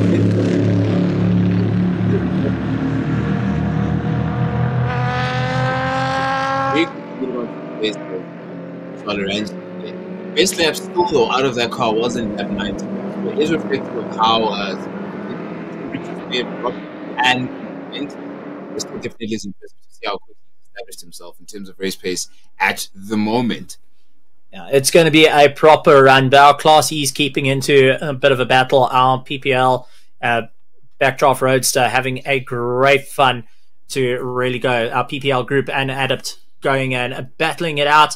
We did see Dean Wilson having a fantastic route, and he's trying to get a little bit more of a run, but also getting chased down in the process. So they've got to be so cautious of uh, making a bit of a chase here. They did hand over to Mark Harvey, who's currently in the car. He's lying in 10th place. Class East, he's trying to chase down Gavin Rook and Joel Bays ahead of him. He's got big back, trying to close down the distance in 11th place. And in 12th place is our, our who was in the Pilbeam, oh, Hawk Motorsport Pilbeam is a, a little bit further down the order, so he's trying to make up some time and work his way through the field. So a couple of guys having to try and figure out what to do as they make their way through it. Interesting to see Gerald Bass taking over from Andrew Horn. He's lying in eighth place, so the Nash doing a fantastic job at the moment, despite the no power in the car compared to his the rest of the field. Well, the rest of the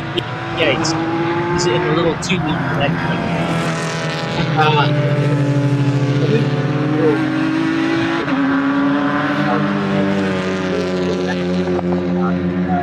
Alright. Seems like last time we saw him run out was quite a while ago. I think he was actually in the, one, hour, dash Ah, as well. I was looking forward to see him for the four hour, but I guess it kind of makes sense. I mean, it is a tough, tough, tough challenge to to, to build a mechanical car for four hour race. Now that's the thing. Uh, a, race like that.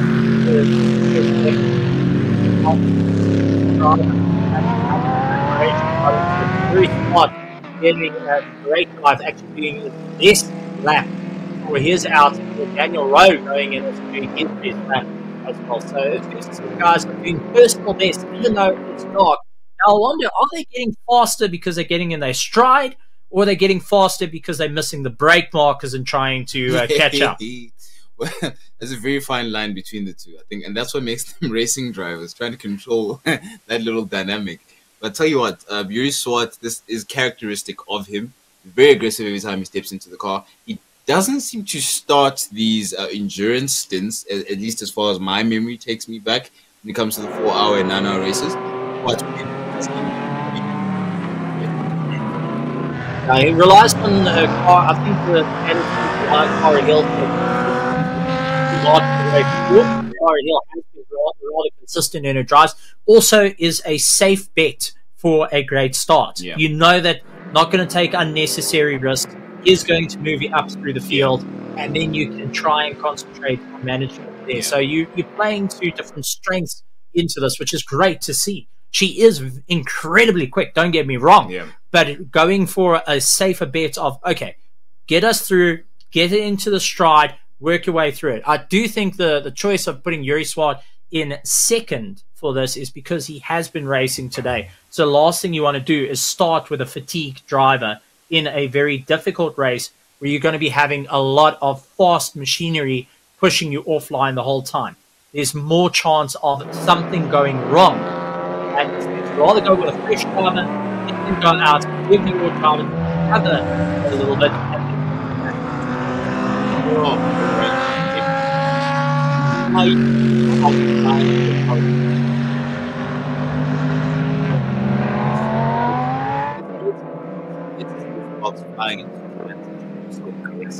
And I think quiet, uh, nothing just in front of him and nothing behind him, the concentration is only going to help him stretch that lead in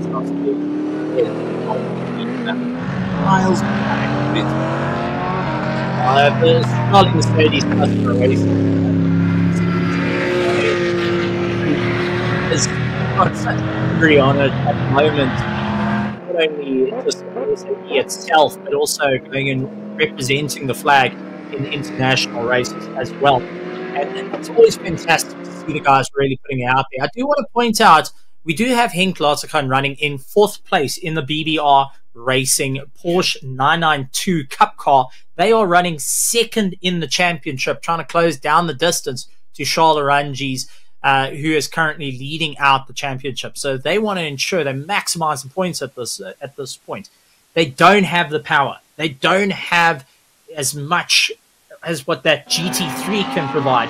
But for really proving it doesn't matter uh, how much horsepower you've got underneath it, how much knowledge you've got in terms of traction control. That's probably all down That's what we are racing. narrowly missed out the championship last year, and you can be sure they've been frantically working behind the scenes to ensure that they can lock down the championship this year in 2023. High out already. That is not hard. They have a chance. I do believe they will national overall championship just on their planning alone of consistency. I do feel though they have got a bit of an uphill to climb because the Dali team have been synonymous in the South African racing scene, uh, in national championships, regional championships, club championships, yeah. the presentation of the vehicles, how they've put the whole thing together, their planning, the meticulous planning behind the scenes of it, and also the preparation into the vehicles, because they don't only just prepare their own car, they do prepare many of the cars out of the field today. Much like Rover is prepared that little bit of work. And I, I think we we see a battle of the giants in that respect. We've got two teams that are willing to put it all out on the line. But so far, it's all on Charl Arangies out in first place. But not to take away from Zoli Letlaka and the likes of Stuart White in the Inter Africa Lamborghini. They're running in second place. Well, we've seen Letlaka can run incredibly fast times and be uh, consistent. We saw that in last year's championship. We're seeing it again. Stuart White coming out and really putting in absolutely mind boggling laps every single time he climbs into the car. He really wants to take the fight. It's brilliant to see. Harvey Joubert in the brand new Nova going in and out was always great to see. And a new car that is a little bit of work, a little bit of gremlins that have to deal with, guys, on it. I can't wait for that car is now 100%. We will see the Just for Sleep. I do apologize, seen as uh, Just for Sleep well, I actually quite like it, man. Um, so the Just for T- uh, Sleep team will be ensuring that they're going to take the fight out. So they actually used to. Nick Adcock was the the Ad Call 24, which was the Ligier. Yeah. But uh, the Just for Sleep being the name, I think it, it's rather suiting considering we're going into the night for the four hour SAE race, round three here at the lovely track of Aldo Scribante in Gqeberha adjust for very little sleep at the moment. it's, it's, it's nail biting stuff. We were talking about how the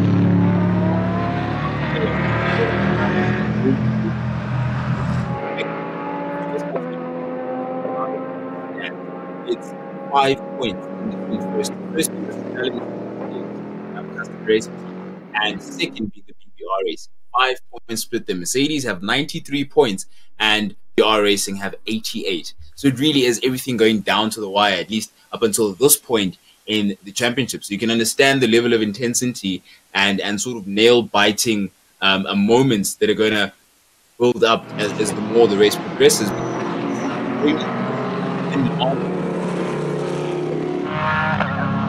Well, it's, it's definitely going to be an interesting one for us to tackle the way through. Into that red howling in the car uh, I love eight. I really do.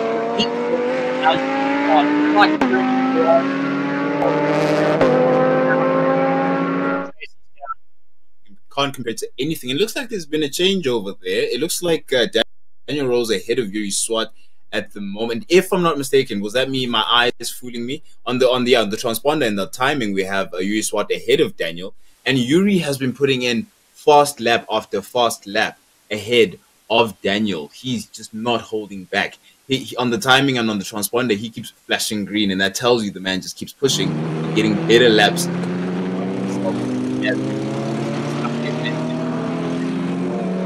Very spot running in second place, seventh place is Daniel Rowe. It's Alex first. One way down the order. For the GL place, he's having fun out in the Nash first class. He's now has set of the class overall, and you can just see Lamborghini saying hello and goodbye. before even crossing the line. He's got past uh, Gerald Bass, who's foot flat to the floor as in that Nash. But unfortunately, uh, there's no replacement for displacement in the place like this. 100%. Foot flat to the floor with no answers, unfortunately. Bit of curb there. That was interesting. But um, yeah, I think at this point, getting back into racing stride again, we had to wait a while for this to come. And see Fire shooting out the exhaust of that Lamborghini. Um, fantastic scenes. It. Now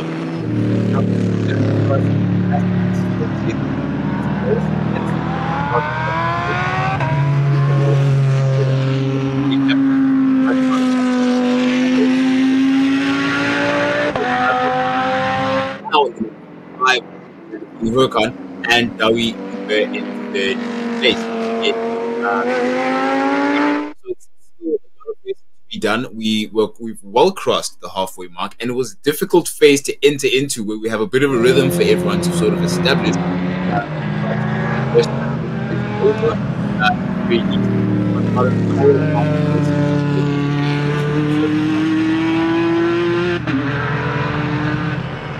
I think we can get the cable ties out the toolbox to ensure that after making a commentator's uh, saying like that, Prince, we've been in the game long enough, buddy. I'm trying, to, I'm trying to change my approach. I've been the guy who's saying they're more. Um, not should I say it? I, I've been the guy who's been calling out the safety cars this entire time. So now I'm trying to change my approach and be be more positive in what I'm anticipating. I am saying green flags until the finish. That's what I'm saying. But now you said it. Yeah.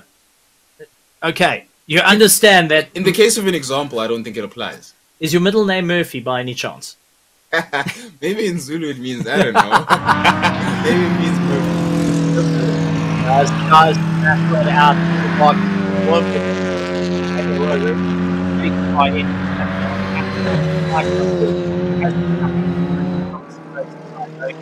The sports thing, uh, he needs to really fiddle to the middle at this. Oddly enough, uh, Daniel Rowe, sim racing, uh, just a, a, random one to check out there, goes and races the Mercedes AMG GT3 Evo, which is actually the same uh, chassis type car as the Stradale Mercedes. Oh, fantastic! So he does enjoy those type of cars, and uh, now the real world of racing car, it was uh, was was racing as well. So, on, on top of it, so life at the moment, being able to go everywhere around the country and go racing. His reflexes must be sharp ever then.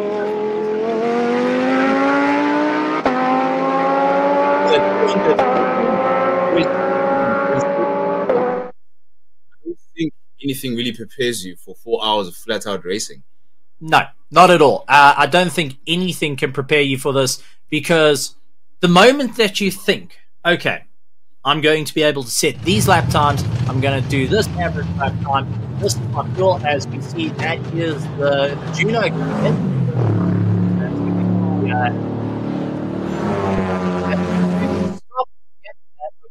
a fuel stop. The guy's getting it all sorted out. We may see a change of driver as well. Uh, Byron Mitchell has been in the car for a fair amount of time. He's lying in fifth place at the moment. As uh, we see the Nash coming by, that is Gerald Bass behind the wheel. He's taken over from Andrew Horn, who's uh, been battling it out. So first to the Class he is trying to close down on Daniel Rowe ahead. But it's going to be interesting. Will Byron Mitchell be climbing out the car, handing it over, and saying, "Right, now it's on to my teammates to go and make his way through, uh, considering a fair amount of time behind the safety car at this point. What happened? A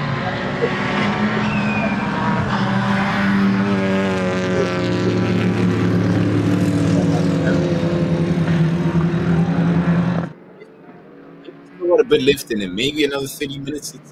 If he does do so, he stays for another 30 minutes, isn't a bad place to have you, man. I think he's going to be handing over to Peter van Spey. so? I think Peter van der Spey is going to say, enough is enough. I want to also drive my car. Thank you very much.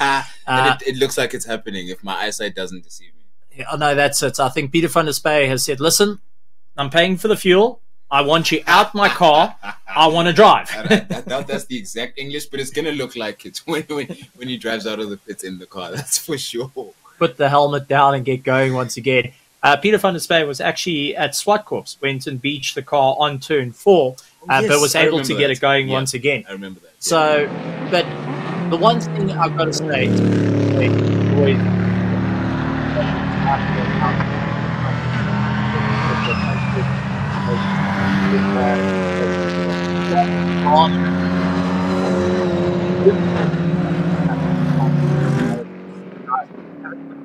It's nice to see right from all aspects of the country, whether you're in KZN, uh, whether you're out there in Gauteng, you guys are all jumping in from around the country, all into the series to go and duke it out and have a bit of fun. And remember, the winner of this SAE championship will become a national champion, which I mean, that is some serious bragging rights. That is something to truly treasure. And the only way you're going to get that is by putting in the work to ensure that you get to the front. Beautiful shot of uh, Charl Arangies in that Mercedes where you could see the front brakes glowing as he breaks into turn one and now trying to maneuver his way through the rest of the field.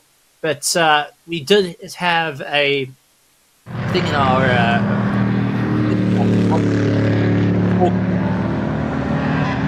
our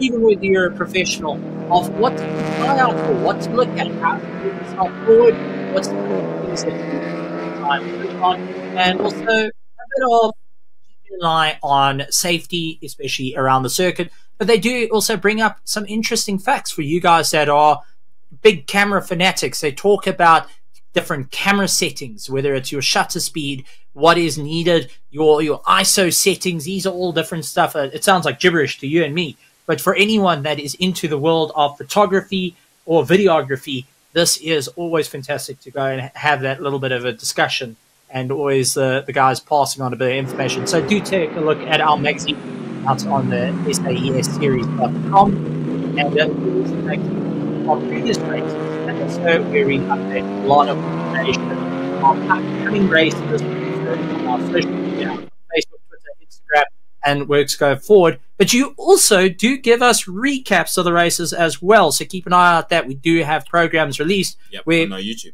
Yep, on our YouTube, and Prince is the voice to that, so you get to listen to the wonderful voice of Prince going and uh, giving us some insightful insights, which we don't usually get to hear too much on race day, but just after race day when the stories come through. Yeah, everything is better in hindsight.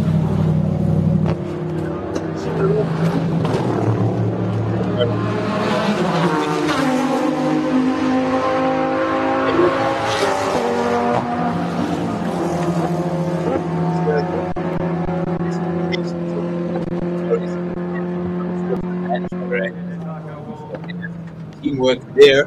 Uh, one is too humble.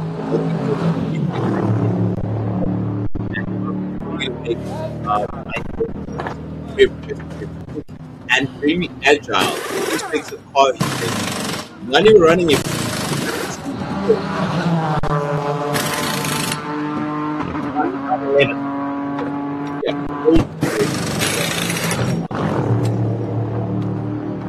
For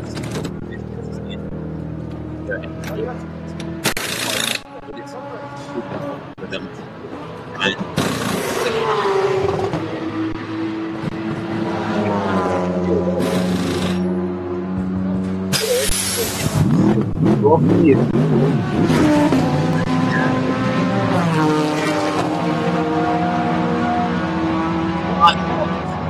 working on the car, you can see telling, hey, don't get on the throttle Not just yet. yet, Wait, yet, wait, yeah. wait. Because the excitement's starting to kick in. Arnold wants to get out and get going. Arnold Neveling, also a major player, a major name that's also represented the South African flag on numerous occasions, has come out and done plenty of racing. Whether you've been in a go kart, whether you've been in a tin top, he's jumped into pretty much anything that has four wheels and uh, goes out and has a huge amount of fun now jumping into the likes of the Mercedes GT3 and in the dark out of all things is going to be a rather challenging thing. So he's been watching the racing from outside perspective but being in the car and trying to work out, right, what do I need to do to get back on pace and get going? But that has given the position back to Zoli Letlaka. He's taken first place back.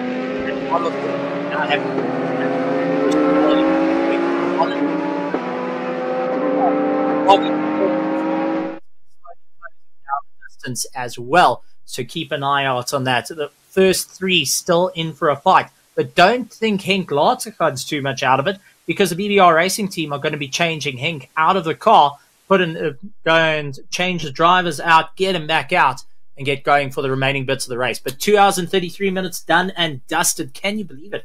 It honestly feels like it's been 15 minutes of racing, and the guys have really been putting some tremendous work out there from the front to the back of the grid. And speaking of tremendous work at e- any position of the grid, really, in Class E, Harun Pretorius's uh, backdraft 262 there. Some work I think is still being done on the car. We don't know, they haven't peeled back into um, the race as yet. We know they've been working on a drive shaft issue that the car has succumbed to. I think it was 30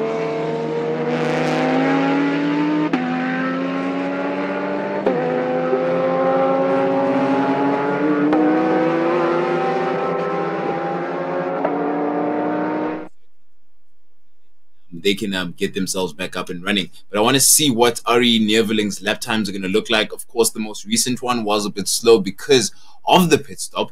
And how is he going to stamp his authority on it? Immediately, a sub one minute time. And Five from Arnold Neerveling, living up to reputation. Okay, so you know when I said that he's going to take time to get in his stride, that was the first ten meters of the pit lane. Uh, thanks, Arnold. You uh, you've proven me uh, completely wrong of getting into your stride. That was about ten meters. Yeah, when you, when you figured out how to put it into first gear, that was pretty much uh, pretty much that done and dusted. Going and putting a sub one minute time in the dark.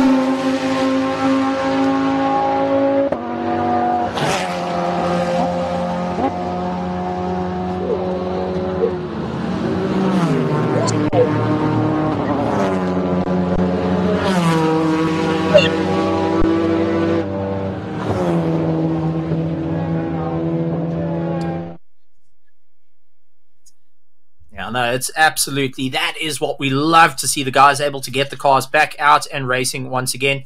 Um, it's it's going to be a proper charge to the end, but out in front for our D class is Yuri Swart with Daniel Rowe one lap behind him. But our Ginetta now back onto the circuit, which is good to see, but a lot of work needed to claw his way back up through the field.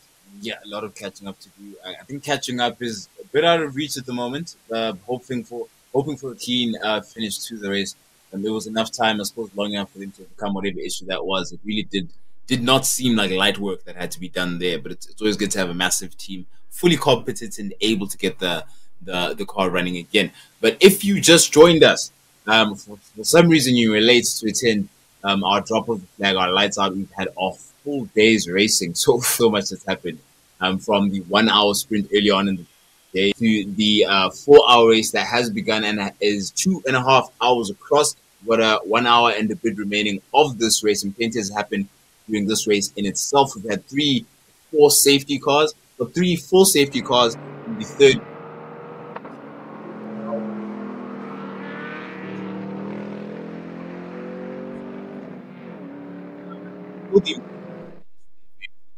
that us down, but we're back underway. Racing is underway. A lot of pit stops have happened and occurred. Strategies being lined up and playing out, hopefully as planned. And a few casualties too. Three or four cars have peeled off and had to pull into the pit lane. Um, some irreparable damage, some meetings with the tires, uh, some uh, mechanical, and we've got a backdraft car that's being worked on at the moment with a drive shaft issue. You see the glowing brakes of that BBR 992 is fantastic. And if you want to be able to catch shots of that, Steve segued into something really interesting. If you're into your camera work and photography, you can catch some information on how to get your camera settings um, to be able to capture such amazing shots um, at the SAES website.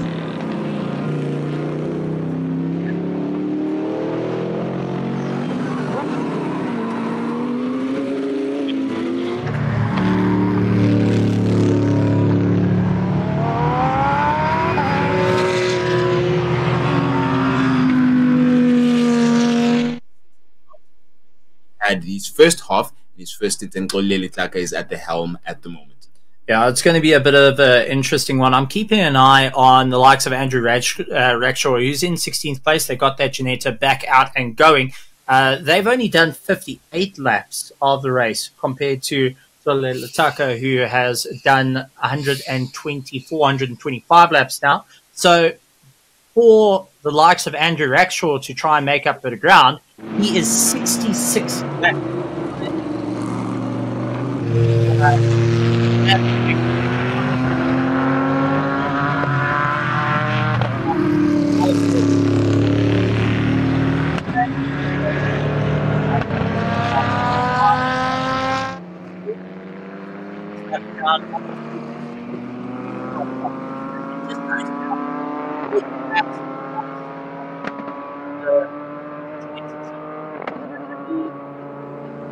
In the work. They landed up on first at qualifying, and it just looks like it went downhill from there. Hmm. So, working on the motor, as you pointed out, the guys were working on the top of the motor. They had their head off, trying to just do a bit of work on it, try and figure out what's going on. Maybe there was a, a something that just didn't want to play right. So, at this point, it's now find out, get going. Did we solve the problem? And utilize anything we can to try and just get to the cha- uh, get to the checkered flag because remember, every time you cross that checkered flag from every race, doesn't matter how far down you are in the field, there might be someone that's less fortunate in uh, not able to finish a race.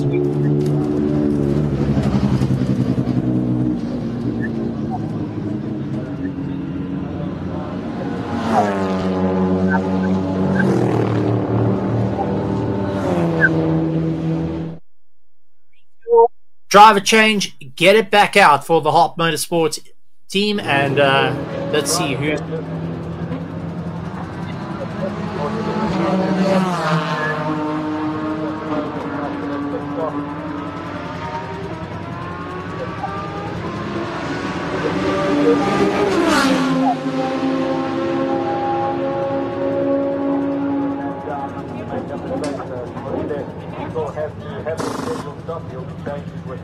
White as another of the background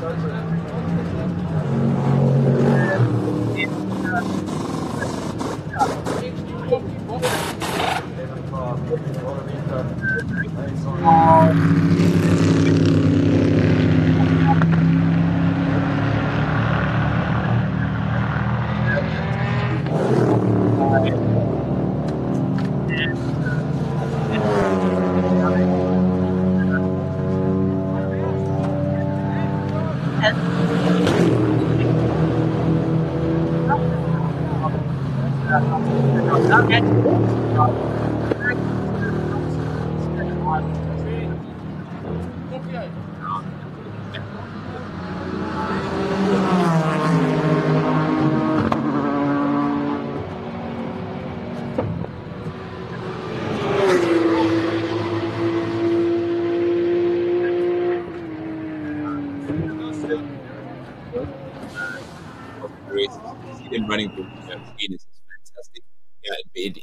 Think it's uh, uh, Bapu Hobuluza jumping back into the car. We saw him running earlier on in the race, and this should be done with their pit. As so should the uh, beam. I see the lights flashing on now. It's probably going to pull. Uh, I think.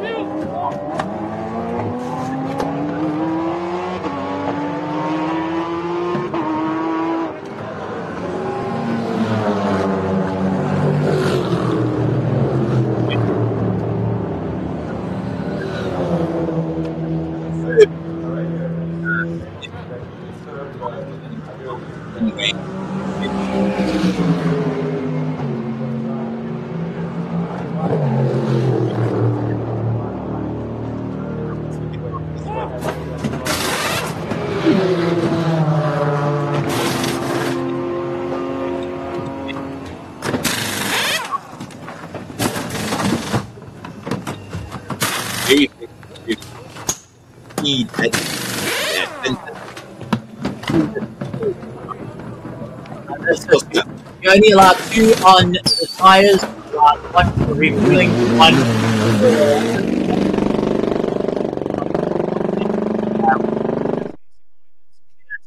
in and out. Our photographers also getting a bit of shots out there. Good to see our photographers. Usually behind the lens. It's good to see them sometimes in front of the lens.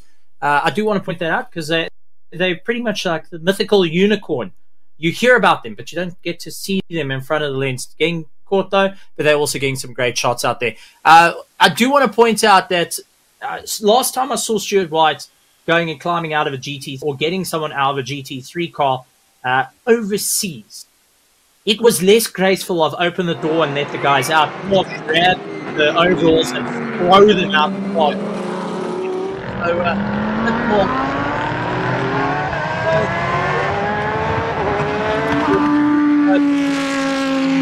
a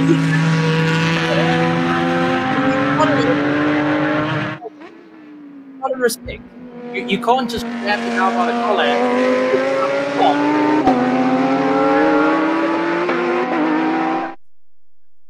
himself past the Nova there, immediately being being Stuart White, being fully himself, you'll see the car immediately changes. Body language It becomes very more, very much more aggressive in its handling as um, we re-establish an order there.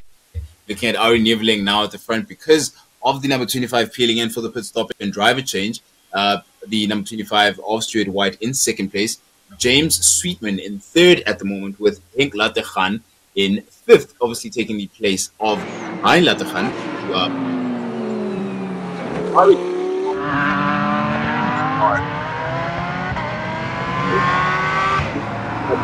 for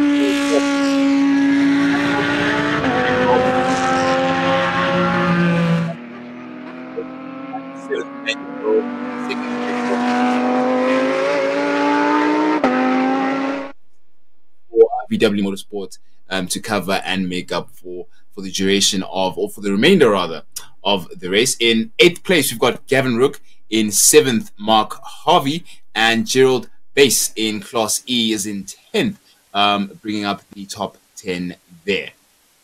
Yeah, it's it's honestly gonna be a, an interesting thing to for the drivers to keep an eye out for as they power their way through the circuit.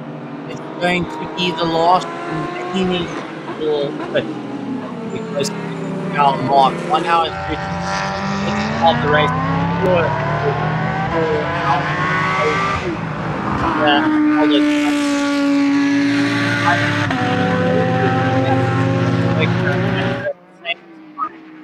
you don't want to see the race end. Can we continue on for for an hour, an hour?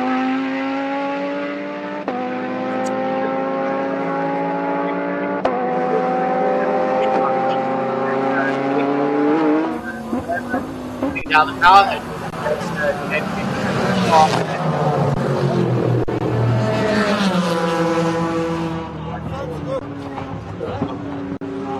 Why is it? Why? Uh, I do want to point out they are in 15th place. They are quite Yeah, far the down. way. So at this at this point, it's just taking a look, make sure everything's okay. A at the lives. While you- It's, it gets yeah, it's not it's not not the.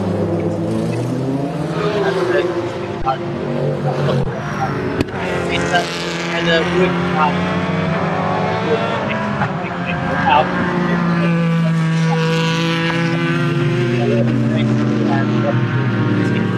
once.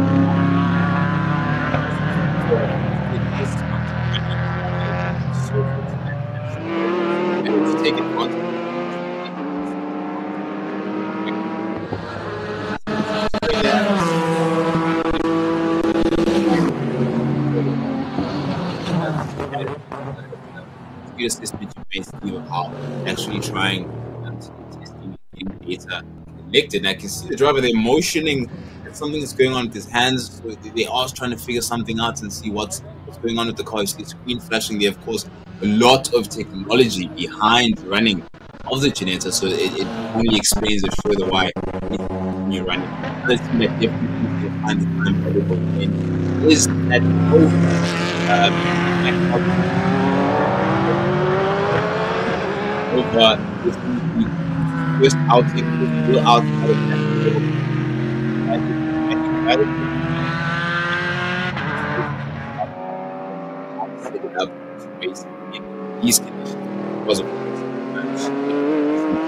Yeah, that's it. And uh, a lot of the a lot of the team looking at it, Palmer, and uh, you can see just in it, guys monitoring everything.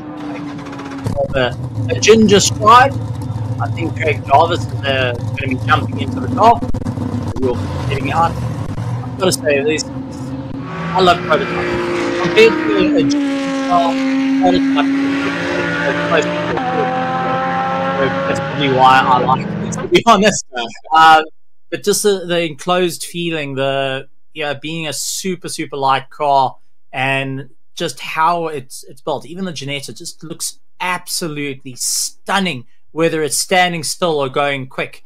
It's just one of those beautiful cars, much like the Nova out there. Then you've also got the likes of a the car beast on the side at the moment. That's the Nash. Oh yeah. They were just in looking at the suspension. Is that Gerald Base in the car? That is Gerald Base in the oh, car. That is first of the Class E's. Well, was first of the Class E's. That's now stopped on the side of the circuit. But you touched your phone. I just want to point out, you touched your phone. what is this? Oh, uh, I see a bit of water leak out the front of the car. For the number four car. Is that that's Kevin Rook? Kevin Rook's team is struggling. Yet. Yeah, it is. And the jam back there is trying to refill the car, and it looks like back jam. Pulling at a big. That wasn't the jack, that was the fuel line that was fuel line, manufactured. To sort out. You see the guys trying to move the car a little bit forward. They weren't able to uh, get that fuel line to work proper properly. So, well, that's it. I actually want to give this up. The, the first fuel line didn't want to work. They now going under under safety car conditions.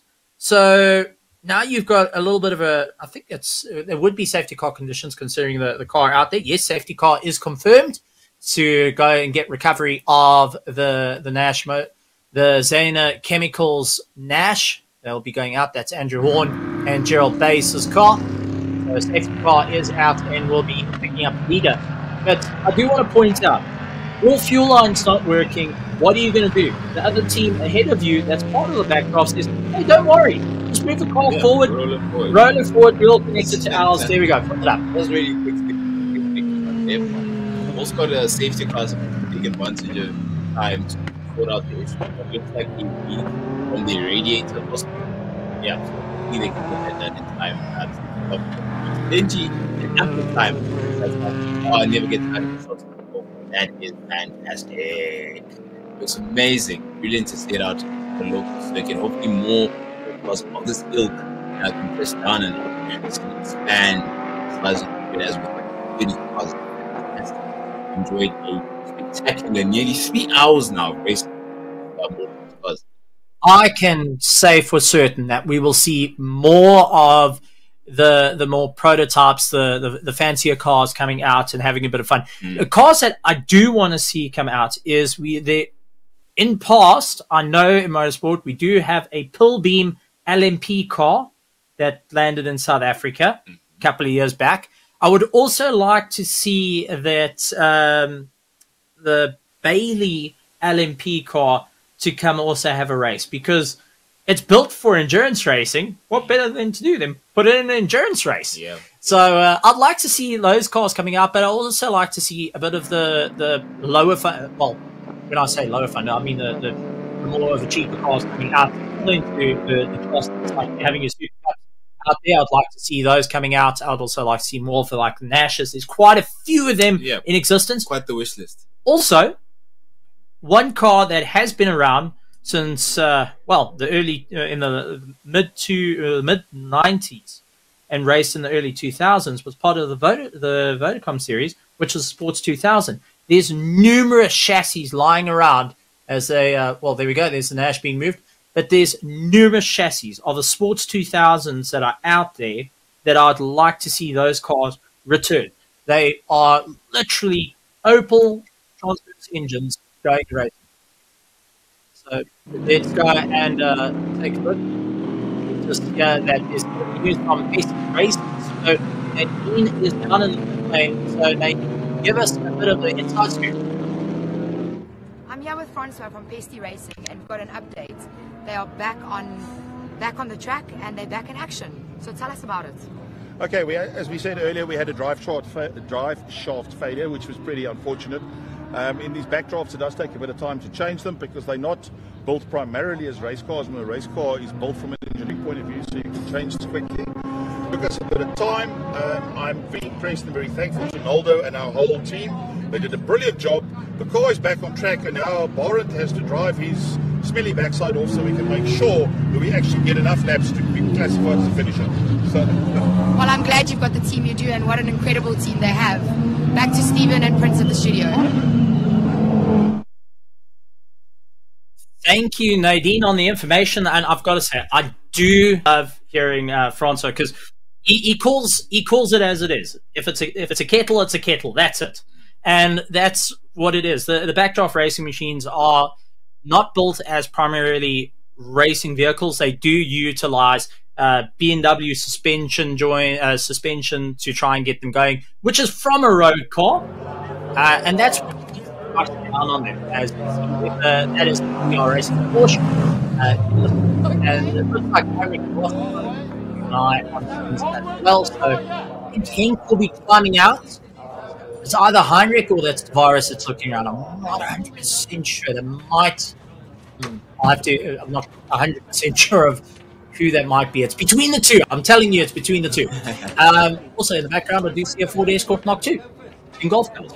FYI, Steve Koenig is an encyclopedia. In case you were wondering, ask him any question in the YouTube comments, and I'm pretty confident he'd be able to answer it as long as it's racing related. He could shock you and start answering. Um, um, but it comes to pulls away. Everything. Um, we have seen Henk have a, stint. We've seen Hein have a stint. Where I don't, I don't recall seeing um, Tavares actually have his go. Um, if he's around today. So yeah, So- the people are back out on the circuit, and I'd imagine he'd be in a rush to get the tires and brakes hot again before you've got too much traffic to deal with to slow you down. Yeah, let's see how it's all going to go. Uh, but we'll see on the timing as they come by. I do think Henk will be climbing out the car and handing it over to either uh, Tavares yeah. or will be handing over to the likes of uh, his dad, Heinrich Lategan, also known as Hein Lategan, who raced in single seaters many years ago. Just chucking that one out there as well. Uh, when you talk about encyclopedia of knowledge, um, I don't quite think so, actually. uh, I think if you want to have an encyclopedia of knowledge, that's going to be our race write ups done by because uh, Dave is one of these guys asked uh, and we'll think what are the answers. Is it, is it you guys who got out there that I feel asking and especially the the old people asking the question, they'll be able to arrange it now. Uh, uh, very I'll have to keep an eye out. I want to. For some odd reason, Dave can find out any story out there. He goes and figures out, he talks to guys, moves around, also takes some phenomenal photos. And I'm going to say, Dave, I did go and keep a couple of photos on my computer of your stuff. So uh, I do apologize, especially when it happens to me with McLaren. Just putting it out there. I won't take the photo of a process. All of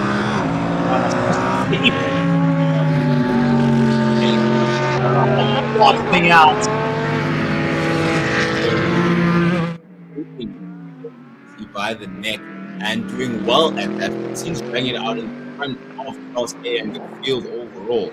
Only really in first place, of course. I think this is the first time of late in uh, Class A. She's got 58.7, and the best time they've done all day was a 58.5. So he's very close to their fastest pace. They're at Stradale Motorsport. Fantastic stuff by him and absolutely carrying uh, the baton there from Charl Arangies. I'll see how long he stays in this car. It's possible that he may just finish that stint. But uh, we had to we had to enter or pass the three hour mark of the race. We're just shy of three hours. If you just joined us, just be right, be right into the place.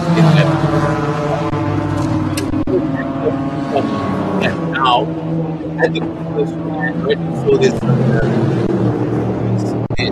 oh, yes, this they're trying to resolve their issue to get some water back into the system. If they've managed to catch up where the leak was, it looks like it still is a leak. It looks like it's still overheating. I do want to point out Steve Clark was originally in the backdraft Slingshot 2.0 car. Yes, yes, he was. He Yes, was, yes, and that yeah. that unfortunately had it actually.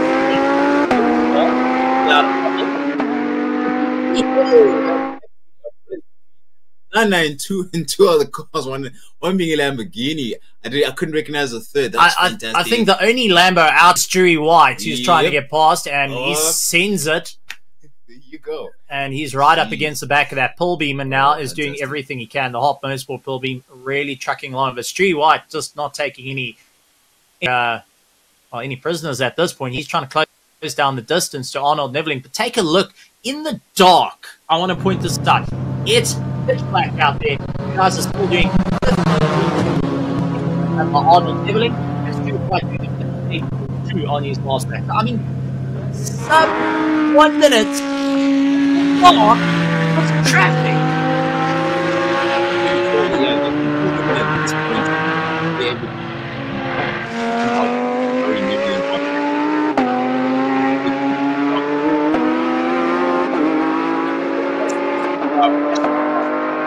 um, head of the um, that 262, the the the Class E backdraft car, Baron Pretorius. There, he's also flashing on our screens, putting the fastest laps he's put on as yet with a one minute nine and point two. So he's definitely pushing as hard as he can in Class. I'm all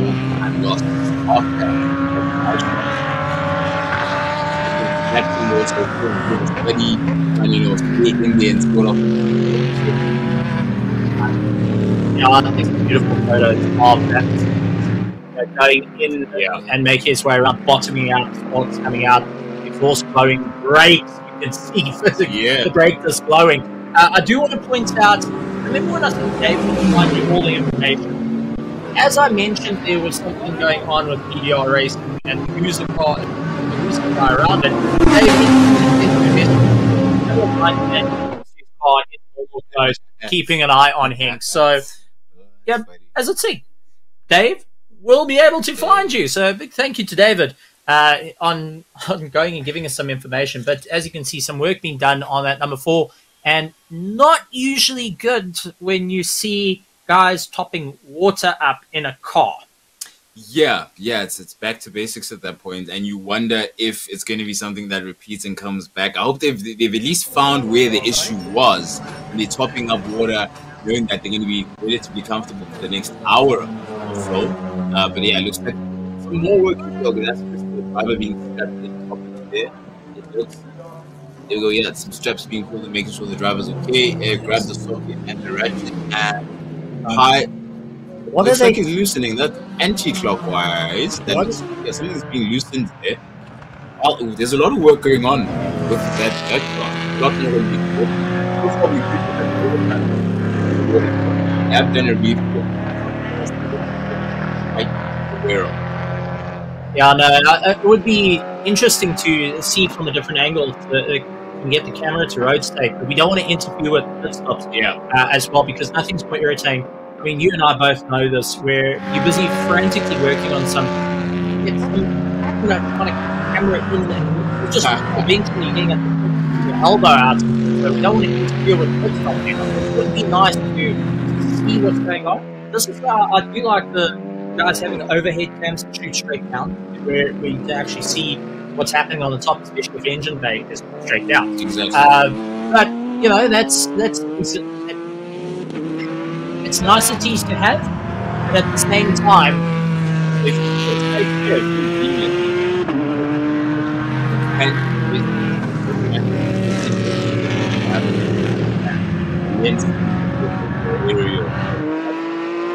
Yeah, so it's it's going to be a uh, it's going to be interesting to see how it all works out and where it's going to be. So let's keep an eye on it. Let's see what's going to happen. They were, as you said, loosening something on the motor, but they were so far up in the field. Uh, you know, Steve Clark jumping into the car now into 12th place. I do want to give it up for the the Cubana, uh, the Cubana team. You know, I hope I pronounced that correctly uh, because it's just one of the, one of the teams I love seeing and I love being around because every time you go have a chat to them, it's just a festival atmosphere. and whether they at the back of the field or at the front, they just absolutely fantastic to have a chat to. Always so positive and considering so high up in the classes, are going to be quite happy with that. Yeah, enjoy having a fat chat with Figile. Very, very uh, friendly, very open about his team, and yeah, definitely a festive spirit and a mood. That's the racing drivers right down uh, to to the mechanics. But Nadine and Charl Arangies have had a bit of a, a meetup. Let's see what we have going. I'm standing here chatting to Charl Arangies, the current leader of the South African Endurance Series. Charles, you started on the second line. Um, there's one hour left of the race. You guys managed to pull to the lead. Tell us, you know, how you feeling for the last hour. Look, we uh, we unfortunately um, enough pace uh, to really fight against Stewart and Collier. You know, we uh, we're running a full-on GT3 spec car for this weekend, so uh, you know the restrictors are unfortunately holding us back a bit. But more than that, we've been able to uh, fight from third to the lead. Uh, I mean, to the team uh, and, and the management, my dad, and actually they've been uh, hard at work on the pit wall, you know, getting the, the, the strategy right. So we, uh, yeah, we, I mean, now it's just hoping that we get the end on this tank of fuel. If we can do that, uh, we might have a chance. But yeah, Stewart is getting us. So yeah, but we're able to get it. But yeah, this is what happened. Okay, cool. Well, we're wishing you guys all the best, and yeah, don't don't stop pushing. No, we won't. Thanks. Cool. Thanks, Charles. Back to studio. Oh, thank you very much, Nadine. Also, just giving a bit of insight there, having a chat to the drivers.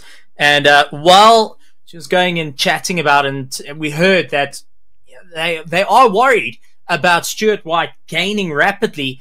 It's also been noted by other teams that listen, these GT3s are going to get into a fight soon, and uh, there is a, bit of positionings going on. So James Sweetman, who's going to be really stomping on the gas now, realize getting reports of these two are going to battle it out. You have a chance here because they're going to slow each other up.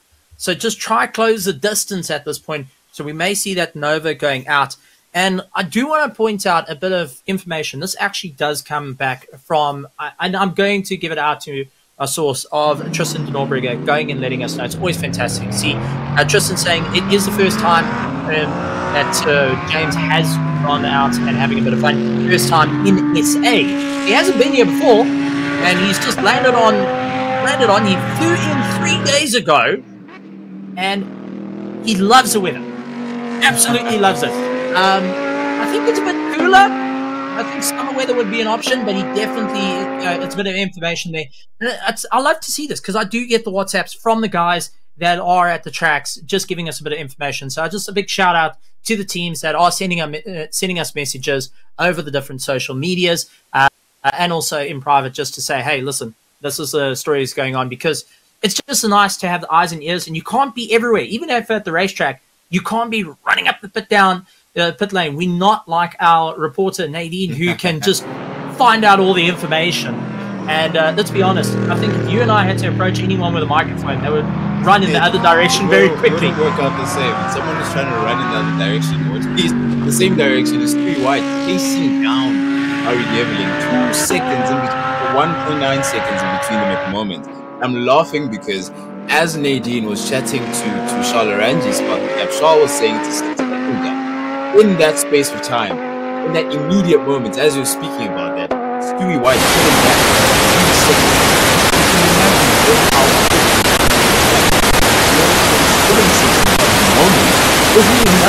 between them. It could be the next corner or the next apex where these two GT3 cars are coming together. There's a big fight happening, and you're right. James Sweetman really has to be close or close enough to sort of pick up the spoils if that happens. But knowing Stewie White, oh, here we go. Okay, they've got to get past one of the backdrafts. I think that is the Pesty Racing.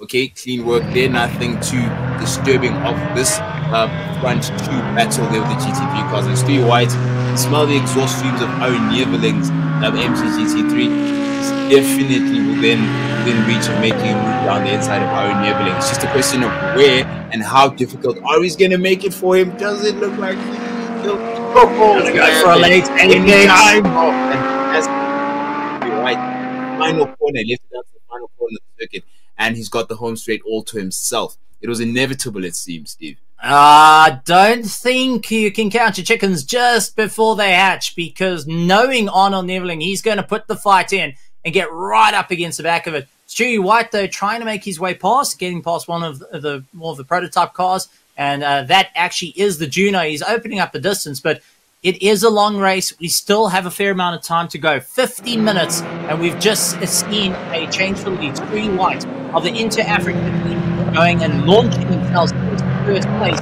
now having to try and open the distance this quality Mercedes race, uh, racing you know that Charlie know of which I can't the fullbacks. G White is really just going to pull the pin on the hand grenade and getting himself going. It's now all about getting that charge. Until that checkered flag drops, you have crossed the line, you've loaded the car on the truck, and you drive in, it's heading back to the factory. That is the only certain, then you know that done, the day is done you will know there will be a checkered flag coming out, whether you're on the track or off the track. You know that your vehicle will be on a trailer or a truck heading back to the garage or factory. That you do know. That's the only certainty. That's it. That's it. the rest is up to Murphy. you hope Lady Luck's in the pits. Yeah. Yeah.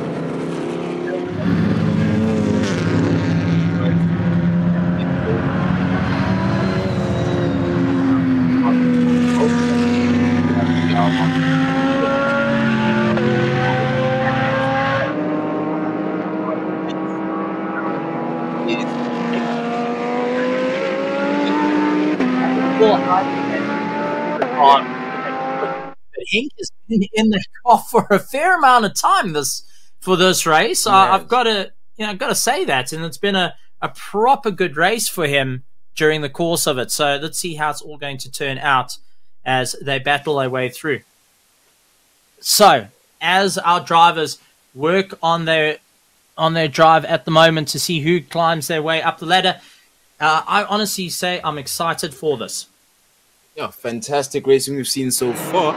And it's no surprise to see how much endurance Hank has. I mean, I think the last race did come back from a, rally race. Um, out of what was as long as he has. And I and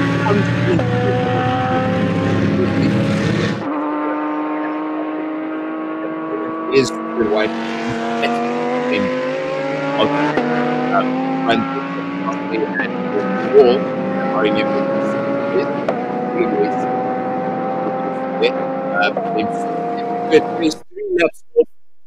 in terms of pace, so a lot of a deficit to make up for there, and it looks bleak if that is the goal you have to give you um, to to unlap yourself at least. With a man as fast as Stewie White, it's going to be quite a challenge.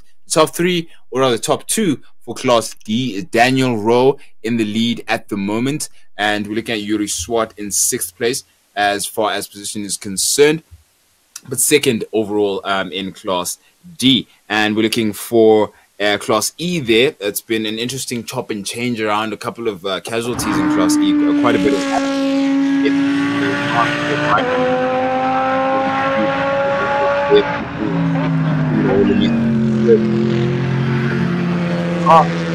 And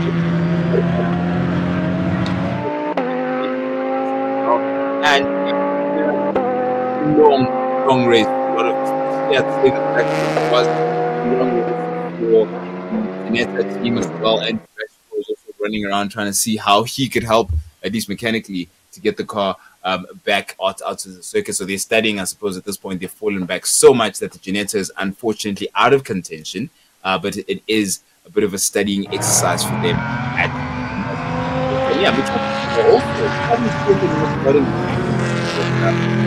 uh, in all the places that they possibly had a very interesting uh, race. Not, not one that's uh, super exciting for them, but they have been putting in some great times.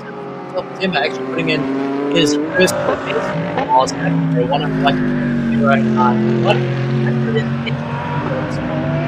line 134. He just goes and crosses the line. So Mikaeel Pitamber in 10th place, 134 laps that car has done so far. And uh, to give a, give a bit of an idea, Street White in the Inter Africa Lamborghini has completed 157 laps, uh, with Arnold Neveling on the same lap as him as 157. So there's a great bit of time going on for all the drivers trying to get a little bit quicker, trying to get those laps down. As he did point out, that Andrew Rackstraw is out in uh, 16th place. They're still circulating at the moment, but 71 laps completed by that car. Ben Morgan Jr. is actually that up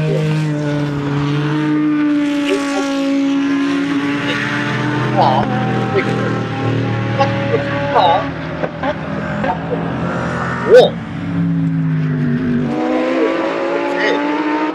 That was in what car? Class E, Morgan Rood, Ford, and Mazda. Yeah, yeah. So you've now got Ben Morgan Rood Jr.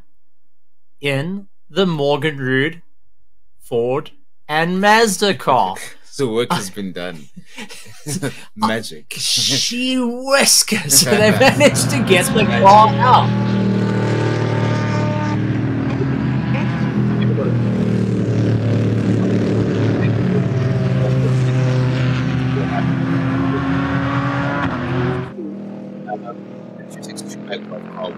That will happen. Yeah, well, that's it's a management while going in and out, right? Uh, and you know, it's nice to see. So whatever was the problem, whatever was the reason they had to get solved. get it uh, sorted out, they got it back out and they got it going once again, which is great to see. And this has to point into the tenacity of the teams, the the drivers, the families, because you, you let's be honest, you move the car back into the pits. You're not going to only just have the teams grabbing the spanners to, to help. You're going to have the families getting involved. You're going to have your third cousin removed grabbing a spanner to try and help you get that car back and going. So it's it's fantastic to see the guys all going out there. Yes, as we said, it has the requirements uh, due to due to force majeure at that point. There's nothing else to uh, get those cars out uh, as bad as they've done. But the guys that are to cars going, what is the like? Of this four-hour race that was around the of the SLE National Championship, might I add.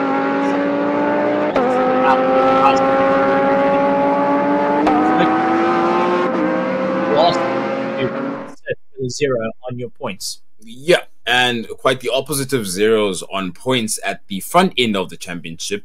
Um, Stradale Mercedes looking at 93 points in total at the moment, um, not uh, taking into account the current position or results. So this is as far as Swap Corps round and Red Star are concerned. This is round three of the endurance, and after that, it's going to be a, li- a little bit different.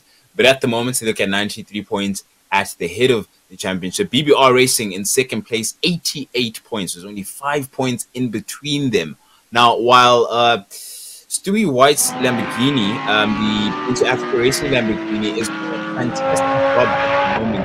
So far off uh, the mark, getting in a as far as yeah, yeah. Uh, a lot for that. I mean, so, um, with 43 points. It's a long way off but they've had most a lot of work. But real- the sharp fight, the close fight, has been between BBR Racing and Stradale, and they'll be looking closely at their results to make sure that they have a strong finish. And that, as it stands, it looks like it's going to happen with Henk Lategan in fourth place. It's going to get a decent points haul if um, things finish as they stand. They'd be very happy with that. But to continue running you down the order there, in third place, so we had first place uh, with Stradale Mercedes with 93 points. Second place is BBR Racing with 88. Third place, VW Motorsport, uh, Daniel Rowe with 64 points. So there's quite a gulf there between the two, um, understandably so. Dolphin Racing.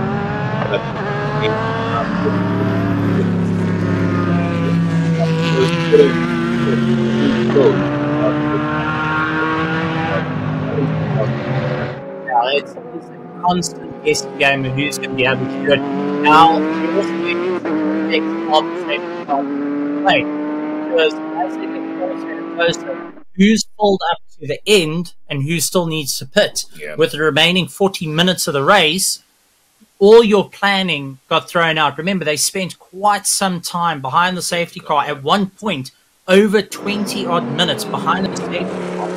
And that also less fuel was used. But now that you've flat out, has it gone in the wrong way? Now, I'm the wrong way. That's dash. There is two main going on amongst the cars. One with look, yes, one of the big lost that comes line two. Has to work with two black though. Well, that's another. That is James Sweetman, who three days ago landed in South Africa, might I add. So this is his first time around the circuit, first time in South Africa, three days ago, comes in, brand spanking new car to the SAE series, and, um, well, talk about getting thrown into the fire. Yeah, and we've only seen him go off once, and it, it's that very instant we just saw now. It's very impressive. Very impressive stuff from James Sweetman, and he seems to recover it very, uh, fairly well. Uh, filing back in there in the mix with the Super Cup polos, so not too much trouble. Hasn't lost his third place position either, and is is seems to be back in in and there nothing there's nothing too bad that's happened to the car. I just want to point out that uh, that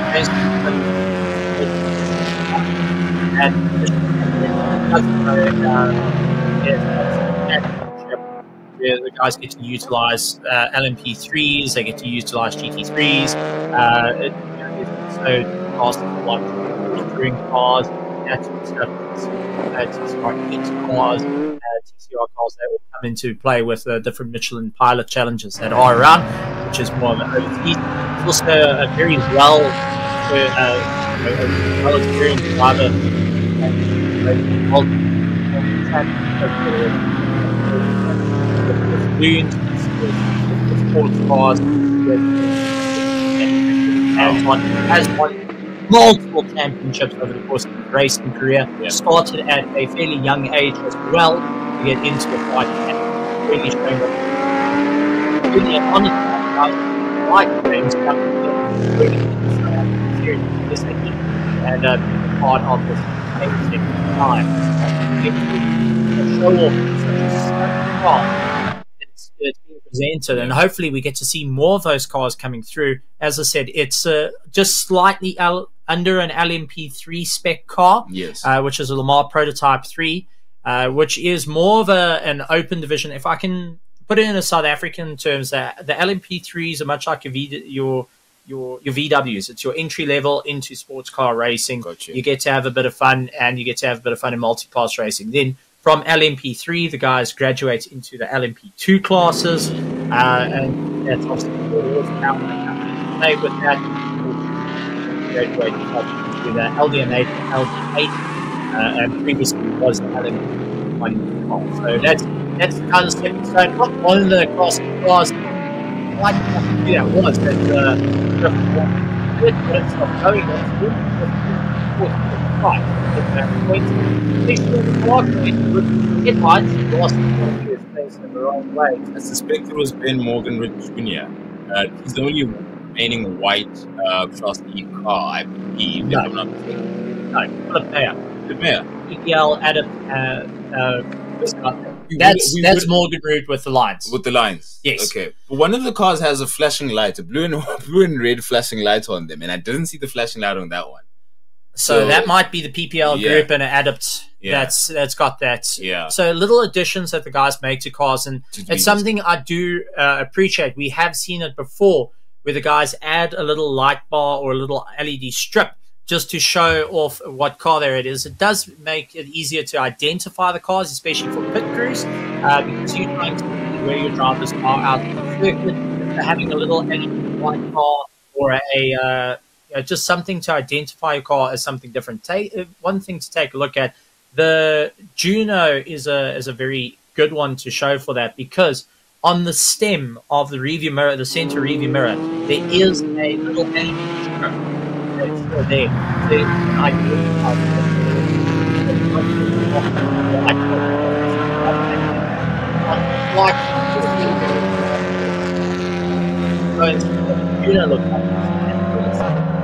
that's still there. So I like it's continuity.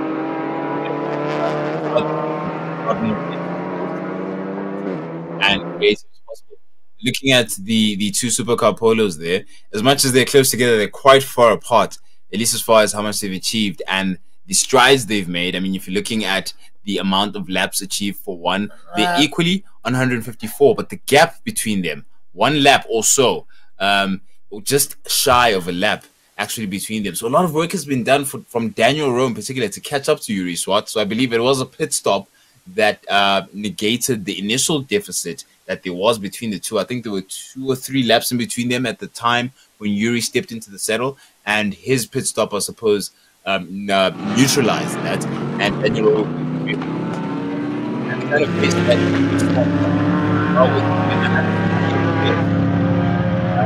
that, uh, that, uh, that, uh, it's it's like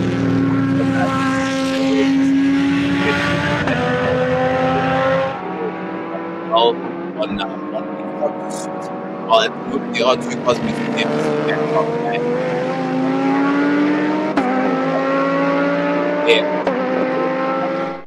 Battle in Class D between those two polos. Yeah, uh, keep an eye on Daniel Rowe trying to close down that gap uh, to the likes. Uh, sorry, Yuri Swart actually uh, is trying to close down the gap to Daniel Rowe. They can stop him in and out on another round.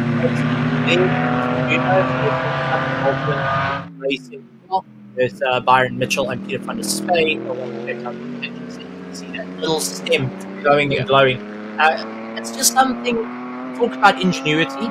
Uh, it's more of practicality because if you can't see your car as they come past, uh, you, well, you can miss out when they come into the pits because, oh, well, you think it's another pair of headlights coming at you, and turns out it's the driver frantically waving because he's just run out of juice and needs a little bit of that.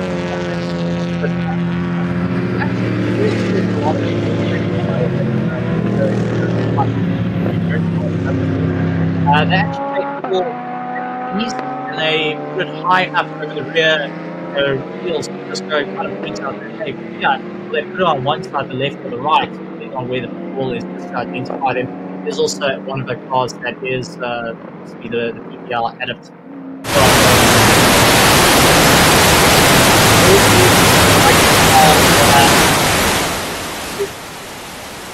In, and I think Graham Nathan, who's sitting looking at the car, he's got his helmet at the ready, will be jumping into the car. So Graham Nathan saying, "Listen, Daniel, thank you very much for all your hard work, buddy, uh, but I want to drive again." It's time. It's time. And I like how you see the distance where he's standing, very deliberate and very, I suppose, um, aware of the safety procedures as well. I mean, you'd expect that he'd be a lot closer to the car, uh, p- considering the fact that he may be stepping into the saddle. But it looks like Daniel No. is taking his sweet time. It doesn't look like it's going to happen. No, there is no driver change. Yeah. Looking at that, that's actually just one of the mechanics. Because I can see the He's got the, spanner. bo- he's got the body language of Graham Nathan. He absolutely does. Look, I, I absolutely Oh. was convinced that was Graham Nathan. One of the backdrafts, um, I think it was uh, Pretorius there. It's Bar- Baron Pretorius at the moment. Went a bit awry there under the pressure of that PPLE. Is that the PPLE car? Yes, it is. No, that's the that's the Morgan Rood one. It's Morgan Rood. It looks like the Baron also has a bit of a flashlight. Did you see that? It was the rear left of his car. Uh, I also see that the rear left tail light isn't Yeah. working, so maybe there's That's a why. loose fuse somewhere. Yeah. and that it's every kind of jarring at this point. So, uh, yeah, these the guys frantically putting on the tires, and I take my heart out to the tire changes here because, much like what we saw with the GT4s, uh, we've got the same type of thing going on with our Super Cup because it's not just one wheel nut. No, no, you have to go through four wheel nuts. Uh, sorry, four to five wheel nuts. You have to go one, two, Oh, three, four, wow. five, and that is such a tedious very process Yeah. to go and do. considering the pace you want to, you prefer to be going at, geez, it must be must really grate your skin to have to go through that.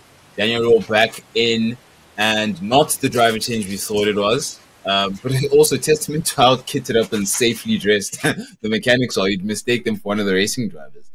Well, that's uh, that's VW Motorsport. you Got to look professional. professionalism. Got to do it, make it right, and that's exactly what they're doing. But Daniel Rowe back out on the circuit. So, uh, yeah, Graham Nathan. Uh, well, just taking a look, actually, Graham Nathan is on the timing system. So I, I do think there might have been a change for driver. But we missed it. We missed never it. caught it on camera. So yeah, most probably that uh, we missed that Oh, Graham okay. Nathan. Uh, so we weren't too wrong. We're too we, wrong. we were just We looking just- at the wrong side. it. Yeah. with uh, uh, Alon. You apologise, but at the same time, you're as tall as Graham Nathan. So I just want to point out that Graham Nathan, Daniel Rowe, both the tallest people in the world that you can see. It looks like we just found the mechanic that fits the same height. On the flip side, to that mechanic, if you're looking for sign, this is it, bro. This is your sign. do, do something, brother. Get into a race car. uh, answer your calling. as as per the commentary. uh, couple of rides still going, still going out there at. Uh, uh,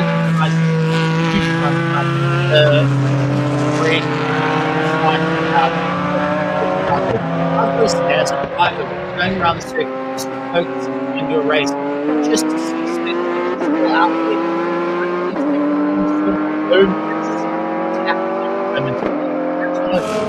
I really love it.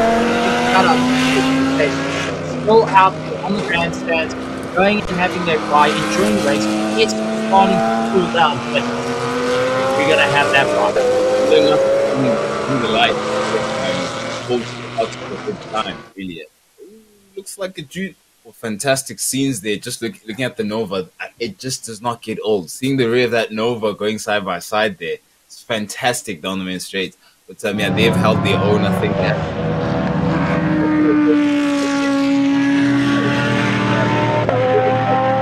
I'm wait period with sort of giving. But at the moment, the Wellington raining, uh, raining, surrounding, no, it's going to be a proper fight all the way through for guys to be going a lot of watching the clock now. It's 28 left on the clock as we head into the night. 20 past at 9 here in South Africa. And you know, of guys around the world, and teams, fans, all watching from around the world. And to you guys, big welcome. Also to the guys that are watching this after the events happen. Thank you for sticking around. Glad to have you guys here, going and enjoying the race here in South Africa. But it is 20 past 8 at night. It has cooled down here at Becca. You guys are really having a huge amount of fun. It's going as much as the, it was during the course of Thursday, Friday, and even early hours on Saturday. You can see the front end of Fancy Back Off Road out this one, which was always such a sight to see, but at the same time, it's not quite a sight to feel when you're in the car, something bottoming out. Okay, that explains my question about uh, spoilers, spoilers reaching the curb more confidently than any other car. And imagine they're a bit more confident, usually to begin with.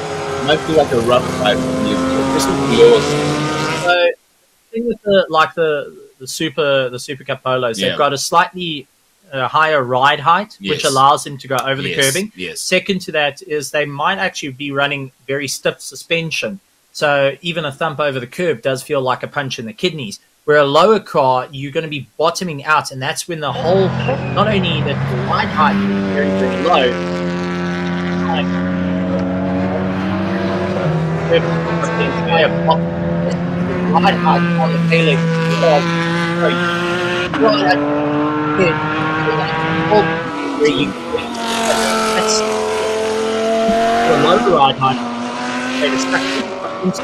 that's the pull them closer to the ground, and that's actually how the tunnels work.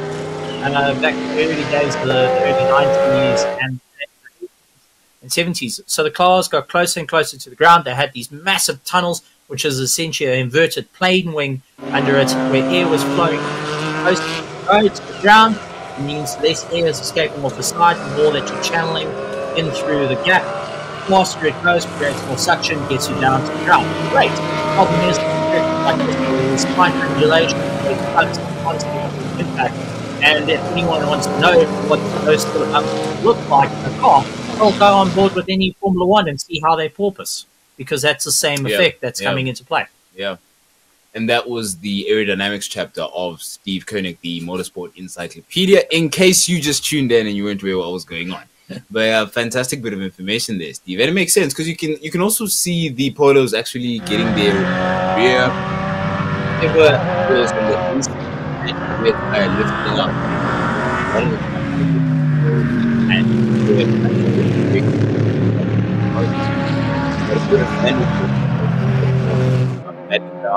Aaron Pretorius profusely fights to try and regain the lost place. Um, having him against LE mistake. Hospital backdraft is so similar in shape. That's the number 11 backdraft. Um, and as it stands in Class E, the leaders of Class E, John Paul Briner in number two, Philip Mayer um, in second place there, Kilo Olomisa in third, well, in fourth place and third place in fifth. Brian Pretorius is um, last place in the. Sorry, John. Brian Pretorius is in sixth place, rather, in Class E, and Ben Morgan Jr. trying to work his way up and recover a lot of lost time. And fortunately for them, they were able to work their way around the problem that they had, which pretty much um, saw the car beast at around that coming out of spot at moment. So, yeah, great. And the recovery stories of for that.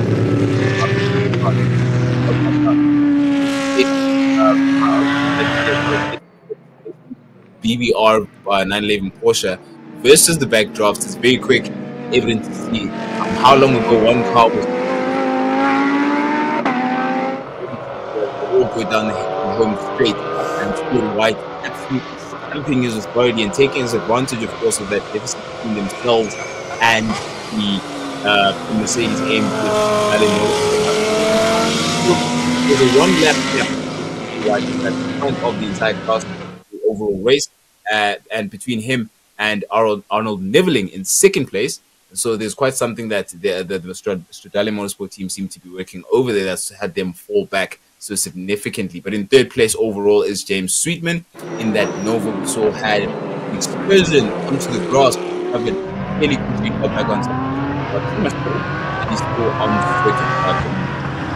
You it's, it's been an incredible four hours so far.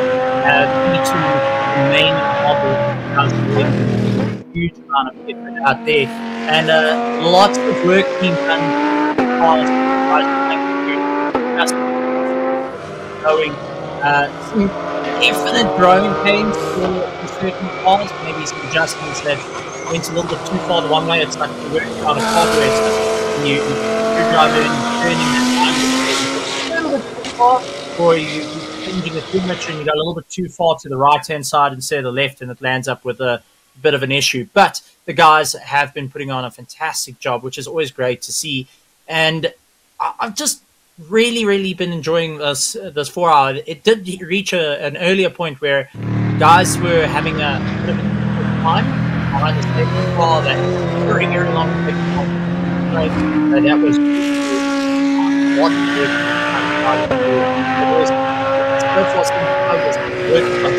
three times in this race of three separate incidents uh, during the course. One in, in the first hour, half, uh, hour and half, and the second one uh, in towards uh, over the just before the two hour mark before the half hour. So it will. It's going to be interesting to see how it all works out, how the guys are going to figure out what they're going to do. But um, yeah, it's always great to see. But just one thing to, for the guys to take a look over the magazines uh, with the, the SAE.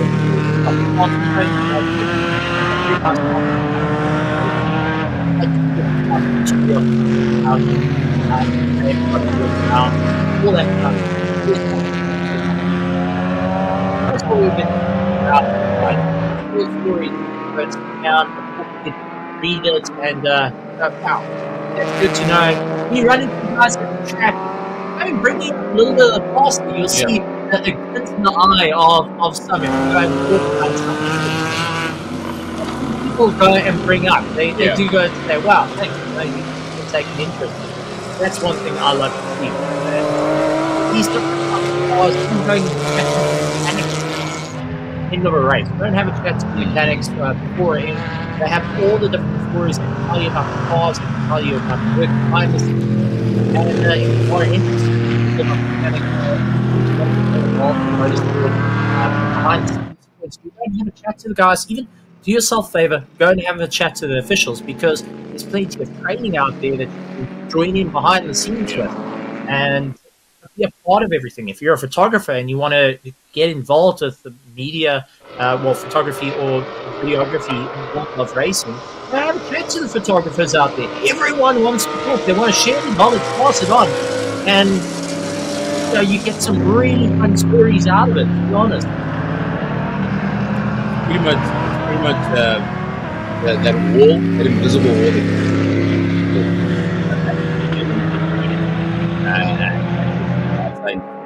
It doesn't exist, and it shocks. I've seen the shock in people's faces when they actually can walk um, and, and see the cars in the metal, walk the drivers in, in the flesh. Actually, see, oh, these actually human people. Take photos with them. they can sign my autographs, etc., etc. So it's um, it's always that environment out on the circuit and being physically there. There's just nothing like it. It's so electric and it's so also very humbling to actually get to experience the human side of it and just see how close knit the community is. And it's it's exactly how you get involved. Just walk up, whole lot of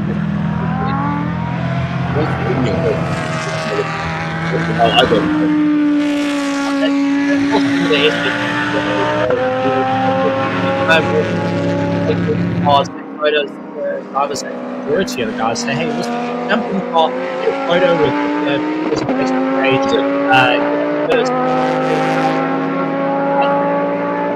It's nice to know and a little bit of feedback. A lot of people look at these cars and say, well, I'm close to them, uh, they're going to behind this area like F1 where you can't get close to the cars. You're going to have to look from the distance with binoculars at them. And Not no, the it's actually here at Aldo Scribante. You want to, you know, go walk up. You can get a photo right next to the Lamborghini. Get some, get some signatures and get yourself going. So as the guys make their way through here at Aldo Scribante, honestly fantastic. I do want to shout out on a big thank you to all our officials, marshals, medical team that have been here from the early hours of the morning and into the late hours of the evening. And our marshals, our marshals have been working tremendously hard now. They, uh, they've been going with it. And uh, congratulations to us. And you that comment. Oh, uh, I think it's the record, it's the record of of state of and the conditions. also got a couple of pros in. Uh, I saw the safety car towing one of the back trucks. A lot of work has been put car. We're trying to middle part of the race, not the first part, into the second half of the race. A lot of work was done by the speed side. It did clear off Skywall for a lot. The Super Polo change gears and flames coming out of the exhaust. It's fantastic. It just never gets old. All right. Never gets old. So, bit of information Okay. from David going and giving us a big thank you to David Lipper. I love him. I absolutely love him because you can go and find information no matter where he is. So, Koenig only says he loves McLaren, and uh, David, know that. Uh, he- well, he did a nice photo. Nice photo. He's quite, there's quite a team that on it. Uh, that take amazing photos. They've actually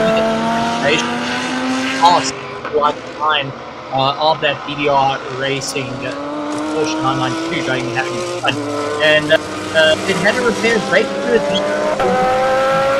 they had to so it was dumped by Ben Morganrud and had a high speed spin. That caused the leak. So a slight bit of contact caused a slight bit of uh, damage to the car in terms of a brake fluid leak. So at least they were able to get that out and going. Not quite what you want to have, but under these conditions, the guys are racing so close to it, the doors closing on. One does occur out on a circuit, and it is racing on the pit on the right. Thank they able to get the car out and going. Still a great car lying fourth overall and uh, class A. Valuable points for the championship. So it's something I do want to yeah, it uh, highlights thanks to the Yeah, absolutely valuable signals going on down at ground level, ground zero. We're, we're quite a few meters too high of, of the above uh, the altitude above the accident. It's happening for you know, absolutely everything that's too valuable. At the moment, the most obvious information. Someone who is absolutely stamped their authority on this quite altitude just joined us will break. Change was stop on the school right where he's been run all the field distance leading up across the eight and across he is a squad uh, across there. Jean Paul uh, Briner in the first place the he um, the favorite. I think that is the, the most because close to our heart all of these classes so competitive so throw everything you've got at it. Like a lot of carries with then they uh, at um, Morgan will come back from spraying great that. I was at the at the moment, and as well as uh, a couple that unfortunately fell away. Um, um, them beyond recovery, if it's from just first sight, okay, there's no work that can be done there to get back up. But there's also a great recovery from this that uh, right flop. Really quick, quick, quick fun, knowing that flop running out of and um, we've got um, we've got Brent um, uh, Boyes there uh, working, Orange rather working hard as possible. I do want to point out that uh, got Comfort Minor out leading the class. Right Motorsports is 13th overall in the national overall championship. So for a Class E car, they're doing well. So 13th overall as a team. But John Paul, uh, Sean Paul Briner, I moved down my list, is also running first in index performance. So you want to talk about a weekend going this way? Well, That's. They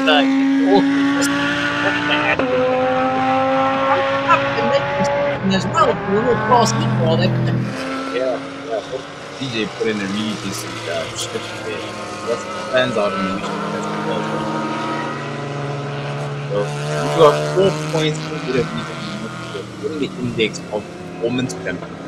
Uh, Daniel Rowe in second place with 41 points, and they're at uh, the head with 75 points. So four points in between them. It's very closely fought. So it's going to be a team effort there to try and get ahead. But at the moment, Daniel Rowe is in seventh place uh, for Class B. trailing last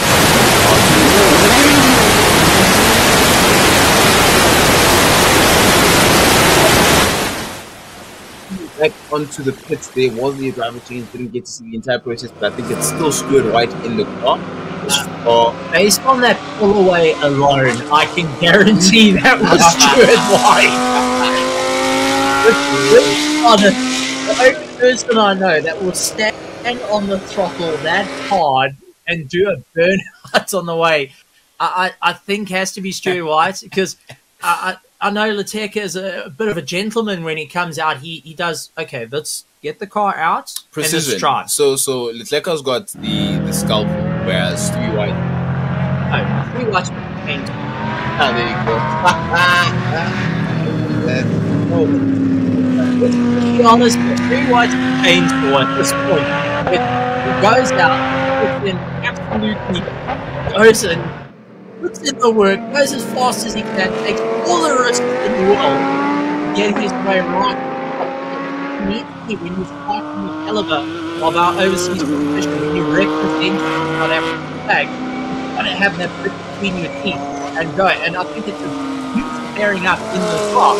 Both of them have worked so well with one another. And around James Wheaton, who is uh, out in third place. So, you know, getting past that Nova uh, for the Just for Sleep team. I still love that team name. Honestly, it's one of the cool ones. uh, you know, the Just for Sleep in the Nova Proto NP0. The endurance there goes to NP Racing coming of the out. We last spoke about the Flash National side. Take a look at He's only in the click of rain. Uh, well, the, the Who's been saving the fuel? Who's saving the drive the longest? Or trying to put it in the pit? That moment, start leaning your head the other direction, hopefully the fuel needle moves. I think we're at that point now. gonna lean about if yeah we'll see we'll see how many speed that that's wait. The closing phase almost been an amazing day of race fantastic. Just under 10 minutes remaining. I see oh another car peeling into the pit oh I missed who that was. It looks like one of the cars is getting in there. Um it might have been uh, Stradley Motorsport. Could be wrong because obviously they're in tow um in the tour of Stewie White that number 25 Lamborghini so they they're obviously perhaps on the same pace and on the same stride would also want to catch up and um, have their pits there, but it's 50 50 there, not too. Yeah, a lot has happened at the moment. Um, and you're going economic.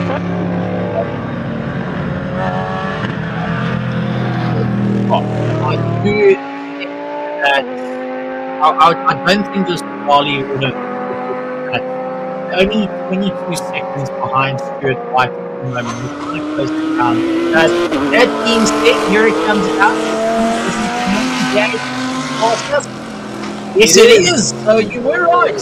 So the Starry team going and fitting their Mercedes AMG GT3 and getting themselves all sorted out and back out onto the track it is going to drop them a little bit down the order, but that does allow James Sweetman to start closing up the gap.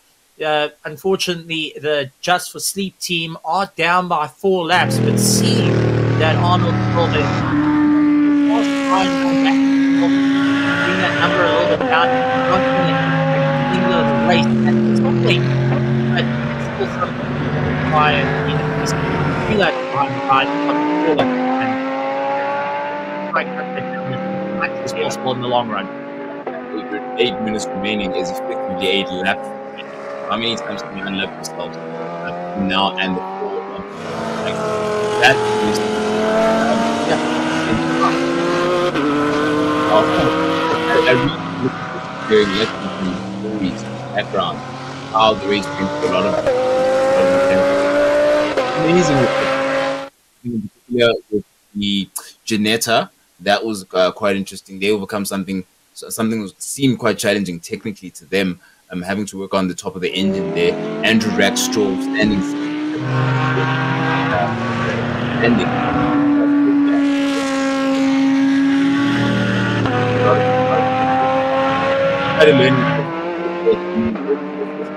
The rover new territory driver and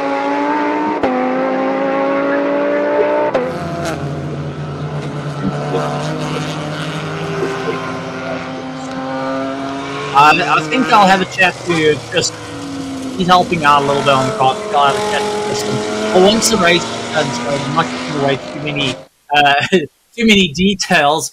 But uh, I'd love to just get a bit of feedback of how that car has performed. It's it's really done a fantastic job. The Just for Sleep team really been putting in a, a good substantial amount of work to get that car going. But it is one and two, two and white, model leveling, Jason showdown. That is extremely close down to the wire, but you got it. Taking that through the car race. And unfortunately, Baltimore has been off for quite some time. We did hear they ran into a bit of a problem uh, earlier on at uh, Fury spot.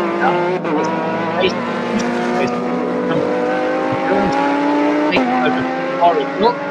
So to see them going and doing a fantastic job in this fire race. Peter van taking over from Byron Mitchell, uh, jumping back with that Juno really back. Uh, Daniel Rowan, Space, taking over Class E, working with Graham Nathan. They've put themselves into a positive position. I do want to point out that we got two Class Ds in the top 10, and also we have got two Class Es within the clock, uh, the top 10. Uh, Mikaeel Pitamber, they've also done a, a fantastic job hitting that clock that uh, Motorsport will be right up in position at the moment. Right, I think this comes they were able to going. Uh, Jean-Paul Brenner more than happy with this running 9 in ninth place and first to the Class East, but has the challenge of Philip Mayer trying to close down the gap of the and Adams. That draw for us out. Do apologize. Here, make sure I get that right. Uh, they are running in in place at the moment. Uh, well, bodywork. Yeah, that is uh, that that is a fair amount off Yeah. the back of that car. Yeah. And uh, when it was, could that be the damage from suspect, earlier on? I suspect so. Hence also the missing relief. Um, no. No. Why is that? And there's uh, the beam getting light. Because after the. No, it would, it would be because we, we only saw Yeah, we saw them much later on, but on the timing screen. So yeah, Yeah. we didn't we didn't see the lines on the back. Yeah. So that is probably the the sustained damage from there. It made it all. It was the amount of time on that because they were actually parked on top of the tires, not flat on the ground. So they had to try and move that car from the top of the tires down onto the ground, into it, and get it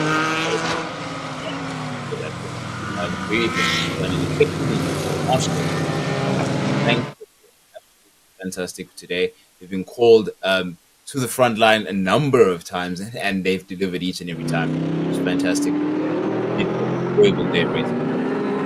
Nothing. He's Stuart White. Is dominant style. Well, to try to come up with some answers to the questions looking for them ladies, but would not have anything um, that could actually make it into in this campaign today. You can see it in the body language of Father Angie um, at some point that you know what, uh, never will come to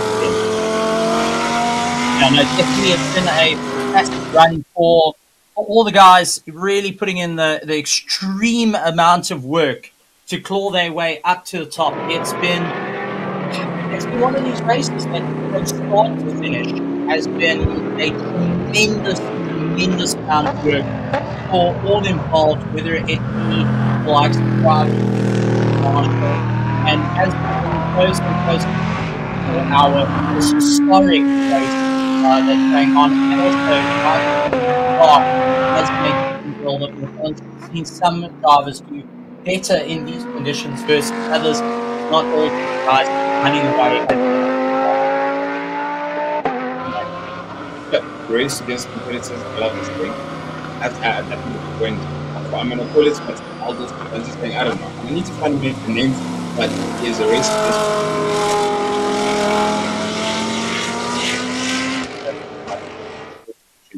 And ways to get past the challenges that are right next to you and those that time is going to present to you. And they've done absolutely fantastically in overcoming that. But Stewie White, as emphatically as he entered the race, he is about to finish it. Fantastic driving from the young man and of an international pedigree and pulling all that experience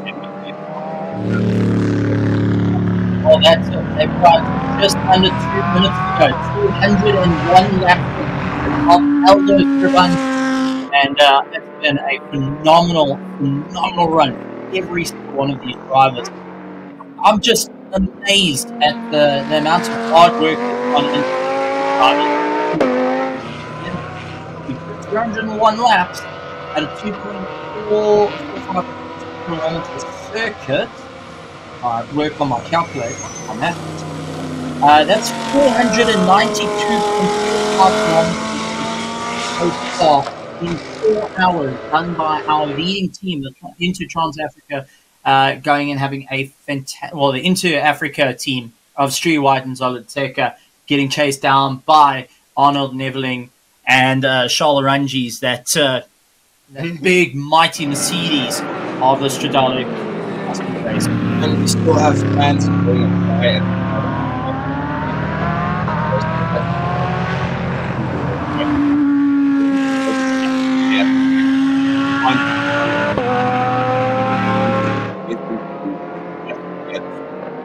online with me. Yeah, that's the uh,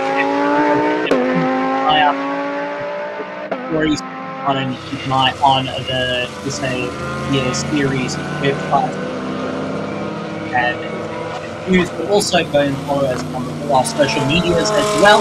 If you're enjoying all the and watching the online, subscribe and bell notification icon on YouTube as well, just to be a part of all the upcoming action later in the year for this national tour that's going on of our SAGT and our SAE championship, both being nationals for the guys to have a bit of fun. And we're in area year round. Come and join in fun with the, our series as well. It's good to have you guys around. You might have a debate. And, uh, well, I didn't for myself a little bit feedback from the spectators. But we have officially hit the four hour mark, which means the chicken flag will be coming out soon enough for our left. And there it is, round of applause chicken flag. To Africa, Lamborghini, Australian White, and Zoloteka taking first place on the SAE. Fantastic. Fantastic. It's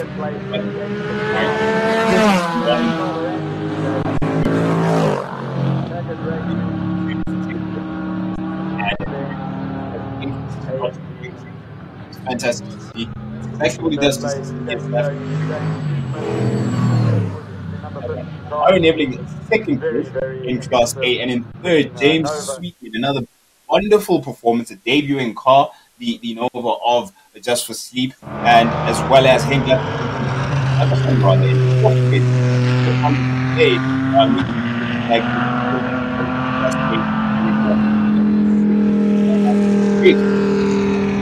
And all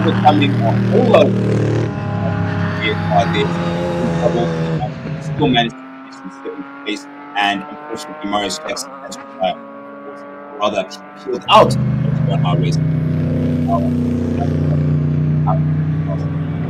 Uh, then moving on to our class D, first place going to Yuri Swart and Cora Hill of the KLX team, going and putting on a, fantastic run. Second place going to Daniel Rowe and uh, Graham Nathan of uh, the VW Motorsports in the Super Cup, doing a fantastic job. There is Morgan Root car pulling in. How they got that car going, I have half, no idea. Half a Morgan Root car. There we go. into the pits. Lift a, lift, lift a bit of it out there. There's Graham Nathan standing. I think that was Graham Nathan that we saw at the power bar. He does work on the cars. That was Graham Nathan. Graham Nathan making sure that his cars look good.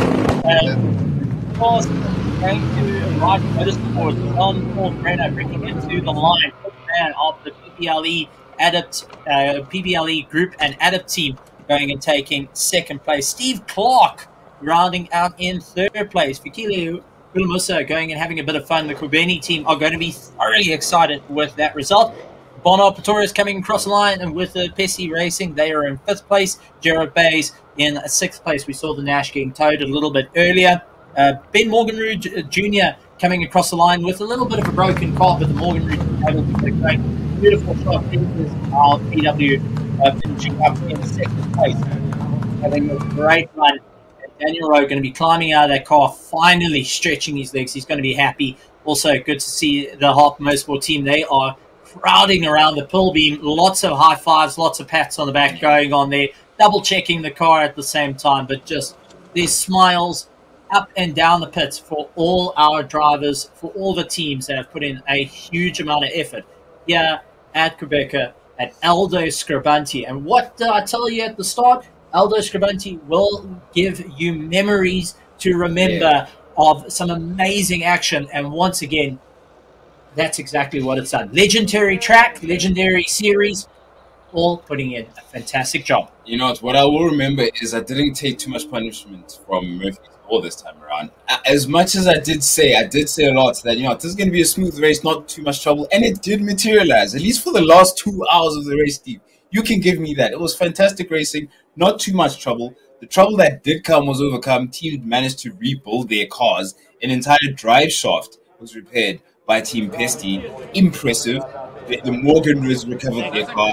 Green White uh, uh, was that's our one. And three over there, of course. This is our podium taking really good photo there. Harry Neveling in the center of the screen is managed four statues. We might not be able to see him unless the camera adjusts. But uh, fantastic bit of racing. I'm taking proud. It's a lot of work has gone down into making this even possible for Laranji. Wild. Mr. Ranji's there yeah. as well is quite happy with that. You can yeah. see they've got the signboard. He's oh, that's one thing. You go in and chat to Mr. Arangies the head of the Spitali team. He's always got a smile on his face. He always has a great chat. And considering that two of the cars that Spitali goes works on, getting a second and third out there, and also I know they do work onto the the Inter Africa Lamborghini as well. I've got to say it's been a fantastic job, but they're going to be extremely happy that that Mercedes that originally was getting its engine sorted out at Red Star was shipped off to Germany to go and get the engine sorted out. Now getting it fixed up and back out onto the track and scoring a second place. Big smiles going on. Stu White quite happy with these results. The whole team on, massive, massive smiles. Big hug amongst the teammates after a consistent effort between the two.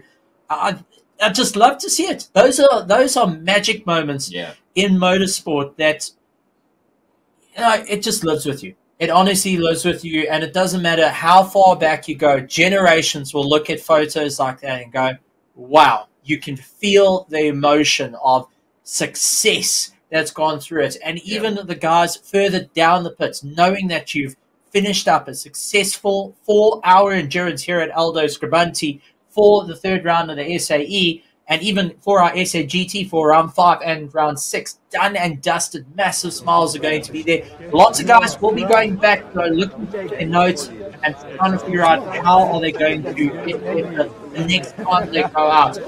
Will they be able to own the Lamborghini at the moment? Will the Stradale team be able to work out how to plan that crucial half a second. And will we start over going and blasting its way through time? Them what it can do here in South Africa. No, I, I think they better watch out for that. Because considering the fact that the team working on the Nova is in second place, and they managed to work well enough to get their own Mercedes AMG out on the podium, as well as the car, a, a debutant car with a debutant driver amongst the team in podium position that Nova is going to be a force to be reckoned with with progress in the championship. Absolutely. No, it's you know this has been a wonderful day of racing, and uh, it's it's honestly you know, li- living through the minutes and the moments of it is going to be incredible. But we're also going to be having our podium soon, as well as Nadine will be going on for it. But uh, while while this is happening, uh, Prince, if you could just sum up your, your, your thoughts of the day's racing and also our SAES. What would I think uh, very reflective that this is the pinnacle of South African racing. I mean, it was already an exciting build up with the one hour race that happened earlier on. Uh, but by the time flag fell or lights out went for the start of the four hour race, it was already very exciting to see a lot of the new entrants. Um, of course, very quickly, Michael Stephen and um, the likes of Silvio Scribante, part of the pack there at that point in the race. The Ginetta looked fantastic, having managed to set pole position. Of course, they were looking very strong at this phase of the race, and their pace was absolutely right at there with the front runners. Um, obviously, not knowing what would happen to the car um, leading up into later into the race. It was very, very tight and compact at this point. All the GT3s just really squeezed into, into this little patch of tarmac, and navigating certainly wasn't an easy thing. Staying on the circuit also seems to be a challenge, um, as we, we find out a bit later on into the race. But at this point, of course, the Ginetta opening up a gap. Um, uh, Stewie White, of course, staying abreast and, and keeping pace with the Ginetta at that point. Ari Neveling, Charl Arangies at that point also had fantastic pace, almost qualifying lap times. Some one or two of these were qualifying lap times that they were sitting at this point in the race. But at, at the early phase really was about spreading things out as quickly as possible and getting a rhythm because it's endurance. Whether it was the one hour sprint or the four hour, there was it was all about for example, your your Miss Money Penny over there looked also very impressive, involved in quite a battle um, in the mid pack. But Isak Spies broke Steve's heart and outbraked himself and went into the tire wall. Luckily, he wasn't injured, but whew, that McLaren is going to take a panel beating and a half to get it um, recovered. That was the first safety car that we saw. And um, it took a bit of a, a, bit of time for the recovery to happen. I think it was three laps or so, three or four laps, and that, of course, by sunset, um, the car was cleared up and we had a green flag racing once again. Yeah, always just when I saw it, my, my heart broke. And the second time seeing it just didn't make it any easier. Uh, but when the re- race all restarting, heading into the sunset, we was into the closing moments of the SA GT round six, and also for our one hour dash being done and dusted. The Ginetta looking incredibly quick out there with Andrew Rackstraw behind the wheel as they were trying to battle it out with Stewie White. But eventually, that Ginetta just had a couple of gremlins claw in. But the RDSA driver of Andrew Rackstraw tried getting that car around the line as quick as possible, but it was unfortunately the, the car having those gremlins and having a problem. The Pilbeam also landing up in the weeds just due to a little bit of rotation. They were able to get it going once again, but obviously the worry of what's happening. Uh, you had Andrew Cuthbert outbreaking himself, trying to figure out how to get past all these uh, slower cars, these cars that are a lot slower. Then we saw the contact between the likes of Aldo Scribante and Marius Jackson a little bit later on, leaving bits of the Audi out on the, wings, but far enough off a circuit that it's not interference, but definitely sustaining some damage to that Audi R8 uh, GT3 car that needs a bit of work. Charles Fisser, who was out for the one hour dash, showed off what the Super Cup can do and hopefully will be participating more in our D class. Uh, side by side battle, I mean, you've got generations there. Michael Stephen, uh, the older generation, showing off what he can do, and now having Stuart White, the younger generation, powering his way through. The Morgan Root car having a great time. You can see how much work those cars actually require. Sliding yeah. around the Nova, that's its debut endurance run out there for the Sleep Adjust team. The checker flag coming out ultimately, and that was it for Michael Stephen taking first. Our first, uh, well, sec- I think this was our second of the safety cars. Yeah. Trevor Graham landing up in the wall in turn one, severe damage to the front of that car. Unfortunately, weren't able to get it going once again. But there was yeah. a quite a time of the safety car being out. The guys had to try and work themselves up to get going once again. Uh, the drivers had to try and figure out how to keep heat within the tires, keep heat in the brakes, keep focused on what's needed as the sun starts to set and things become a lot darker. You watch those corners disappear. Beautiful shot of all our cars coming through the rear tail lights. You can identify the cars going on, yeah. but you can see that beautiful Gqeberha sun starting to set over the circuit of Aldo Scribante, the legendary track. Racing resumed with everyone really putting their foot down. Zola Teca, though, leaving the field soon as he had the option to and ran as fast as he can with the likes of the Stradale Mercedes team getting caught up behind some traffic yeah. before it needed to get past and uh, having to make up a fair amount of ground on the circuit.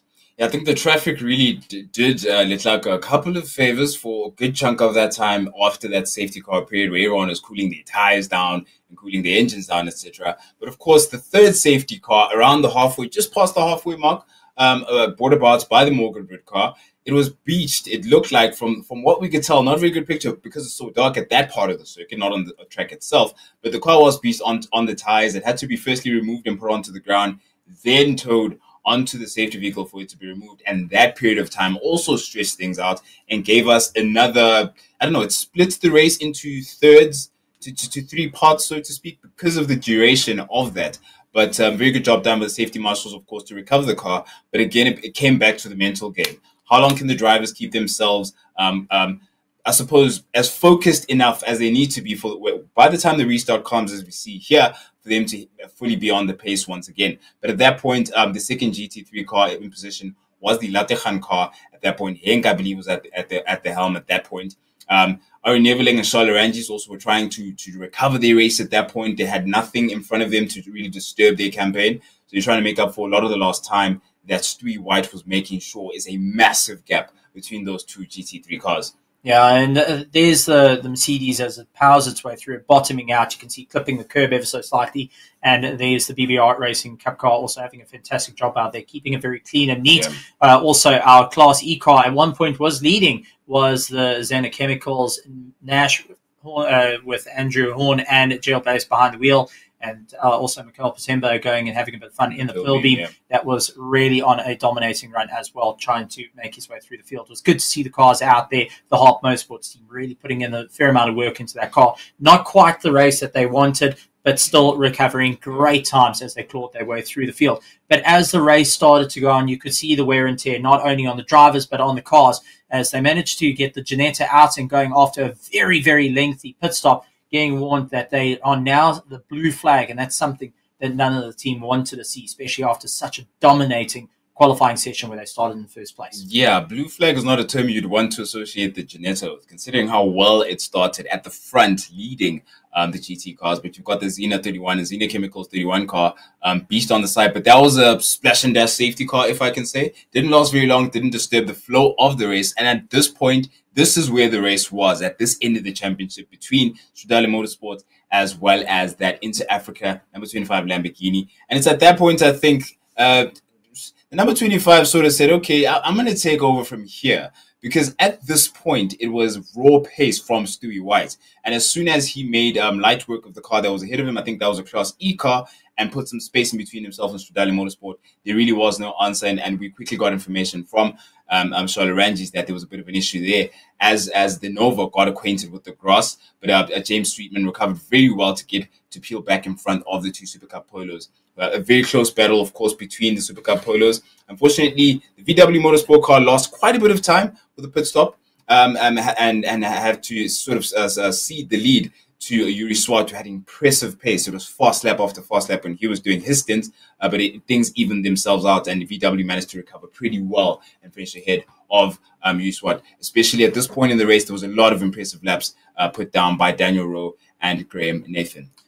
Um, just got to correct you there. The Kalex actually finished in first ahead of the VW Sports. They, they managed to close up the distance, but ultimately on pit stops, uh, Kari Hill and uh, Yuri Swart managed to finish up first of the Class yes, Ds yes, uh, with the VW Motorsport in second. But they did close up a one lap deficit eventually towards the end, but it was outright pace, as you said, that took the win. And that's exactly what Stuart White had. He, after a fantastic pit stop where they actually went and undercut the likes of the Stradale team right towards the end, it's it really changed the it whole did. thing because we thought that this would be the change until we saw the likes of Arnold Neveling coming in for that splash and dash and getting back out. But unfortunately, we're 22 seconds now changing into a 40 to 50 second gap uh, to now work on maintenance mode at that point, while Stuart White continued to put in the incredible lap times. I still think it's because he can't see the braking markers. That's why he was doing low 57s into 56s with that Lamborghini. Ultimately, checker flag coming out, taking first place overall and first place in class goes to the Inter Africa Lamborghini with an amazing effort from the Stradale Mercedes uh, Customer Racing. They've also done a fantastic job getting that car. So here we are at the end of the race, and it's podium time. with Nadine. So I'm going to ask everybody, please put your hands together for our overall and Class A winners, Stuart, sorry, Stuart White and Xolile Letlaka. Please come on up, guys.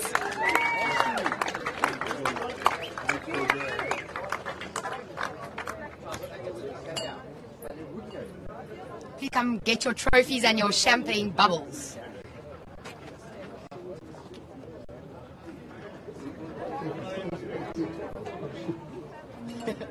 Gentlemen. Well deserved. Well done, guys. Well done. Stand in the center there for me. In second place, we've got Arnold Neveling and Charl Arangies. Put your hands together for them. Woo! Well done, guys. It was close. That was a knife edge for a while. Yeah, for a while. Just they have all of the pace. Go. In third place, all the way from the UK, we've got James Sweeton, Nick Adcock, and Darby Darby Jabir. Come on up, guys. Every single name you got wrong, but never mind. I'm sorry, I'm South African, but I promise you, I'll be. Love you too. She butchered that. Well done. Well done. Well done. Thank you. Well done. Well done. There we go. Well done.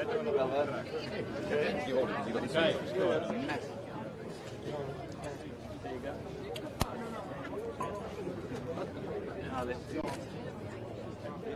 Oui. Got it.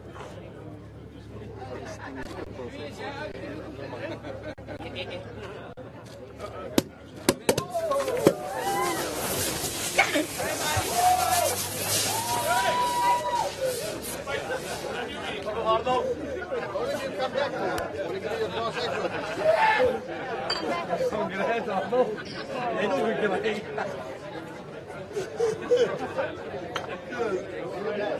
Come back. Come back. Come back. Oh. Come back, do it again. Uh, please, can I ask the drivers just to be careful of the cameramen and all the equipment when spraying your bubbles? Spray each other, no problem. Later. For class. Yeah. And this is for your teams. Do share with them. huh? Oh, this is for. This No, is for that- the teams. this is- this is for the teams. spraying and Share. Here we go, guys. I don't Arnold, wat? Nog weer? Oei, je die empty dat was weer.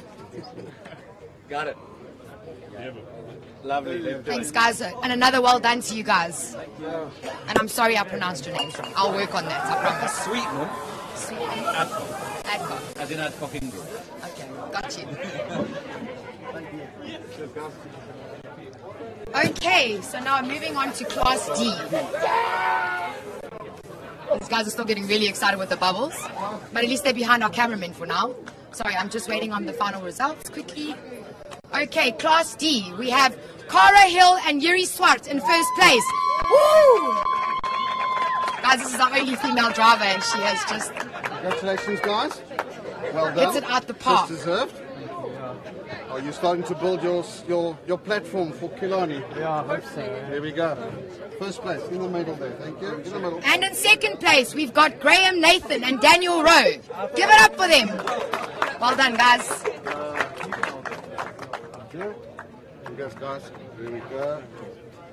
On this. Great job. Good. Well done. Well done. Well done. Thanks, Daniel. Sorry I chopped your nose off a bit. Trophy, hold it.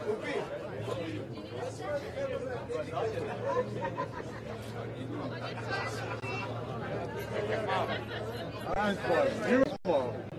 Uh, can you guys look at me, please?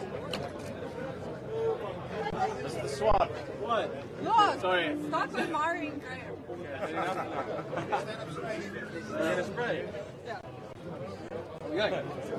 Okay, everyone duck.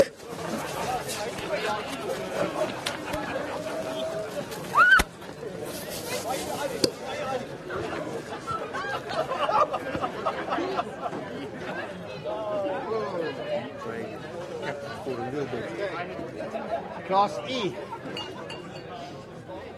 looks like these guys have more fun spraying bubbles. Um, okay, and our Class E winners. Give it up for CJ Blackman and JP Briner. Briner, sorry. Congratulations, gentlemen. Well done, You've got guys. a force to reckon with? I will tell you. There we go. Cheers, thank you. There we go. In the middle. And in second place, we've got Mark Harvey, Philip Mayer, and Dean Wilson. Come on up, guys. Congratulations. Oh, look how cool that is, guys. Well done. Thank you very much. There we go. Bubbles. There we go, mate. You race. In third place, please give it up for Gavin Rook and Tony Martin. Well done, guys. Well done. I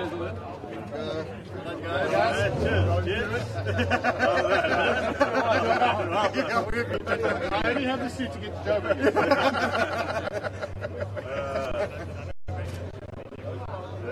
That's it. Cheers. I don't have anything.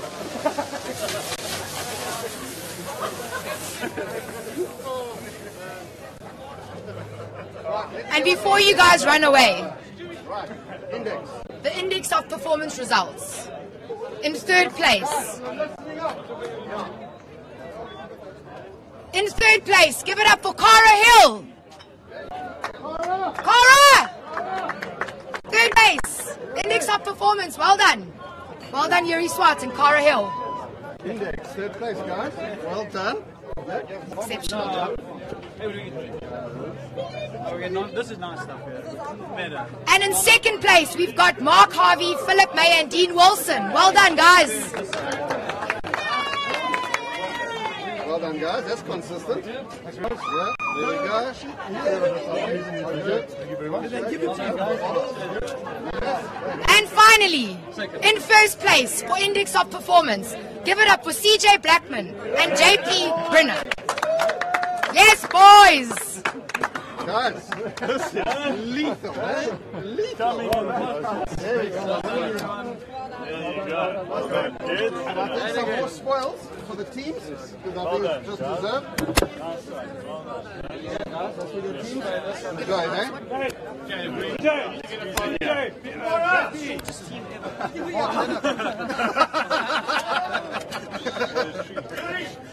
eh? Guys, no shame. There we go.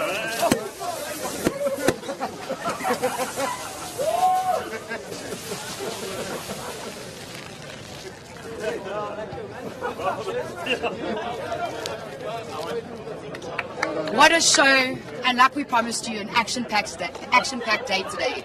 Um, thank you for coming through to, s- for, uh, sorry, I'm a bit flustered, all the excitement. But yeah, that's the end of it. All of our winners have been announced. We look forward to seeing you at Zwartkops. And please follow our social media challenge, uh, channels on Facebook and Instagram to stay up to date with the latest news. Thank you again.